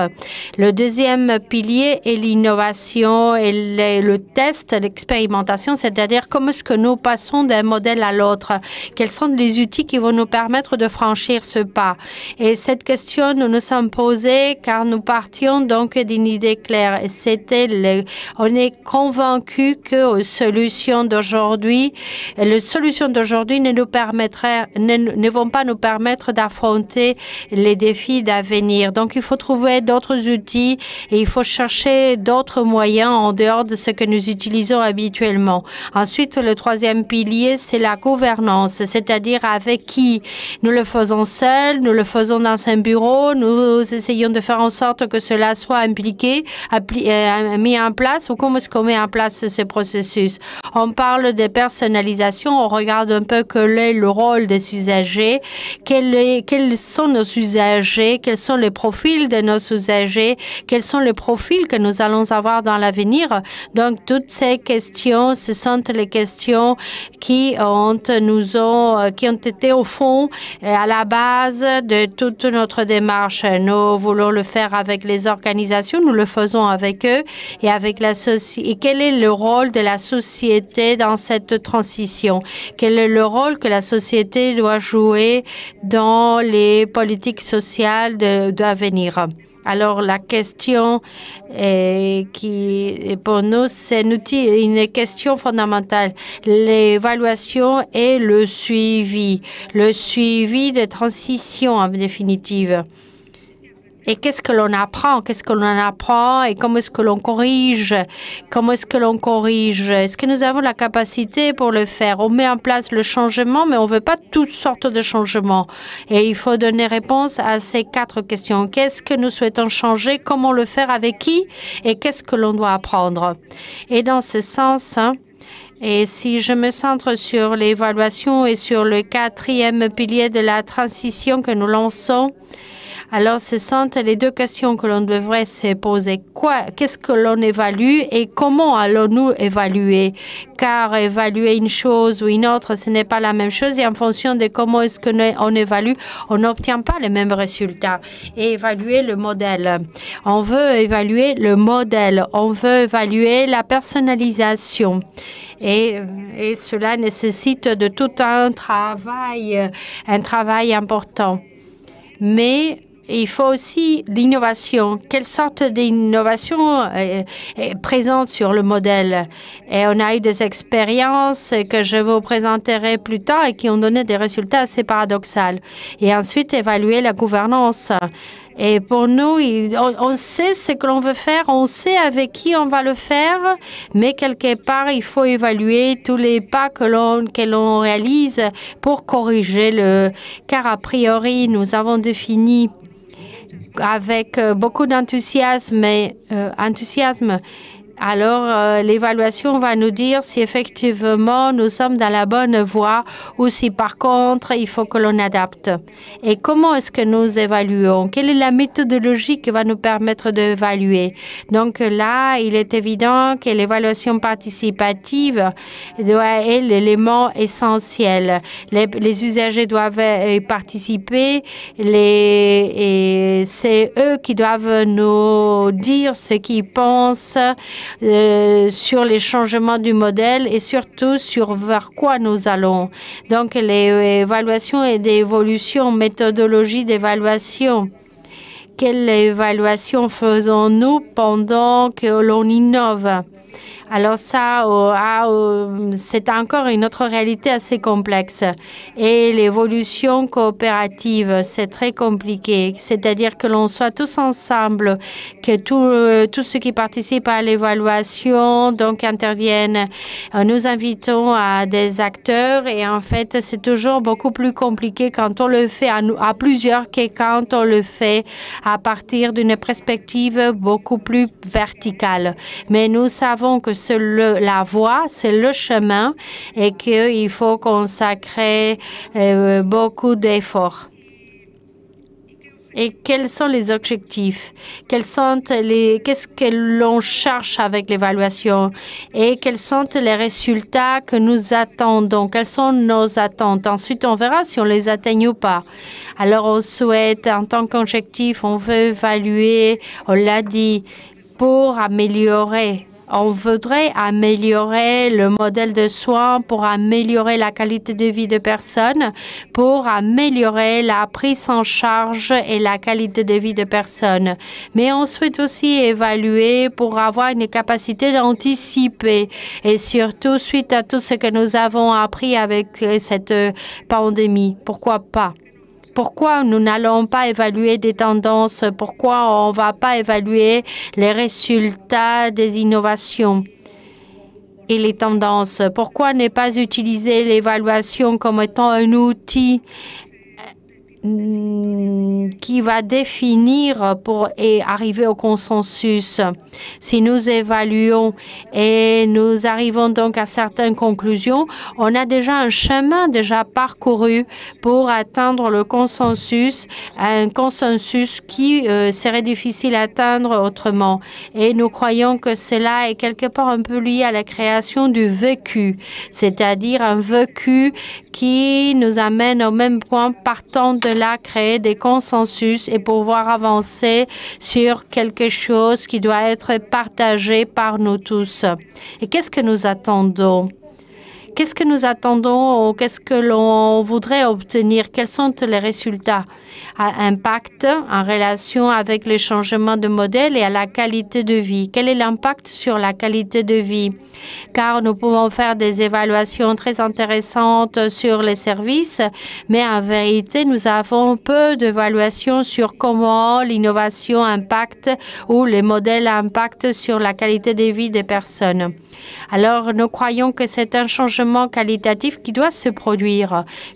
Résultat d'évaluation en ce qui concerne l'avenir. Résultats qui puissent nous permettre de comprendre les impacts des tendances dans l'innovation. Ça aussi, euh, ça vient de la main de la capacité de pouvoir anticiper comme je vous disais tout à l'heure, des consensus, consensus dans la transition, consensus pour la transition, pour, pour avancer. Et nous croyons que c'est l'élément qui va nous permettre d'aller plus loin. Je vais euh, vous montrer cinq expériences, cinq expériences que nous avons mis en place et qui peuvent être vraiment significatives pour que vous voyez en, ce moment, euh, voir un peu ce que nous faisons actuellement pour partir pour à partir de là comprendre vers quoi nous nous allons. D'abord, c'est l'évaluation de la COVID en 2020. Une fois que nous avons passé la première vague, au moment horrible, je dois signaler qu'un Navarre, euh, Guy Pousquois, et c'est drôle que vous, que vous soyez là pour connaître ces expériences. Nous avons décidé qu'il fallait tout d'abord connaître, par le biais d'une évaluation indépendante, quel avait été l'effet de la COVID au sein des services sociaux. Alors, euh, vous imaginez que les résultats, ont, on s'est plutôt centré sur les EHPAD des personnes âgées, mais quelque part, cette étude couvrait tout, tout le réseau. On a réalisé des enquêtes, des dynamiques de groupe, des entretiens personnels.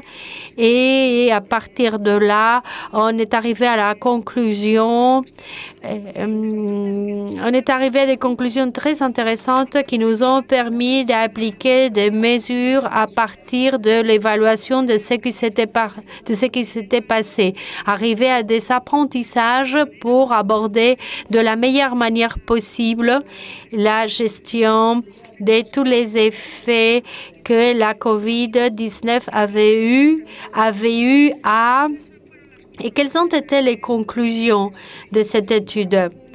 Alors, la capacité de réaction, la forte capacité de réaction que nous avons eue surtout au début, alors, euh, quelque chose qui est évident, la faible capacité d'anticiper. On n'a pas su comment anticiper.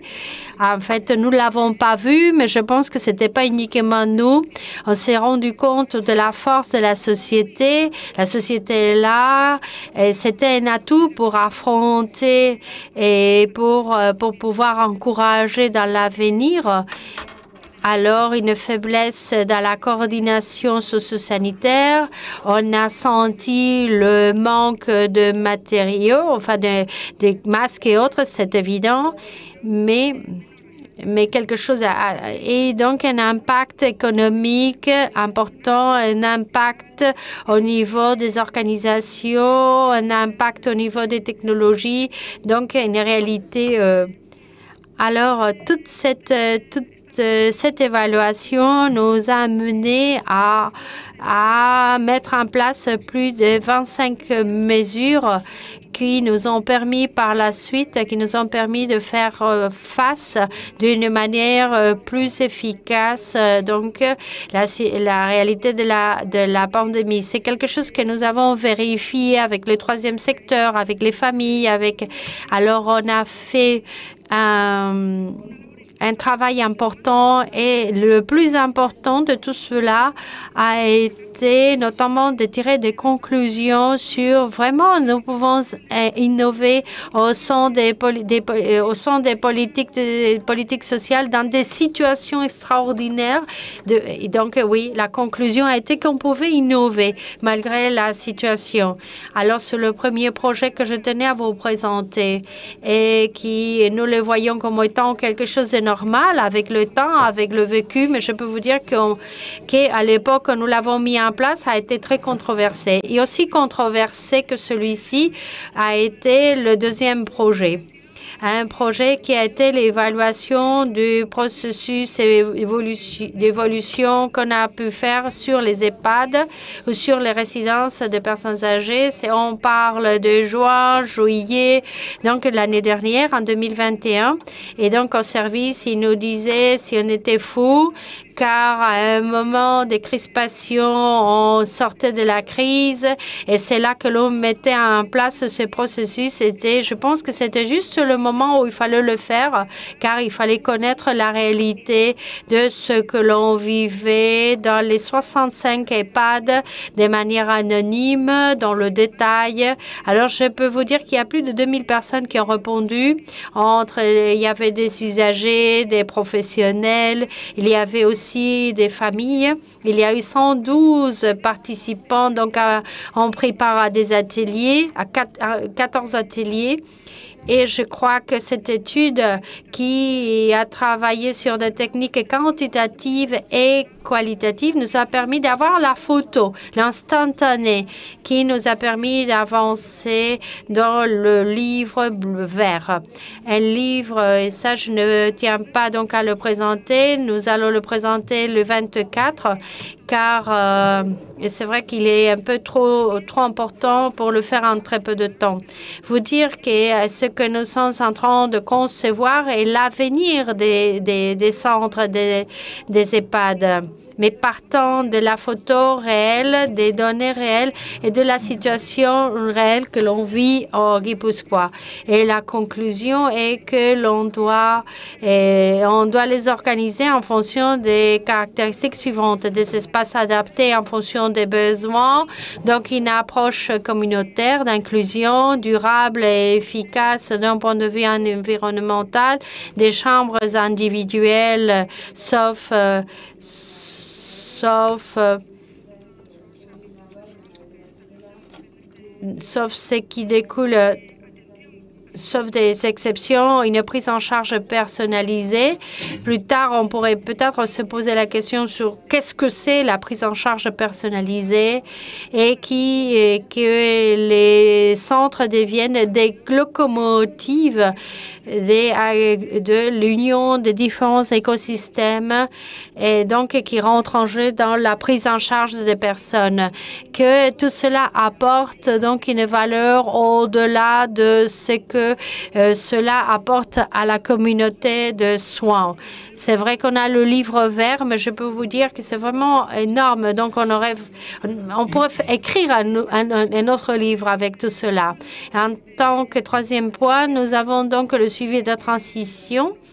Et dans ce cadre-là, ce qu'on a euh, réalisé à partir des méthodes d'évaluation, on a décidé, on a voulu savoir ce qui se passe actuellement et comment on met en place ces transitions. Nous n'allons pas attendre, on ne voudrait pas attendre la fin de la mise en place de tous ces processus pour voir les résultats. Plutôt, on va faire un suivi en temps réel et cela va nous permettre de pouvoir changer de cap c'est euh, que euh, changer de cap euh, si on en a besoin. Reconnaître que la vérité absolue, nous ne l'avons pas et qu'en fonction de la transition, nous allons donc finir avec un modèle ou un autre, mais qui sera plus avancé et qui va mieux répondre et qui sera garant de la personnalisation, de l'innovation, de l'évaluation et de la participation des usagers. Ça, c'est clair et net car c'est ce qui est à la base de toute la transformation. Mais le chemin, il est important.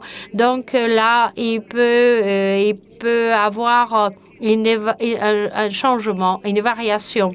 Et c'est un peu ce qui nous intéresse, c'est ce que nous souhaitons connaître à, à jour d'aujourd'hui, c'est-à-dire euh, que qu'est-ce que quelle est notre réalité par rapport à la mise en place des transitions et quelle est la capacité de, de la capacité pour ajuster les politiques publiques et pour, pour pour la mise en place des politiques au sein des organisations.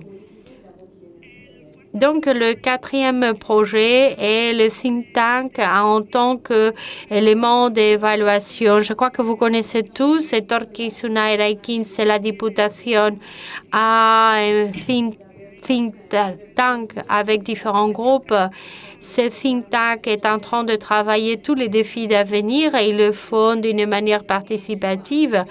Et au niveau des politiques, nous avons actuellement 30 personnes qui font partie de ces think tanks qui, depuis deux ans, euh, nous nous réunissons pour travailler les le futur de cet état de bien-être. Et, ici, effectivement, il y a eu deux domaines qui ont été plus importants que l'autre. Et donc, c'était l'évaluation et la personnification. Et cette conclusion ne devrait pas nous surprendre. J'ai le sentiment qu'il y a un consensus. Ce sont les deux grands piliers, les piliers sur lesquels nous devons travailler. C'est pour cela qu'au niveau du think il y a deux groupes. Le premier travaille les indicateurs de personnalisation. Comment est-ce que l'on adopte, adapte la personnalisation? Qu'est-ce que nous devons mesurer pour savoir si l'on avance dans le domaine de la personnalisation et le suivi de l'agenda 2030? Comment est-ce que cet agenda est implémenté, toutes les recommandations du think tank, comment est-ce qu'on les applique et voir quel est l'impact de cela sur l'agenda 2030. C'est vrai que c'est un travail très exigeant qui, qui que le groupe de travail du think tank nous impose, mais je peux vous dire, euh, moi, euh, je suis, euh, je suis ravie. C'est vraiment riche. Je suis très, très, très satisfaite des résultats. La, la cinquième expérience que je tenais à vous présenter qui nous occupe actuellement et qui rentre directement dans ce qui est l'avenir d'action au sein de ces politiques sociales de transition et au sein donc de l'évaluation. Alors pourquoi ne pas euh, donc créer euh, une agence, une agence de l'évaluation? Est-ce que nous sommes capables de franchir ce pas nous croyons réellement qu'il faut pas qu'il faut travailler d'un point de vue quantitatif et quantitatif l'évaluation. Pour nous, c'est évident qu'il faut le faire. Et pour cela qu'actuellement, nous souhaitons créer une agence de l'évaluation. Je vous ouvrir une parenthèse. Concernant l'évaluation, c'est ce que l'on est en train de travailler au sein du service des politiques sociales. Nous le faisons aussi avec le think tank, mais il faut dire, il faut souligner que cela est, reprend, est complètement aligné avec le travail que, au niveau de la députation, nous sommes en train de réaliser. Ils ont une ligne de travail de départ, une ligne que je dirais très ambitieuse pour pouvoir évaluer tous les systèmes qui ont une conséquence sur la, euh, tous les domaines de compétences de la députation forale de Quoi. Je ne vais pas m'arrêter là, car je crois que ce qui vous intéresse euh, plus, c'est euh, notamment voir quelles sont les conséquences sur les politiques sociales. Mais il ne faut pas que vous perdiez de vue le fait que tout cela fait partie d'une ligne stratégique qui est gérée et pilotée par l'évaluation. Et qu'est-ce que l'on devrait évaluer? Venons à nos moutons. D'abord, l'impact, l'impact de la qualité de vie et le bien-être des usagers, c'est ce qui nous intéresse quelque part. On souhaite améliorer la qualité de vie de nos usagers. Donc, tout ce que l'on va mettre en place, quel sera leur impact et surtout et la qualité et l'efficacité des services sociaux et des organismes qui gèrent les services. Et c'est lui, euh, c'est à la mode en fait. Je ne sais pas si c'est à la mode, mais c'est vrai que euh, on entend euh, beaucoup par, on entend beaucoup parler des, des, résidences, donc des EHPAD. Donc, il faut qu'il y ait un espace pour cela. Mais quelque part, on voudrait évaluer l'impact sur le bien-être des usagers et la qualité l'efficacité des services sociaux. Anticiper. Alors, cela, s'anticiper, je dirais plutôt. On dirait que c'est important. C'est important et c'est quelque chose que la COVID nous a appris. Et je reviens donc à ce que je vous disais au début. On est convaincu que les recettes d'aujourd'hui ou les conseils d'aujourd'hui ne vont pas nous permettre d'affronter les défis d'avenir, surtout tenant compte donc des services actuels. Alors, euh, il s'agit de voir quelle est, évaluer les tendances du système social, quel est l'avenir et, et donc voir un peu quel, quel, quels sont les effets des, innovations qui sont financées par le secteur public, les effets positifs de cet accompagnement et les négatifs? Car euh, j'allais, euh, c'est vrai que c'est bien de pouvoir financer des innovations, mais parfois on dirait que l'on cherche beaucoup moins à connaître les effets positifs et négatifs de ces innovations. Et il faut connaître ces effets, car il faut connaître surtout si si nous souhaitons faire en sorte que ces innovations euh, puissent être transposées, puissent être donc appliquées euh, sur d'autres territoires et, évaluer les transitions.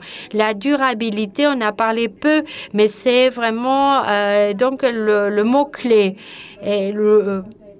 Alors, comment nous connectons ou nous relions l'évaluation avec la prise de décisions? Et ceci est étroitement lié à la durabilité. Et c'est un domaine que nous devons évaluer. Et, comment est-ce que nous relions l'évaluation et les consensus? Tout d'abord, à quoi nous amènent les consensus? Et, et savoir si nous pouvons faciliter le consensus à partir de l'évaluation. Et comment est-ce que nous faisons en sorte que tout cela tienne dans le temps? Alors, je crois que le chemin est long. C'est vrai que le chemin franchi n'est pas court. Il n'est pas long, mais il n'est pas court non plus. Et on est convaincu que l'évolution continue est le meilleur moyen de faire face aux défis qui s'ouvrent à nous, donc à aller vers un nouveau modèle de soins où la personnalisation, c'est l'élément essentiel qui nous permet d'améliorer la qualité de vie des personnes. Et le seul moyen de savoir comment est-ce que nous le faisons, pour savoir euh, comment est-ce que l'on doit y aller, c'est d'évaluer. C'est-à-dire c'est évaluer euh, en tenant compte de la réalité, tenant compte des situations des personnes à partir de là, car nous croyons que c'est la voie qui, c'est le, chemin qui va nous marquer. Et donc le chemin à suivre pour passer des euh, c'est des, services liés euh, aux des évaluations euh, liées, euh, liées au, au, service et passer à quelque part des une évaluation liée à la personne. J'ai essayé quelque part de faire court, mais j'ai un dernier message à vous transmettre. Étant donné que nous travaillons avec, on est très enthousiaste. Nous croyons que c'est le chemin. C'est vrai qu'on a on a bien trouvé le chemin. On est sûr que nous ne pouvons pas faire cela seul. C'est un chemin que nous devons parcourir tous ensemble. Merci beaucoup. Bien, nous avons promis qu'il y aurait de l'espace euh, pour les questions, mais c'est vrai qu'on a beaucoup de problèmes d'agenda. Il faut être donc conscient, s'il vous plaît, que nous avons très très peu de temps. On va quand même offrir la possibilité de poser des questions. Si quelqu'un souhaite poser une question, faire un commentaire très rapidement, je vous en prie. Ensuite, je dois vous lire quelques euh, notes. Tout au long de la semaine, on va essayer de vous envoyer le matériel de ces journées-ci et aussi vous envoyer un petit questionnaire euh, pour voir un peu comment ce que vous avez perçu euh, toutes ces interventions pour que vous nous donniez votre opinion aussi sur ce sujet-ci. Vous dire aussi que le 2 novembre prochain, il semblerait qu'il est très loin, mais vous savez, le temps passe très rapidement. Il y aura une deuxième journée sur les modèles d'évaluation et gestion de qualité des services sociaux, mais à cette occasion avec une perspective internationale plus puissante, mais on vous enverra déjà euh, donc euh, l'information à le moment donné de novembre. Y a-t-il quelqu'un qui souhaite prendre la parole Un moment, s'il vous plaît. On va vous donner un micro. Une seconde.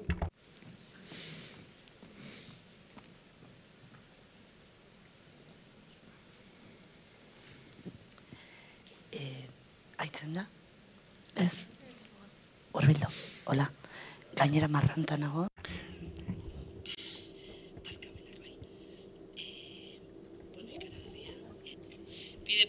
Bien, la personne s'excuse parce qu'elle a beaucoup de problèmes avec ses cordes vocales. Bien, ça a été un séminaire sans doute très intéressant et ça a été très intéressant que les dernières euh, contributions, surtout dans le thème d'ordonner les idées. C'est un brouillon sans doute, mais cela euh, il, y a toujours possibilité donc d'ordonner mieux les choses et peut-être qu'il faudra digérer quelque peu toutes ces informations. Mais une fois de plus, me parvient toujours le même terme réflexion parce qu'on parle de changement de modèle, on parle aussi d'être pionnier, être euh, RD plus I, etc., n'est-ce pas? Alors, je, vous nous avez parlé aussi d'engagement politique. Peut-être que j'ai passé euh, au travers, mais il me semble qu'on n'a pas parlé de ce terme, de, cet engagement politique, parce que ah, par ailleurs, Hormis euh, donc euh, la durabilité économique, il nous faut également un engagement, un engagement politique puissant pour assurer une qualité. Il nous faut une volonté professionnelle, des prestations euh, professionnelles, mais aussi un engagement ferme qui puisse se matérialiser de manière ferme. J'ai beaucoup apprécié aussi, comme disait Nicolas, que au sein du département des Pyrénées-Atlantiques, lorsque il travaille autour justement des, e des EPA, il parle de planification et observez, c'est une planification sur 15 ans. Et moi, ça fait plus de 15 ans que je travaille dans ce métier et j'observe que on est un peu comme ces rivières qui sont soudainement surface, soudainement souterraines. C'est-à-dire que on est professionnel dans un domaine et on peut avoir une énorme vocation, un énorme engagement, mais une fois de plus, euh, parfois, on reçoit également des claques quand on se rend compte que, eh bien, on ne peut pas suivre ce chemin-là de vocation et de passion euh, que l'on juge nécessaire comme professionnel parce qu'il n'y a pas suffisamment de soutien. On parle de modèles progressistes, pionniers. Bon, euh, on a fait beaucoup de choses tout au long de, des années. Et il me semble que parfois, on devrait peut-être plus observer ce qui fonctionne bien et les adapter et pas être toujours aussi innovateur. Car ce qui intéresse finalement, c'est de progresser, d'avancer. Et je ne sais pas qui l'a dit, mais quelqu'un nous parlait d'alléger aussi le professionnel de tout ce travail. Parce que si nous avons, ou nous devons consacrer je ne sais combien de temps à trouver des solutions informatiques, à rédiger des rapports constamment, c'est-à-dire comment souhaitez-vous être pionnier en quoi que ce soit? Comment peut-on faire des réflexions? Comment pouvoir être innovateur? Nous avons également besoin de temps pour ce faire. Et je termine.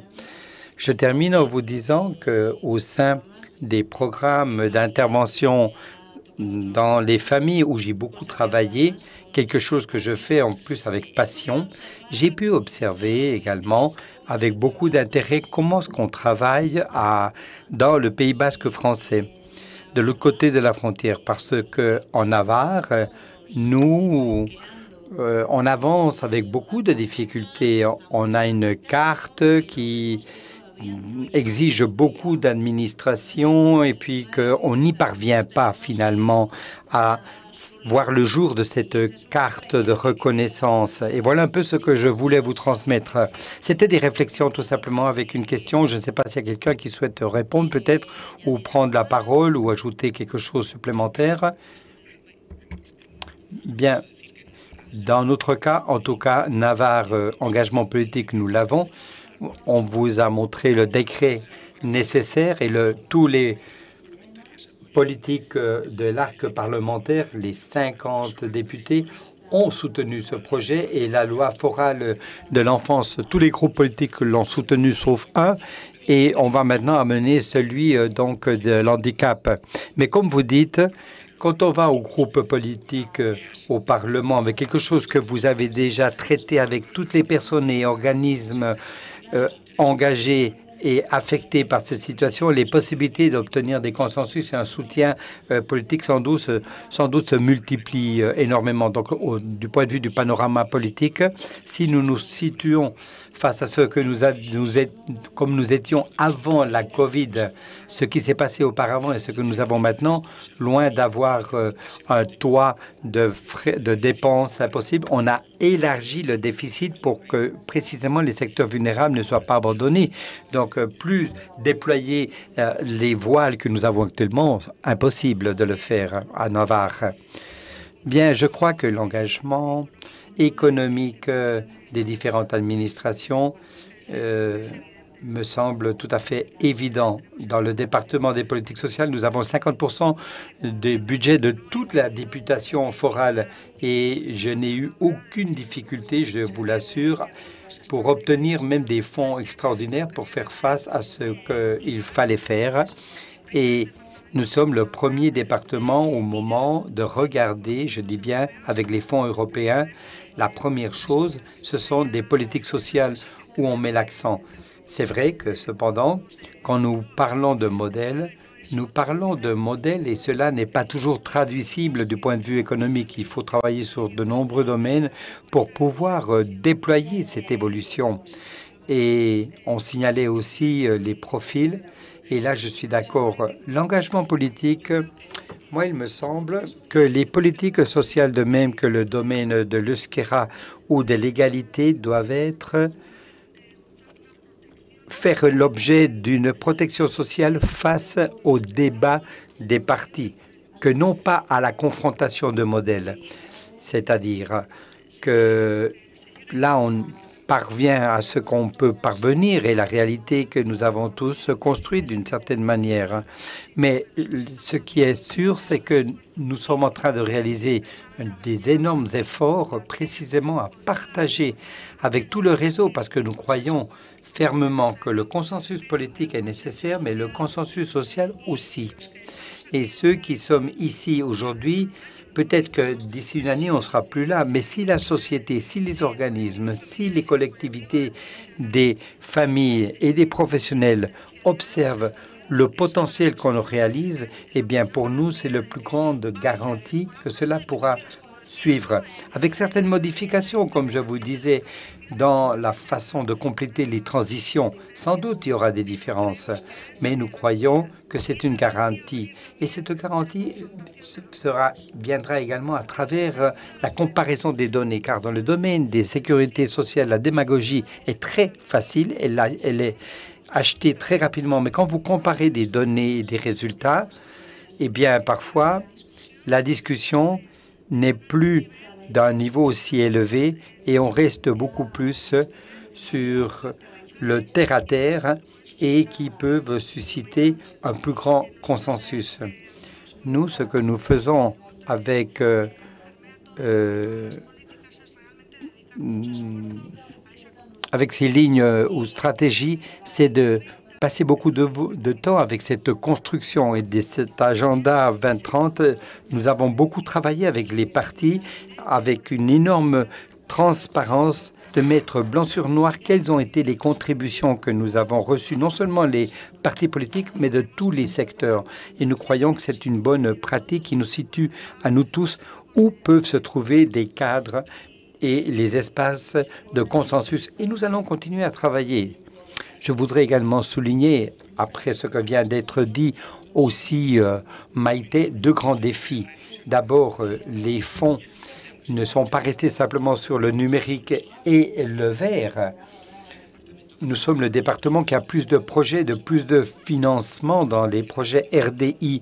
Mais après, il y a l'agenda 2030, c'est-à-dire l'ONU est parvenu à adhérer tous les États, non seulement les conventions des droits de l'homme les plus importants, tels que l'enfance ou les handicapés, mais aussi construire une agenda 2030 qui recueille tous les principes et droits de ces conventions et qui permet de que de trouver une opposition politique est très difficile parce que vous êtes carrément hors du cadre international. Donc, une fois de plus, j'insiste, on n'a jamais eu autant de voiles déployées ni le vent à notre faveur comme aujourd'hui. Merci. Bien. Alors, euh, comme nous l'avons dit, nous allons continuer avec le processus et nous espérons pouvoir continuer avec votre participation. Et n'oubliez pas de rendre les appareils de traduction à la sortie et vous avez un petit lunch à la sortie de préparer si vous le souhaitez. Un grand merci une fois de plus pour vos contributions et à vos euh, de votre participation et merci pour tous ceux qui nous ont suivis sur l'Internet.